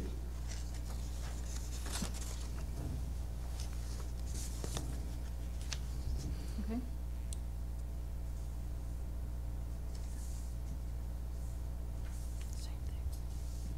On the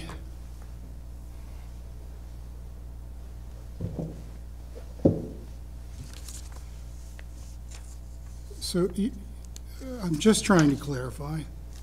Your daughter Ashley lives on the property? Correct. All right. On the fourth page, I think, of the package of 7B, you'll see about halfway down, hosted by Ashley, joined in November 2015. Do you see that part of it? These aren't numbered, I'm sorry. What, No, they, there, there was the fourth page in the package. fourth page? This is the fourth page. Oh, host, uh, joined in November, correct. I see Okay. that.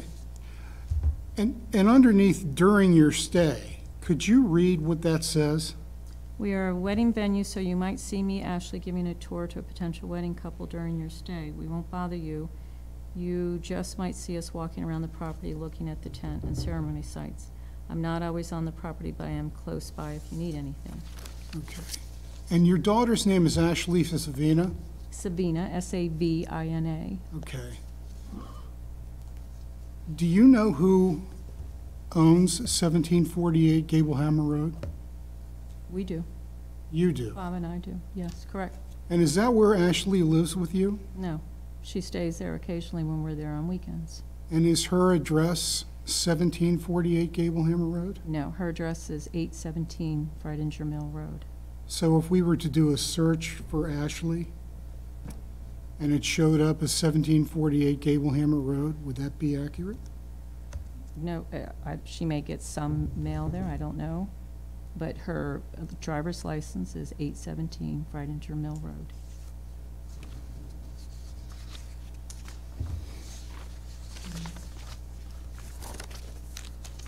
When we first bought, brought the property and we, my daughter moved from Florida to the Gable Hammer until we bought the property um, at 817 Fridinger Mill Road. Okay. So her and her um, fiance at the time lived at 1748 until we moved in there. All right. And when did you buy 1748? Um, Forty-five days before. 40, uh, before the, yeah, 45 days before the um, Fridinger Mill Road. End of June, July? Uh, It was in July. July?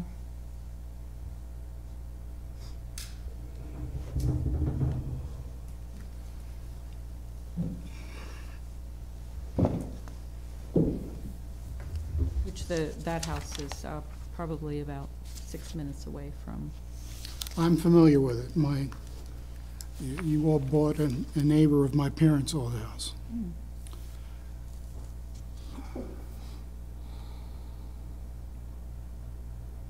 I have no other questions. Board members, questions of Ms. Leith's testimony? No questions. I do. Go ahead. Uh, Ms. Leith, um, before you bought this property, did you have a business plan uh, developed to figure out if it was cost-effective to buy the property? Before we bought the, the, um, the wedding venue. Yes. Uh, We, yes, we did have a business plan, but we modeled it after um, the, um, Jen and Mark. um, I can't remember now their last name. Snyder. Snyder's. We, um, we actually, before we purchased anything, we jo, uh, what, what I called job shadowed them. We worked with them throughout the summer, um, uh, spring and summer, to see if this is what we wanted to do. So we just volunteered our time. Uh, we were there working with them. I wanted to see all aspects of, um, their business model, because they did have a good rating as well. I had always wanted a country inn. Um, I've taken it a little bit further than what she has because I do enjoy the, the country inn part. Um, so we did, we modeled them before we did go uh, to decide permanently that we wanted to take on this business venture. Okay. Next question is about the number of uh, guests. Your website says 200 guests, Up to, up to 200 guests. up to, The site plan says 200 people, which includes therefore uh, the uh, operating staff, car attendants, caterers, band, whatever's there, uh, limits you to 200 physical people. So you, uh, I don't know if this is an issue for you. It may not be an issue at this point, but it might be an issue at some point where you're advertising to 200 guests and you can't accommodate 200 guests per the site plan. Okay, and we understand that haven't, we- difference? we haven't had 200 guests. You haven't had 200 guests, okay. Fair enough, thank you very much. Thank you. Mr. Simmons? Not at all. No questions from me. Okay, any further witnesses? I'd like to call Mrs. Hicks in rebuttal. Okay, Mrs. Hicks, um, you're still under oath. Yes.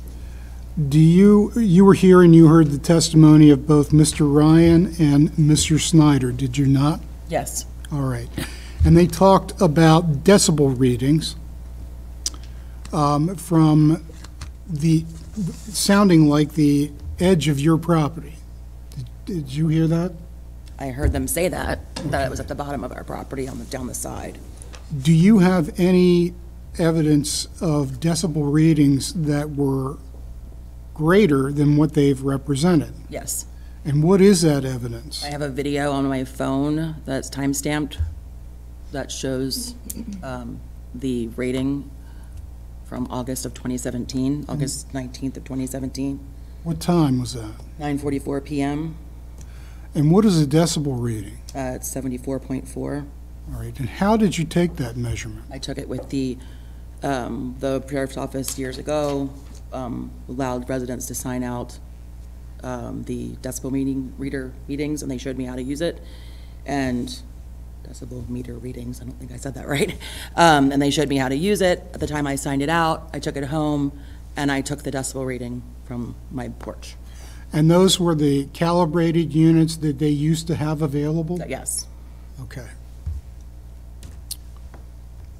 That was what date?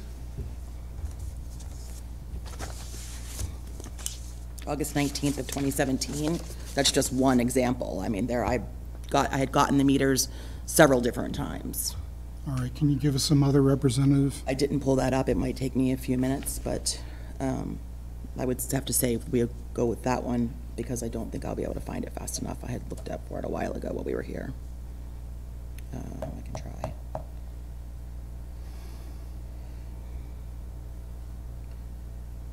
It was all around the same time, so.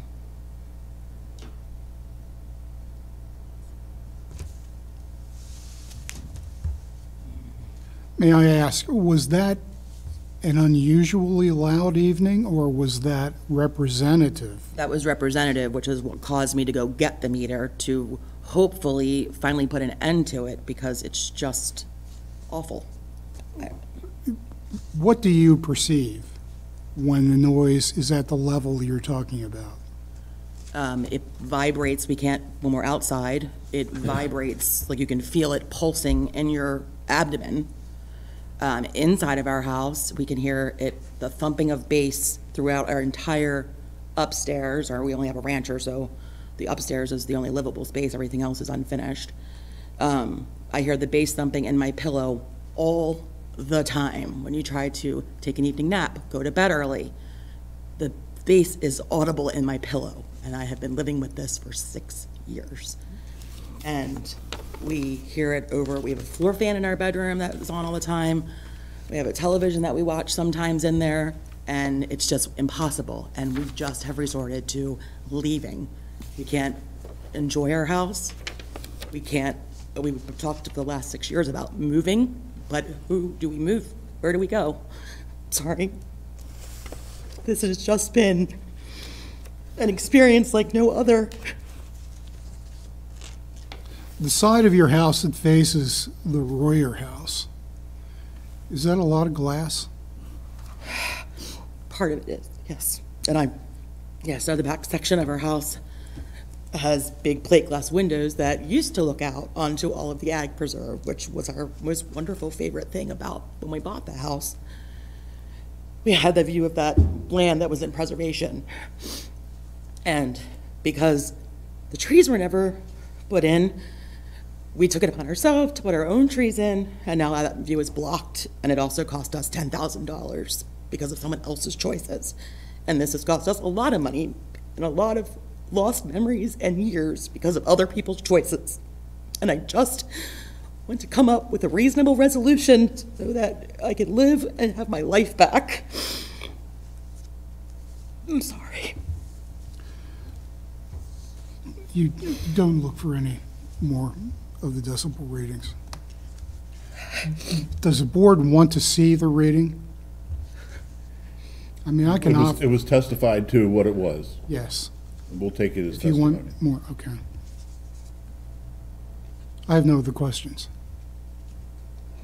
Mr. Kephart. Ms. Hicks, you testified that you received those decibel meters from the Carroll County Sheriff's Department in 2017. Isn't that correct? Correct.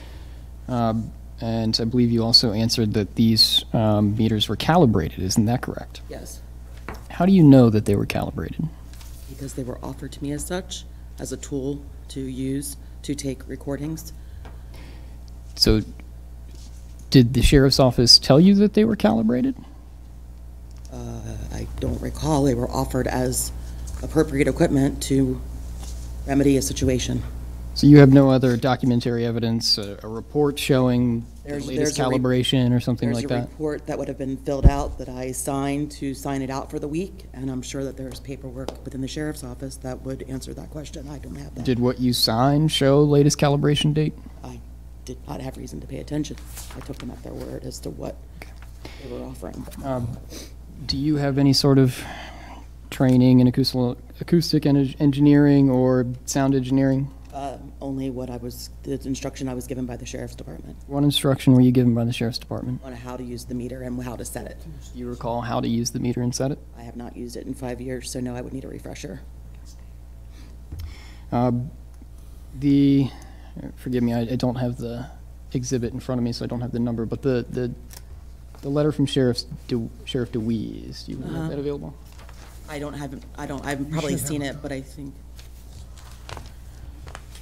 don't think, I can't, got a copy of that.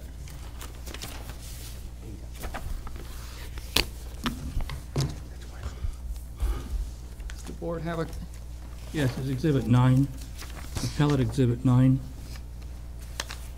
July 22nd, 2019. can I just take a brief look at that? Sure. Take Mr.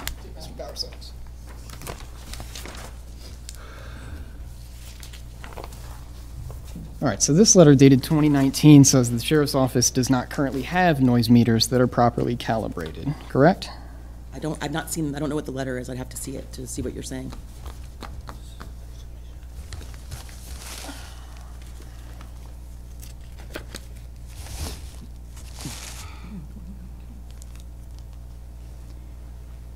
Yes, that's correct. And it also, it also says that the sheriffs, at that time, 2019, were not trained to operate those meters? Oh, I did, I'll have to see it again. I didn't read that line.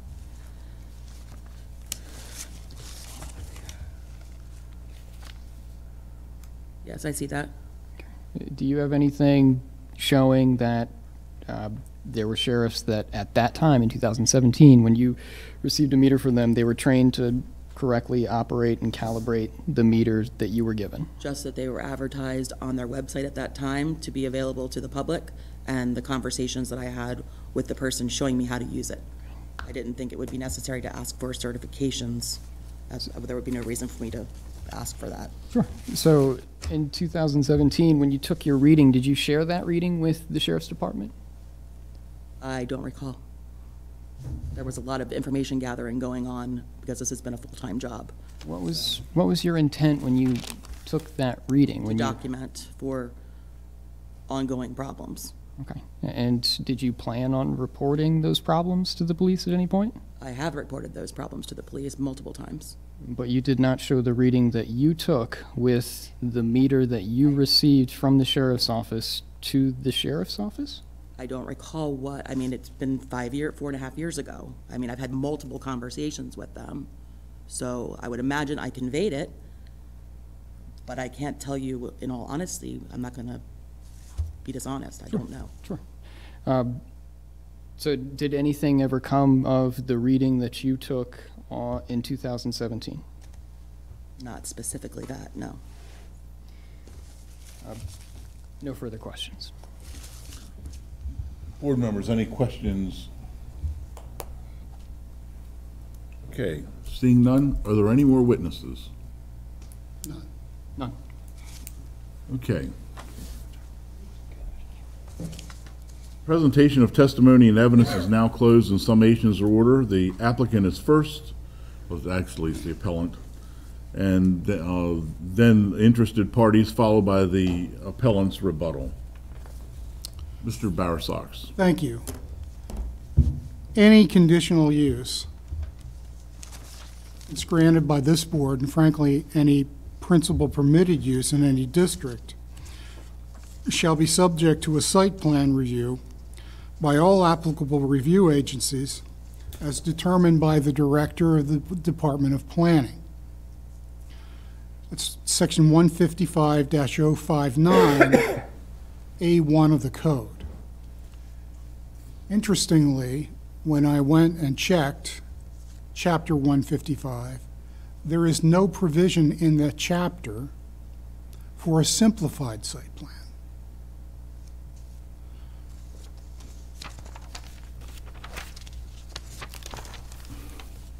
In the zoning code,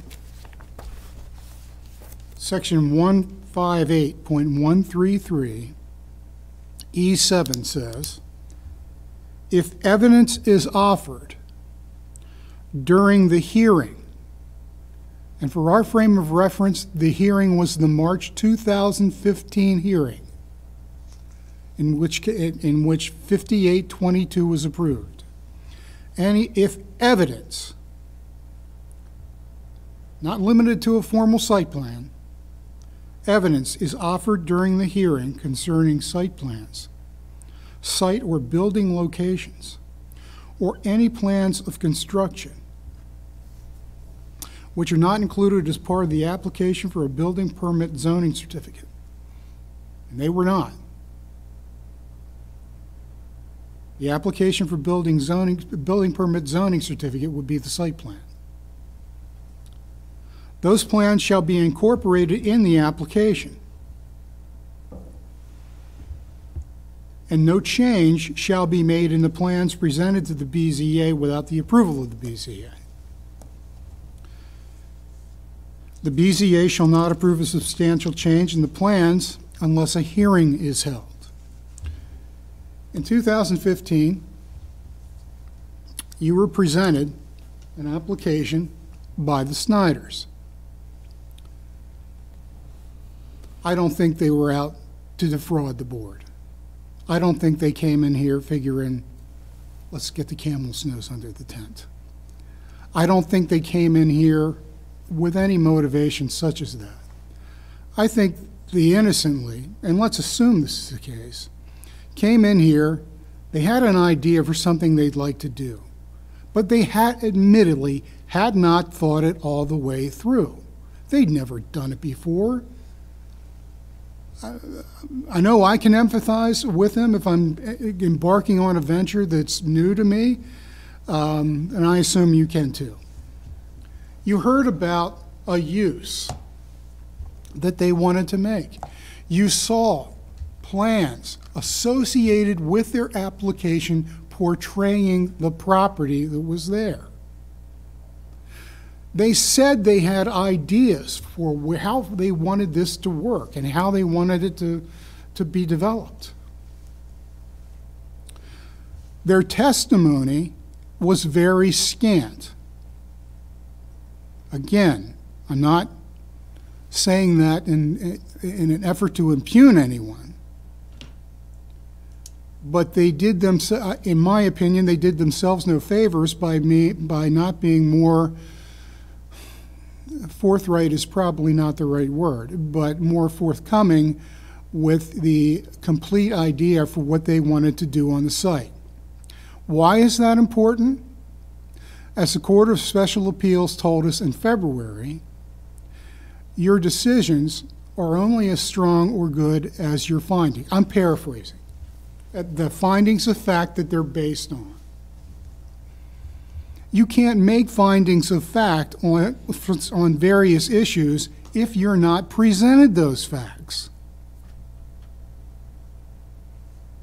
There was absolutely nothing in the record about the use of amplified music. The record, when you go through the testimony, it, this sounds like a wonderful little, small-scale operation. Country Inn, this is great. And we might have some weddings and maybe a reception. No testimony about 200 guests. There was some testimony about maybe up to 100 guests. No testimony about any other construction. There, there was a, a sketch given to you that showed a gazebo. You had to go on what you saw at that point in time. I suspect, and this is why the findings of fact in the decision from 2015 and the lack of them are important, is that if you were to hear a case, or your predecessors were to hear a case in 2015 that covered the breadth of what has been discussed here today, this board would have been mindful about conditions to impose on that use to protect the neighbors. Noise. Make sure there's a, an appropriate site plan done. Other features, construction. I'm not blaming your predecessors for not conditioning it. There was nothing in the record to logically lead them to think there was any need to condition anything. That's why Section 158.133 E7 exists. If you grant an approval for something about which there is, say it's a contractor's equipment storage facility. I want a contractor's equipment storage facility. I've got less than, I've, I've got one acre or half an acre, and I want to put my building here, and I'm going to store a couple of trucks outside. That's one thing. I get the approval. If I increase it to three quarters of an acre, if I start storing material, if I'm a landscaper and I start to bring in other goods under the guise of a approved contractor's equipment storage facility that may have more egregious impacts on the neighbors, you've never had an opportunity to vet that actual impact. So what 158.133D7 says is that if evidence offered during the hearing concerning site plans, building locations, or plans of construction,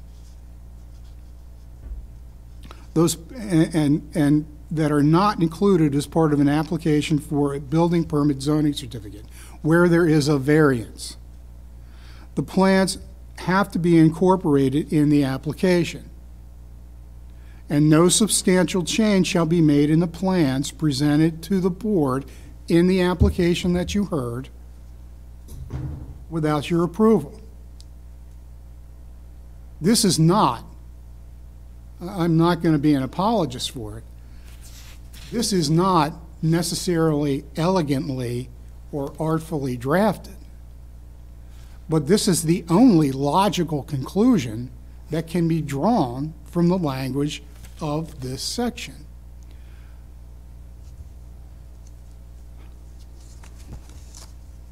The site plan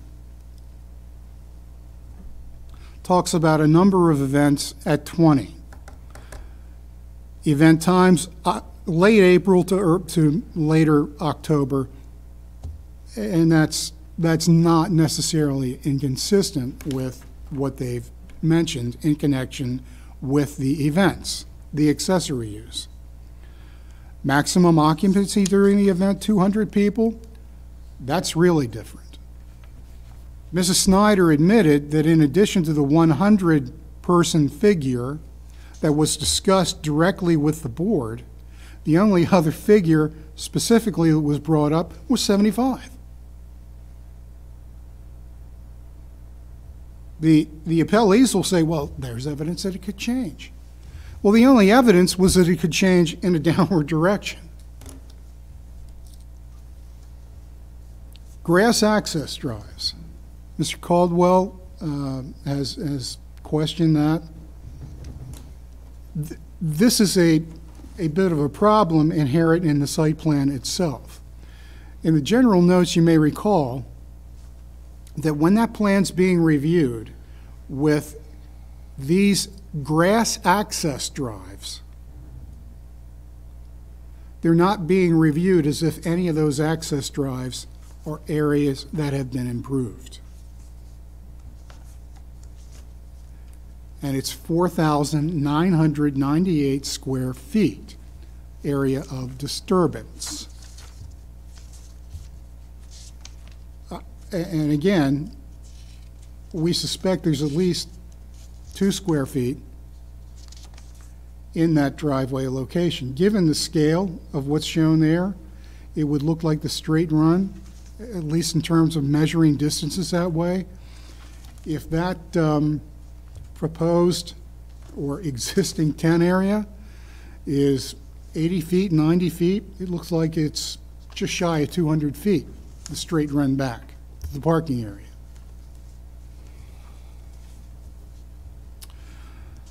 Note B, unless owner occupied, the manager must reside on the premises. It's just a statement of a condition that's a statutory condition for operating a country inn, not a wedding venue, a country inn. There's testimony presently that the daughter of Mrs. Leith resides on the property. There's indications that she may not.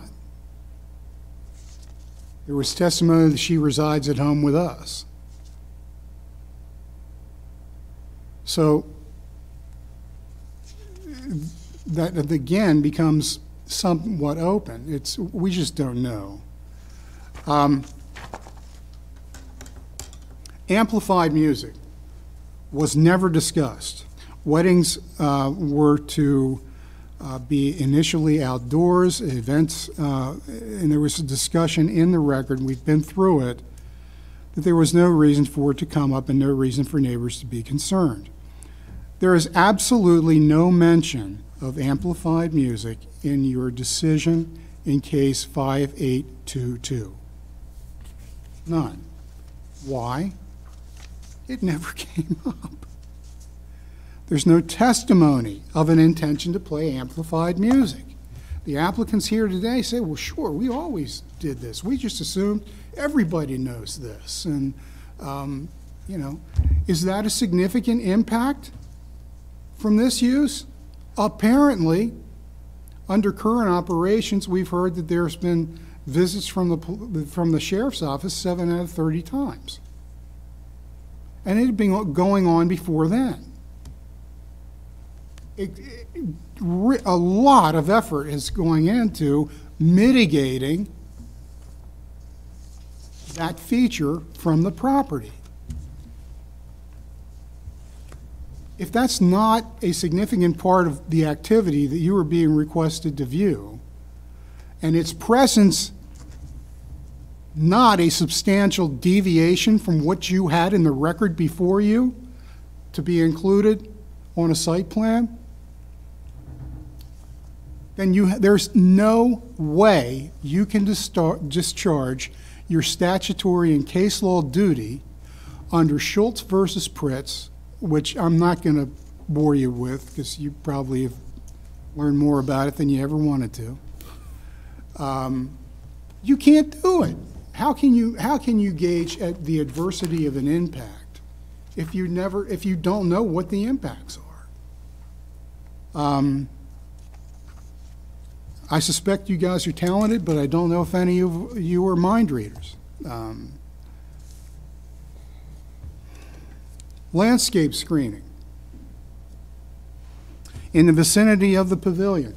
The materials that were submitted as part of the application, you've seen them, they, they depict uh, the the row of pine trees. There was a discussion uh, in the discuss, in the transcript and in the decision about mature 40-foot pine trees, or words to that effect.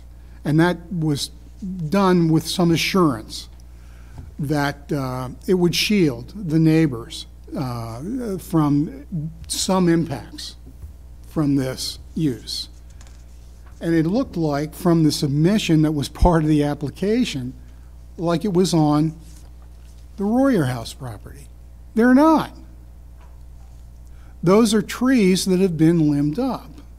Some of them are gone. I don't know if you noticed that when you were out there or not. But a lot of the low story has been eliminated.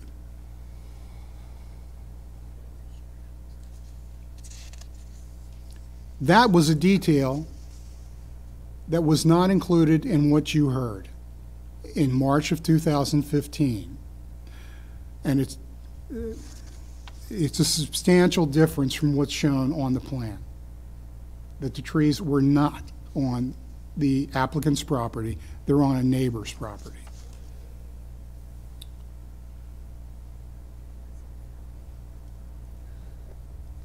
Hours of operation. There was a specific request for hours and days of operation in 2015. And the specific answer was, I'm paraphrasing, nobody's getting married before noon, so noon to maybe five. And if they want a reception, we'll do something later. There was no discussion of four to eight. Excuse me, four to 10, as shown on the site plan. Would you have approved the use in 2015 if you'd known these details, at least without conditioning it? I think not. But you, we won't know un- unless we, we look at the relief that's available from 158.03133 that we've discussed. The decision says noon to five. Apparently, the board didn't catch the same nuance that the applicants anticipated you would in terms of hours of operation extending till 10 o'clock. It's because they weren't, they weren't there. Why not be forthcoming? If it's because of an honest mistake, it's an honest mistake. Then file an application, come back in front of the board, say, our operation is different than what we represented to you earlier. Here is what we want to be able to do.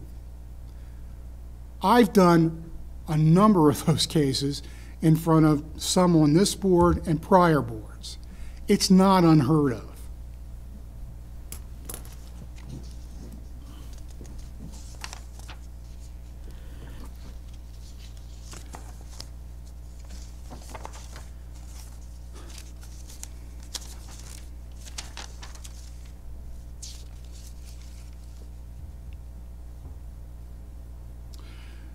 The- discussion about the number of people, uh, some things came up in testimony and trying to justify, uh, or, you know, like, well, you know, we didn't, we didn't tell you there wouldn't be anyone outside at receptions. And um, at page 26, there was a discussion about, uh, with the rooms to rent discussion, I think with uh, Mr. Kramer or Mr. Tiegler, they had room for people on the inside of a hundred, uh, inside the building of a hundred. A hundred maximum occupancy. Well, we didn't say we wouldn't have more outside. Well, why not just say it? That's, that's the troubling part of this. Hours could change. The discussion at page 26 might have somebody there, the suggestion was made by Mr. Kramer. So you may change the hours, and somebody may have to be there at 9 o'clock to do catering and setup and everything else. Yes, that's right, it could happen that way. But there was no suggestion of it going the other direction.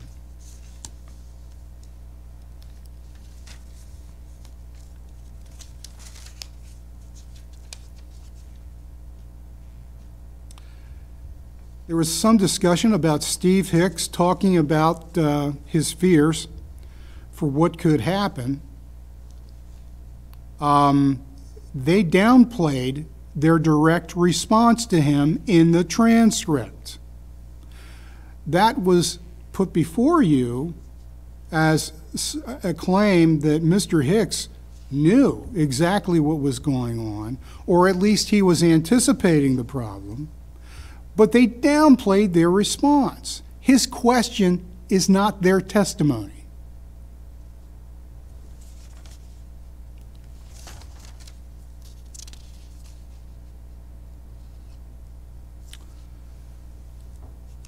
As Mr. Snyder from the board brought out, the tent is an item that requires a building permit, a building permit annually.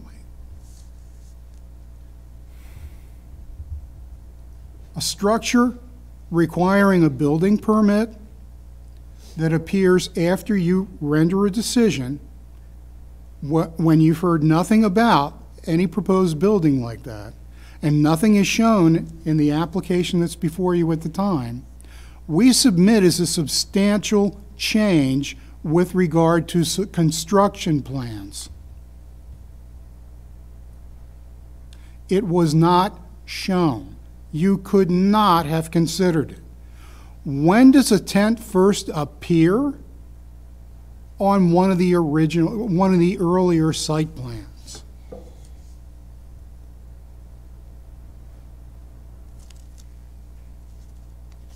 I think uh, one of the members of your panel indicated that the date of that plan was August, um, perhaps of uh, 2015. Um, So that would have been something long after you saw the sketches and heard the testimony, which didn't include anything about a tent, in March of 2015.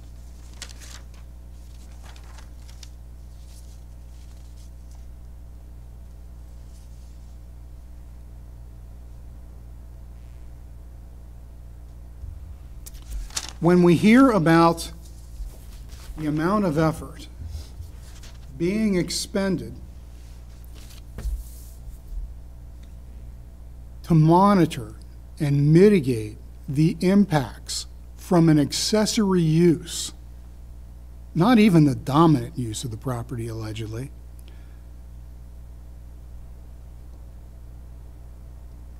it's clear that that is a substantial aspect of the accessory use, the event facility.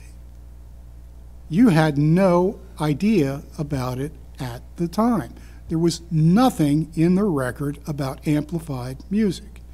We submit that that is a substantial change that deals with a particular aspect that you're supposed to consider in resolving conditional uses, that is noise. It's been ongoing, it's clear it continues to be ongoing.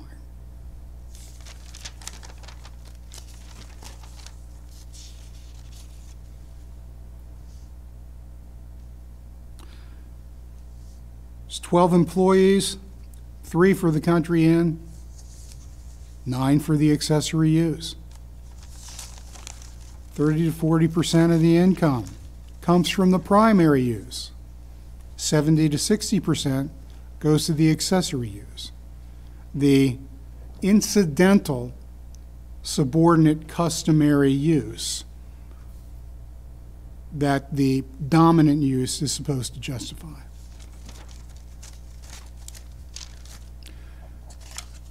We think it's clear that the, that what was presented to this board in 2015, in terms of the application that was submitted, the evidence that was submitted, is radically different than what this project has evolved into. But more importantly, is substantially different than the site plan, which is supposed to implement your decision allowing a conditional use on the site. So we're requesting that you, you grant the appeal of the Hicks challenge to the Bureau of Development Review's determination that there's no substantial change. Directed to go back to them and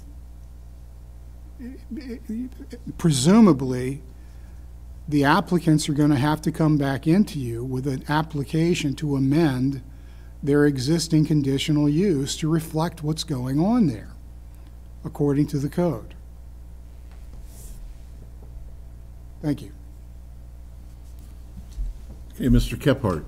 Sure.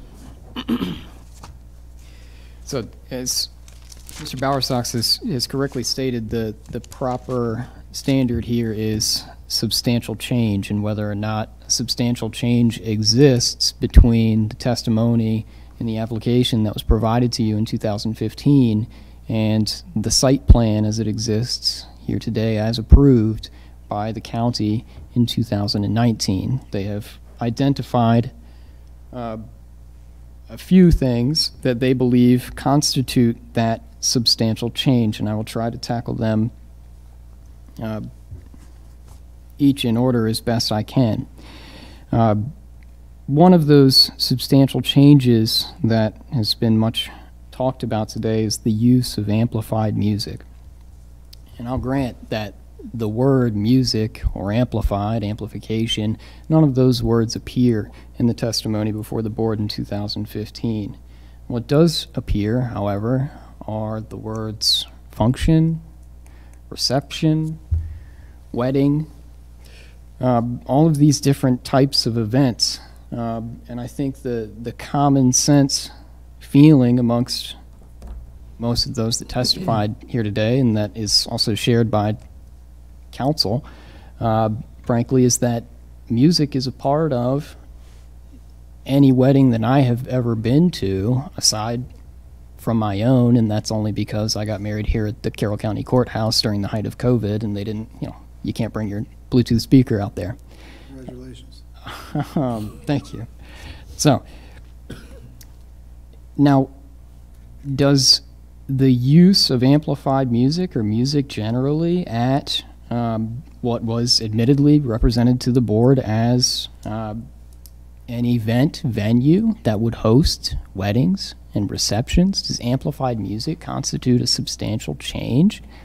I don't believe that it does. As I said, I think that the common sense notion about what occurs at a wedding, a reception, or a party, uh, especially of the size that we are, are talking about um, and that was testified to before the 2015 board, um, honestly, I, I think that that was a, a fair and reasonable assumption to make that amplified music or music generally would be included in those events. I think that that's, I don't think that that's controversial whatsoever. And I have put on ample testimony today reflecting my client's previous and ongoing efforts to minimize the impacts of that sound. I have also put on evidence that the Hicks are the only individuals complaining about that sound. We haven't received any other noise complaints from any other parties. Uh, the neither the Snyders nor um, Mr. Ryan and Miss Miss Leith have ever been cited for any violation of the Carroll County noise ordinance. Now I know that there's now that 2019 letter from Sheriff DeWees that you know maybe there's an issue in the enforcement ability. Um, however, Ms. Hicks testified that there was a time where meters were available and that police, I'm assuming if meters were available, they were renting them out to the public, that it was possibly enforceable at that time. And at no time have my clients ever been held in violation of any noise ordinance or law. Uh, Nevertheless, they continue a, I think, a very vigilant regime in terms of policing the sound that is emanating from the property, right? You've got a, a person, an employee there dedicated every single event, taking readings. We heard readings were being taken between every half an hour to every hour at every single event. And they are purposefully holding themselves to the most restrictive standard that the law supplies us with. I can't think of any more guidance that or efforts that they could possibly do. They've brought in experts, right? DJs, people that play music for a living and understand how the waves emanate from the property in order to help them with this. They have designed their event space in such a way to minimize the effects of that noise amplification. Uh, there was uh, some discussion as to the uh, maximum occupancy. Now, the specific testimony was 100 people was the maximum occupancy of the, uh, the inside of the building. However, there was also a suggestion that they would hold events outside and that they would have operating or, or working at those events as many people as would be needed for the size of the event that they were holding. Uh, my clients have testified that they have never, frankly, come close to that 200 limit. I think the highest number was somewhere between one 130 or 150, maybe tops. Um, and since um, the Christian Royer House LLC is taking over that property, they haven't come anywhere anywhere close to that figure. Uh, the tent issue. Uh, again, the word tent does not appear in the transcript. Um, there's testimony from Ms. Snyder that she recalls uh, there being some discussion about outdoor facilities and a discussion as to there would not be a, a, a new construction, right? We can't build a building. We don't want to do that on this property. It's historic. Uh, there's discussion about a, a gazebo, an arbor. There's discussion about a pavilion. Um, so it, clearly, there was an express representation to the board in 2015 of my client's intent to use some sort of outside facility in order to uh, put on the types of events that they wanted to put on. Uh, there was a a very brief dis, uh, indication from Mr. Bowersox that the current manager, Sarah, Miss Lee's daughter, may not live on the property. Ashley, I'm sorry. Ashley. I don't know where he got that from. I don't see any evidence of that in the testimony or the evidence that was presented here today. All I heard was testimony from both of my clients that Ashley lives on that property, that she's the one there every single day. Uh, so I, I don't know where that came from, frankly, and I don't think that it's a substantial change. Uh, there was another suggestion that the screening was somehow inappropriate, uh, inappropriate um, limbed up trees. Um, th- there was testimony from the Snyders as well as um, Mr. Ryan and, and Miss Leith that although that original drawing um, showed the trees on the property, they they the pine trees actually are off sort of you can see on the site plan it looks like one or maybe two of them might be within the bounds of the property but then it sort of curves out and around. Um, but there was testimony from the snyders and um, my clients here today that they had permission from the lippies the property owners to to trim those trees and to, to deal with them as they saw fit and they did so um, not in a reckless manner um, but they hired a professional arborist who gave them the recommendation to trim those trees, and they did it for the health of the tree, right? I presume, I'm not an expert, but when an arborist gives such a recommendation, I'm assuming that it's to preserve the health of that tree. If you don't continue with the upkeep, then you create a bigger problem, right? You, you sacrifice the health of the whole tree. Um, So I, I don't see, I don't see any legs on that theory either. Um, There was a suggestion that the hours of operation might constitute a substantial change. I- I don't see that in the testimony before 2015 either, frankly. We have direct testimony from Ms. Snyder that weddings would occur somewhere between noon and 5, um, and that receptions could occur after that.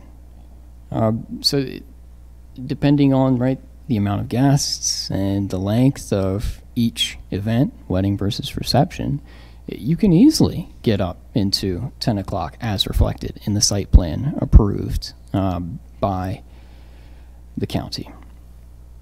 Uh,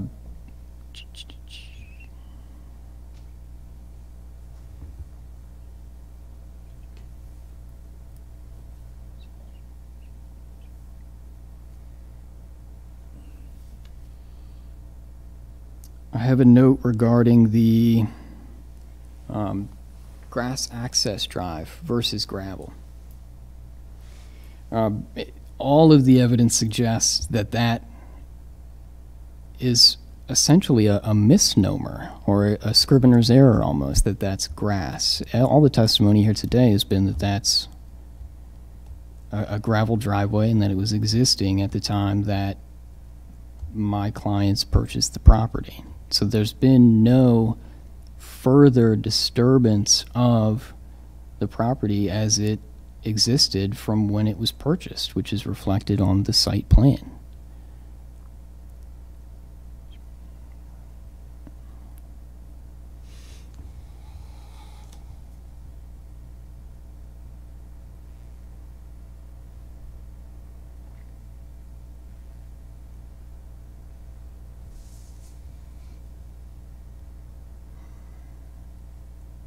I think I have now covered all of the issues that were identified by the Hicks as potential substantial changes. Um, And I, I don't, I don't think the burden has been met on any of them. And I think that my clients have, again, in- implemented a program of uh, vigilant uh, and, and, and and been forthcoming in terms of minimizing the potential effects of their operation. They have created a, what appears to be a very profitable, a very sustainable, a very attractive business. We heard testimony that they employ their entire family in this business, that they work with and promote for local vendors in the community. Um, the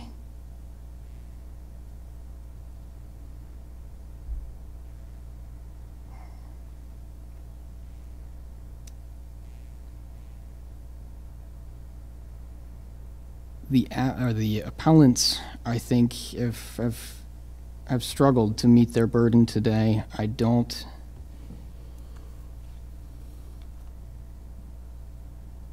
I don't see any reason why the board would now essentially revoke a plan approval um, that was given more or less at the request of development review, um, which modified um, the note from, right, no, no rooms available for rent. That was the proffered reason from Clay Black that the, the, the 2019 plan was necessary. Uh, I think that my clients have operated their business within the boundaries um, and, and within the uh, testimony as reflected in the transcript before the 2015 board. Um, And I think that they have done everything, every effort. I think they've bent over backwards um, in order to minimize exactly the types of things that the Hicks today are, are complaining about. And with that, I'll submit. Mr. Bowersox, would you like a redirect conclu- uh, concluding comments or no? There- There was, A a rebut, I should say. I, I will say no. No, I won't. Okay. The presentation of testimony is now closed and summations are in order. Oh, wait. The hearing and record, is- I was on the wrong line. The record and hearing of this case is now closed and in accordance with the Open Meetings Act. The board will now consider the case. Mr. Snyder, What did I know you were gonna ask me? you drew the, you drew the short stick. Oh, gosh, long day, and thanks everyone for being here. Um, It's been a long day for everyone. Um, I do appreciate all the testimony. Um, If I understand correctly, and I've checked this with counsel, that what we're dealing with is an appeal of the site plan in that it does not conform with the decision of the board of April 6th, 26th, 2015 which is my anniversary, by the way. Not, not the 15th, of course, but yesterday was my anniversary. Anyway, um, I've read the testimony. I've seen the, seen the video of the testimony of 2015. I've heard the testimony here today. And I think, based on all that, I have a relatively good understanding of what, what is occurring. Um, I would start by saying transparency and full disclosure at a hearing is so critical. And just because a question's not asked doesn't mean it should not be answered. Meaning that the intent when an applicant comes to the board is to be completely transparent to the best of their ability. Yes, things slip through, things are not mentioned, questions aren't asked, it happens all the time, happens now, but it's not my role to second-guess the prior board and their deliberations. But testimony was vague. In doing so, it makes things very difficult for everyone reviewing the record. However, assuming the question wasn't asked and the specific question wasn't answered, cannot be assumed that the board would not, that that would impact the board's ultimate decision. Meaning the fact that there would be a tent, the fact that the number would be 200, whatever the case may be, you can presume one way that they would not have approved it, and you can equally presume the other way that they would. And I cannot stand in uh, judgment of what was assumed and what was not assumed in the 2015 hearing by that board. Moreover, based on my understanding of why we're here today, compliance with the site plan is not really of issue here. There's, there's recourse if there is not compliance to the current site plan. Same as far as noise issues. There's remedies, there's law enforcement, and so forth, if that is an issue. It does not, is not really germane to what I understand we're here to decide today.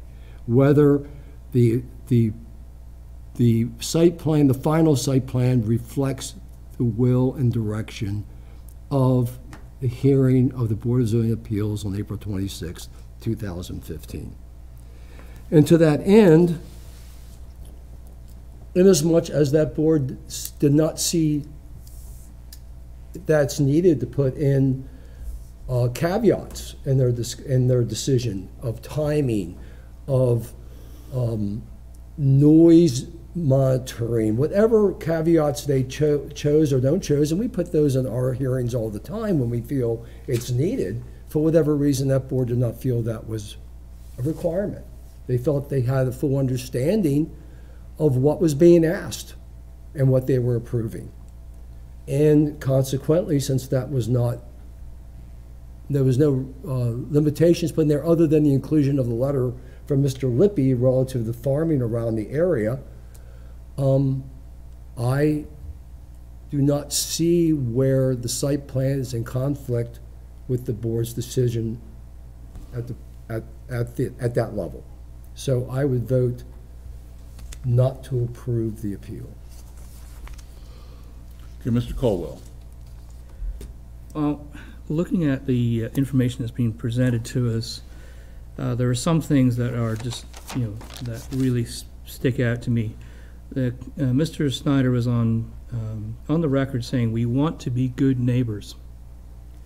And, you know, the amplified, uh, amplified noise from the band and so on, to me was disturbing because he's using music levels that are above, you know, the recommended threshold uh, at the site. So he's putting his guests in danger of ear damage, albeit they're not, they're not in prolonged exposure. But, you know, from my experience, uh, music noise level increases directly, and, and since this is in decibels, it's a logarithmic scale, but in decibels is directly proportional to the increase in size of the crowd. The music gets louder, the bigger the crowd. The, um, they're not upholding any standard for noise level. They're not uh, professional audio engineers. They don't have calibrated equipment. Um, We did hear testimony from um, Ms. Hicks that she did have a calibrated instrument from the police department. I have no uh, doubt that they, the reading was uh, substantially accurate because she was shown how to use it by someone who was trained how to use it. And she did obtain a reading. Why she didn't report it to the police, I don't know. Maybe she did, maybe she didn't. Um, The the original testimony from the Snyders uh, implied that the trees were in their property and therefore were providing, you know, noise break and so on and so forth, which is not true. But, you know, as I said in the, in the hearing, that those trees don't belong to them, and Mr. Lippy could, at some point, decide to cut them down. It's entirely his right to do so. So to present that as a benefit in their case was um, disingenuous, I think. Maybe that's not the right word, but I, it felt to me like it was implied that this was a, a great advantage that they were providing these mature pine trees are not theirs. Um, as far as the grass driveway is concerned, uh, there are a number of site plans out there, and I'm surprised that none of them have come to the board for review because they all, to me, look substantially different. Formal garden is a sizable investment, is substantially different. The, the structured tent, uh, which has a, uh, a permanent structure to it, you know, although they have to, you know, get a permit to put the, um, the vinyl cover over, it still has a, a skeleton of structure that's permanent. Uh, the grass driveway appears and disappears from different versions of the site plan. And that, and, uh, uh, Mr. Bowersox raised that question about the amount of disturbance being two feet less than the code requirement. Makes me doubt that there's some variation going on here uh, for some reason. I don't like it. It's as if the plan was manipulated to make it look right. Uh, That's my impression. That's, that, I may be uh, incorrect in that, but it does look like that to me. It doesn't look good. Um, The, as uh, Mr., uh, my esteemed colleague, Mr. Snyder said that this, the testimony was scant. The first three people that were witnesses for the applicant were daughters, and they basically were asked, well, what do you do? And that was it. There was no further uh, discussion on what, what they were planning to do. Um, The decisions were based only on the facts available at the time, and I think the decision unfortunately was in error, because there was not sufficient evidence there to make a, a real decision. They should have referred it back and said, give us a better understanding. One would think that the Snyders would have some kind of business plan before entering into buying a property like this. It's an expensive uh, proposition. But there was no reference to a business plan. It was very vague, and assumptions were presented to us. They said, well, of course it'll be music. Who's never been to a wedding without music? Well, that's, that to me is, is kind of uh, flippant way to approach it. Um, Noise is a substantial deviation. Uh, Suffering that amount of noise at, a- uh, at such high levels is inexcusable. If we're going to be good neighbors, then do something about it. Keep the noise down to uh, levels that are permitted by law. This is way too high. Um, The other thing I discovered uh, is that the site plans uh, that are drawn up are actually not visited by the the development people to verify what they're actually going to build. So it's a free-for-all. So what can start off as something that's vague gets uh, added to and added to and added to, and there's no check on what is actually going to be built or how it affects the neighborhood. And that I find is a, a great weakness. From the, uh, the representatives here, uh, it was said forty percent of the income comes from rooms, sixty percent from the accessory use. As, as they've stated, that primary and secondary uses are in fact reversed. That is a substantial deviation also. Uh, So, you know, based on that information that's being presented here, I would be in favor of granting the appeal. Mr. Simmons, you want me to go? Yeah. Oh, my. Okay, I'm gonna try to be brief, briefer than my colleagues, but I don't think that's gonna be possible. Um, let- let's start down here with a simplified site plan. Simplified site plan was put in. A simplified site plan, um, Mr. Bowersox alluded to, isn't, isn't addressed in the code. However, a simplified site plan, uh, according to my recollection, recollection, serving on the planning commission for too many years, is a substitute for a site plan. So, and the reason it's a substitute is the five thousand square feet or, or other extenuating circumstances. And a simplified site plan can be signed off by the chairman or the planning director. According to the plans submitted by Carroll Land Service, in accordance with the, and, in consultation with Clay Black, who was, uh, at that time the head of development review, they met that. That's not our standard. Other agencies, other agencies came to that conclusion. So there is a site plan, it's a simplified site plan. Carroll Land Service and Clay Black came to that conclusion. The graph paper plan that was uh, representation of what was on the site at the time was not a site plan. Very seldom do we see site plans. We may say, we may, we may see rough drawings. Uh, They hadn't gotten that far in the process to get anything done professionally. Our role, I say our role, the role of the Board of Zoning Appeals in the original 2015 case was the applicants came forward asking for a wedding venue. A wedding venue is not part of our code. The wedding venue, that's not, that's not in our conditional use in the ag zone. What is, is, what is allowed is the, um, the wedding, the wedding, uh, the, the country inn. And you have to have a country inn in order to have a wedding venue. That's how the wedding ven, because wedding venues, when this code was originally written, there were none in Carroll County. There's been an explosion of them. So in order to accommodate them without rewriting the code, a country inn had to be the request in order to have a wedding venue. One of the issues that we get into, is it really a room for rent in that country inn? It was testified here today that, that really are rooms for rent in this place. And we had testimony that there is someone that is living on site there at, at this, at this, um, and she's the manager, uh, on the site. That meets the requirements of the wedding venue slash country inn, country inn slash wedding venue, however you wanna put it. Very seldom have we heard that thirty to forty percent of the income is coming from the country inn. It's usually ninety or ninety-five percent is coming from the wedding venue, and the country inn is basically available if the wedding party wants it. This is actually rented out, and it was in testimony, it was in stuff that was uh, handed over to us uh, from the website. So, is it being used as a country inn? Absolutely. So all those issues are moot points. I'm a little, we, we can't access the thought process of the 2015 Board of Zoning Appeals, even though we have one of those members with us. Um, That was not meant to be a dig. Yes, it was. But, but I can't, I can't believe that they wouldn't think that there wouldn't be music in a, at a wedding venue. Uh, that, that's probably one of the things that they all thought. Uh, it wasn't verbalized, it was not in the decision. Um,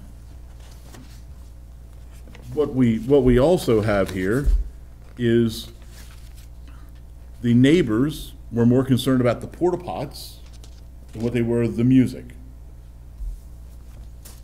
I'm a little disappointed in, in Mr. Ed Lippy because he's the one that surveyed this off of the farm that he bought, that he didn't go with the tree line, that only a couple of the trees are there. But if Mr. Lippy says that those trees, um, you know, are gonna stay there, I, I, he, he was here at that two thousand fifteen hearing. I'll, I'll take his word for that.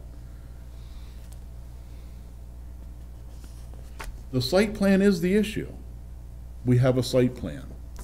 How it was arrived, um, was between the applicant, well, the, the, the- the two thousand, the Snyders, and the, the Development, Re- Development Review Committee, or Board. The noise. We heard conflicting testimony. We have a letter here saying the sheriff's office can't calibrate the equipment. We had testimony that the meter used was calibrated.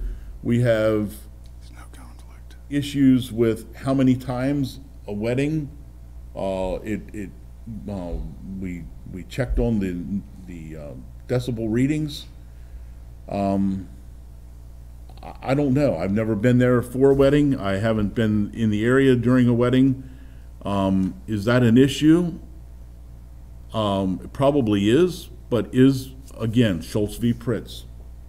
Is it any greater of an, is it more of an issue here than any other place in the ag zone? And I would say no.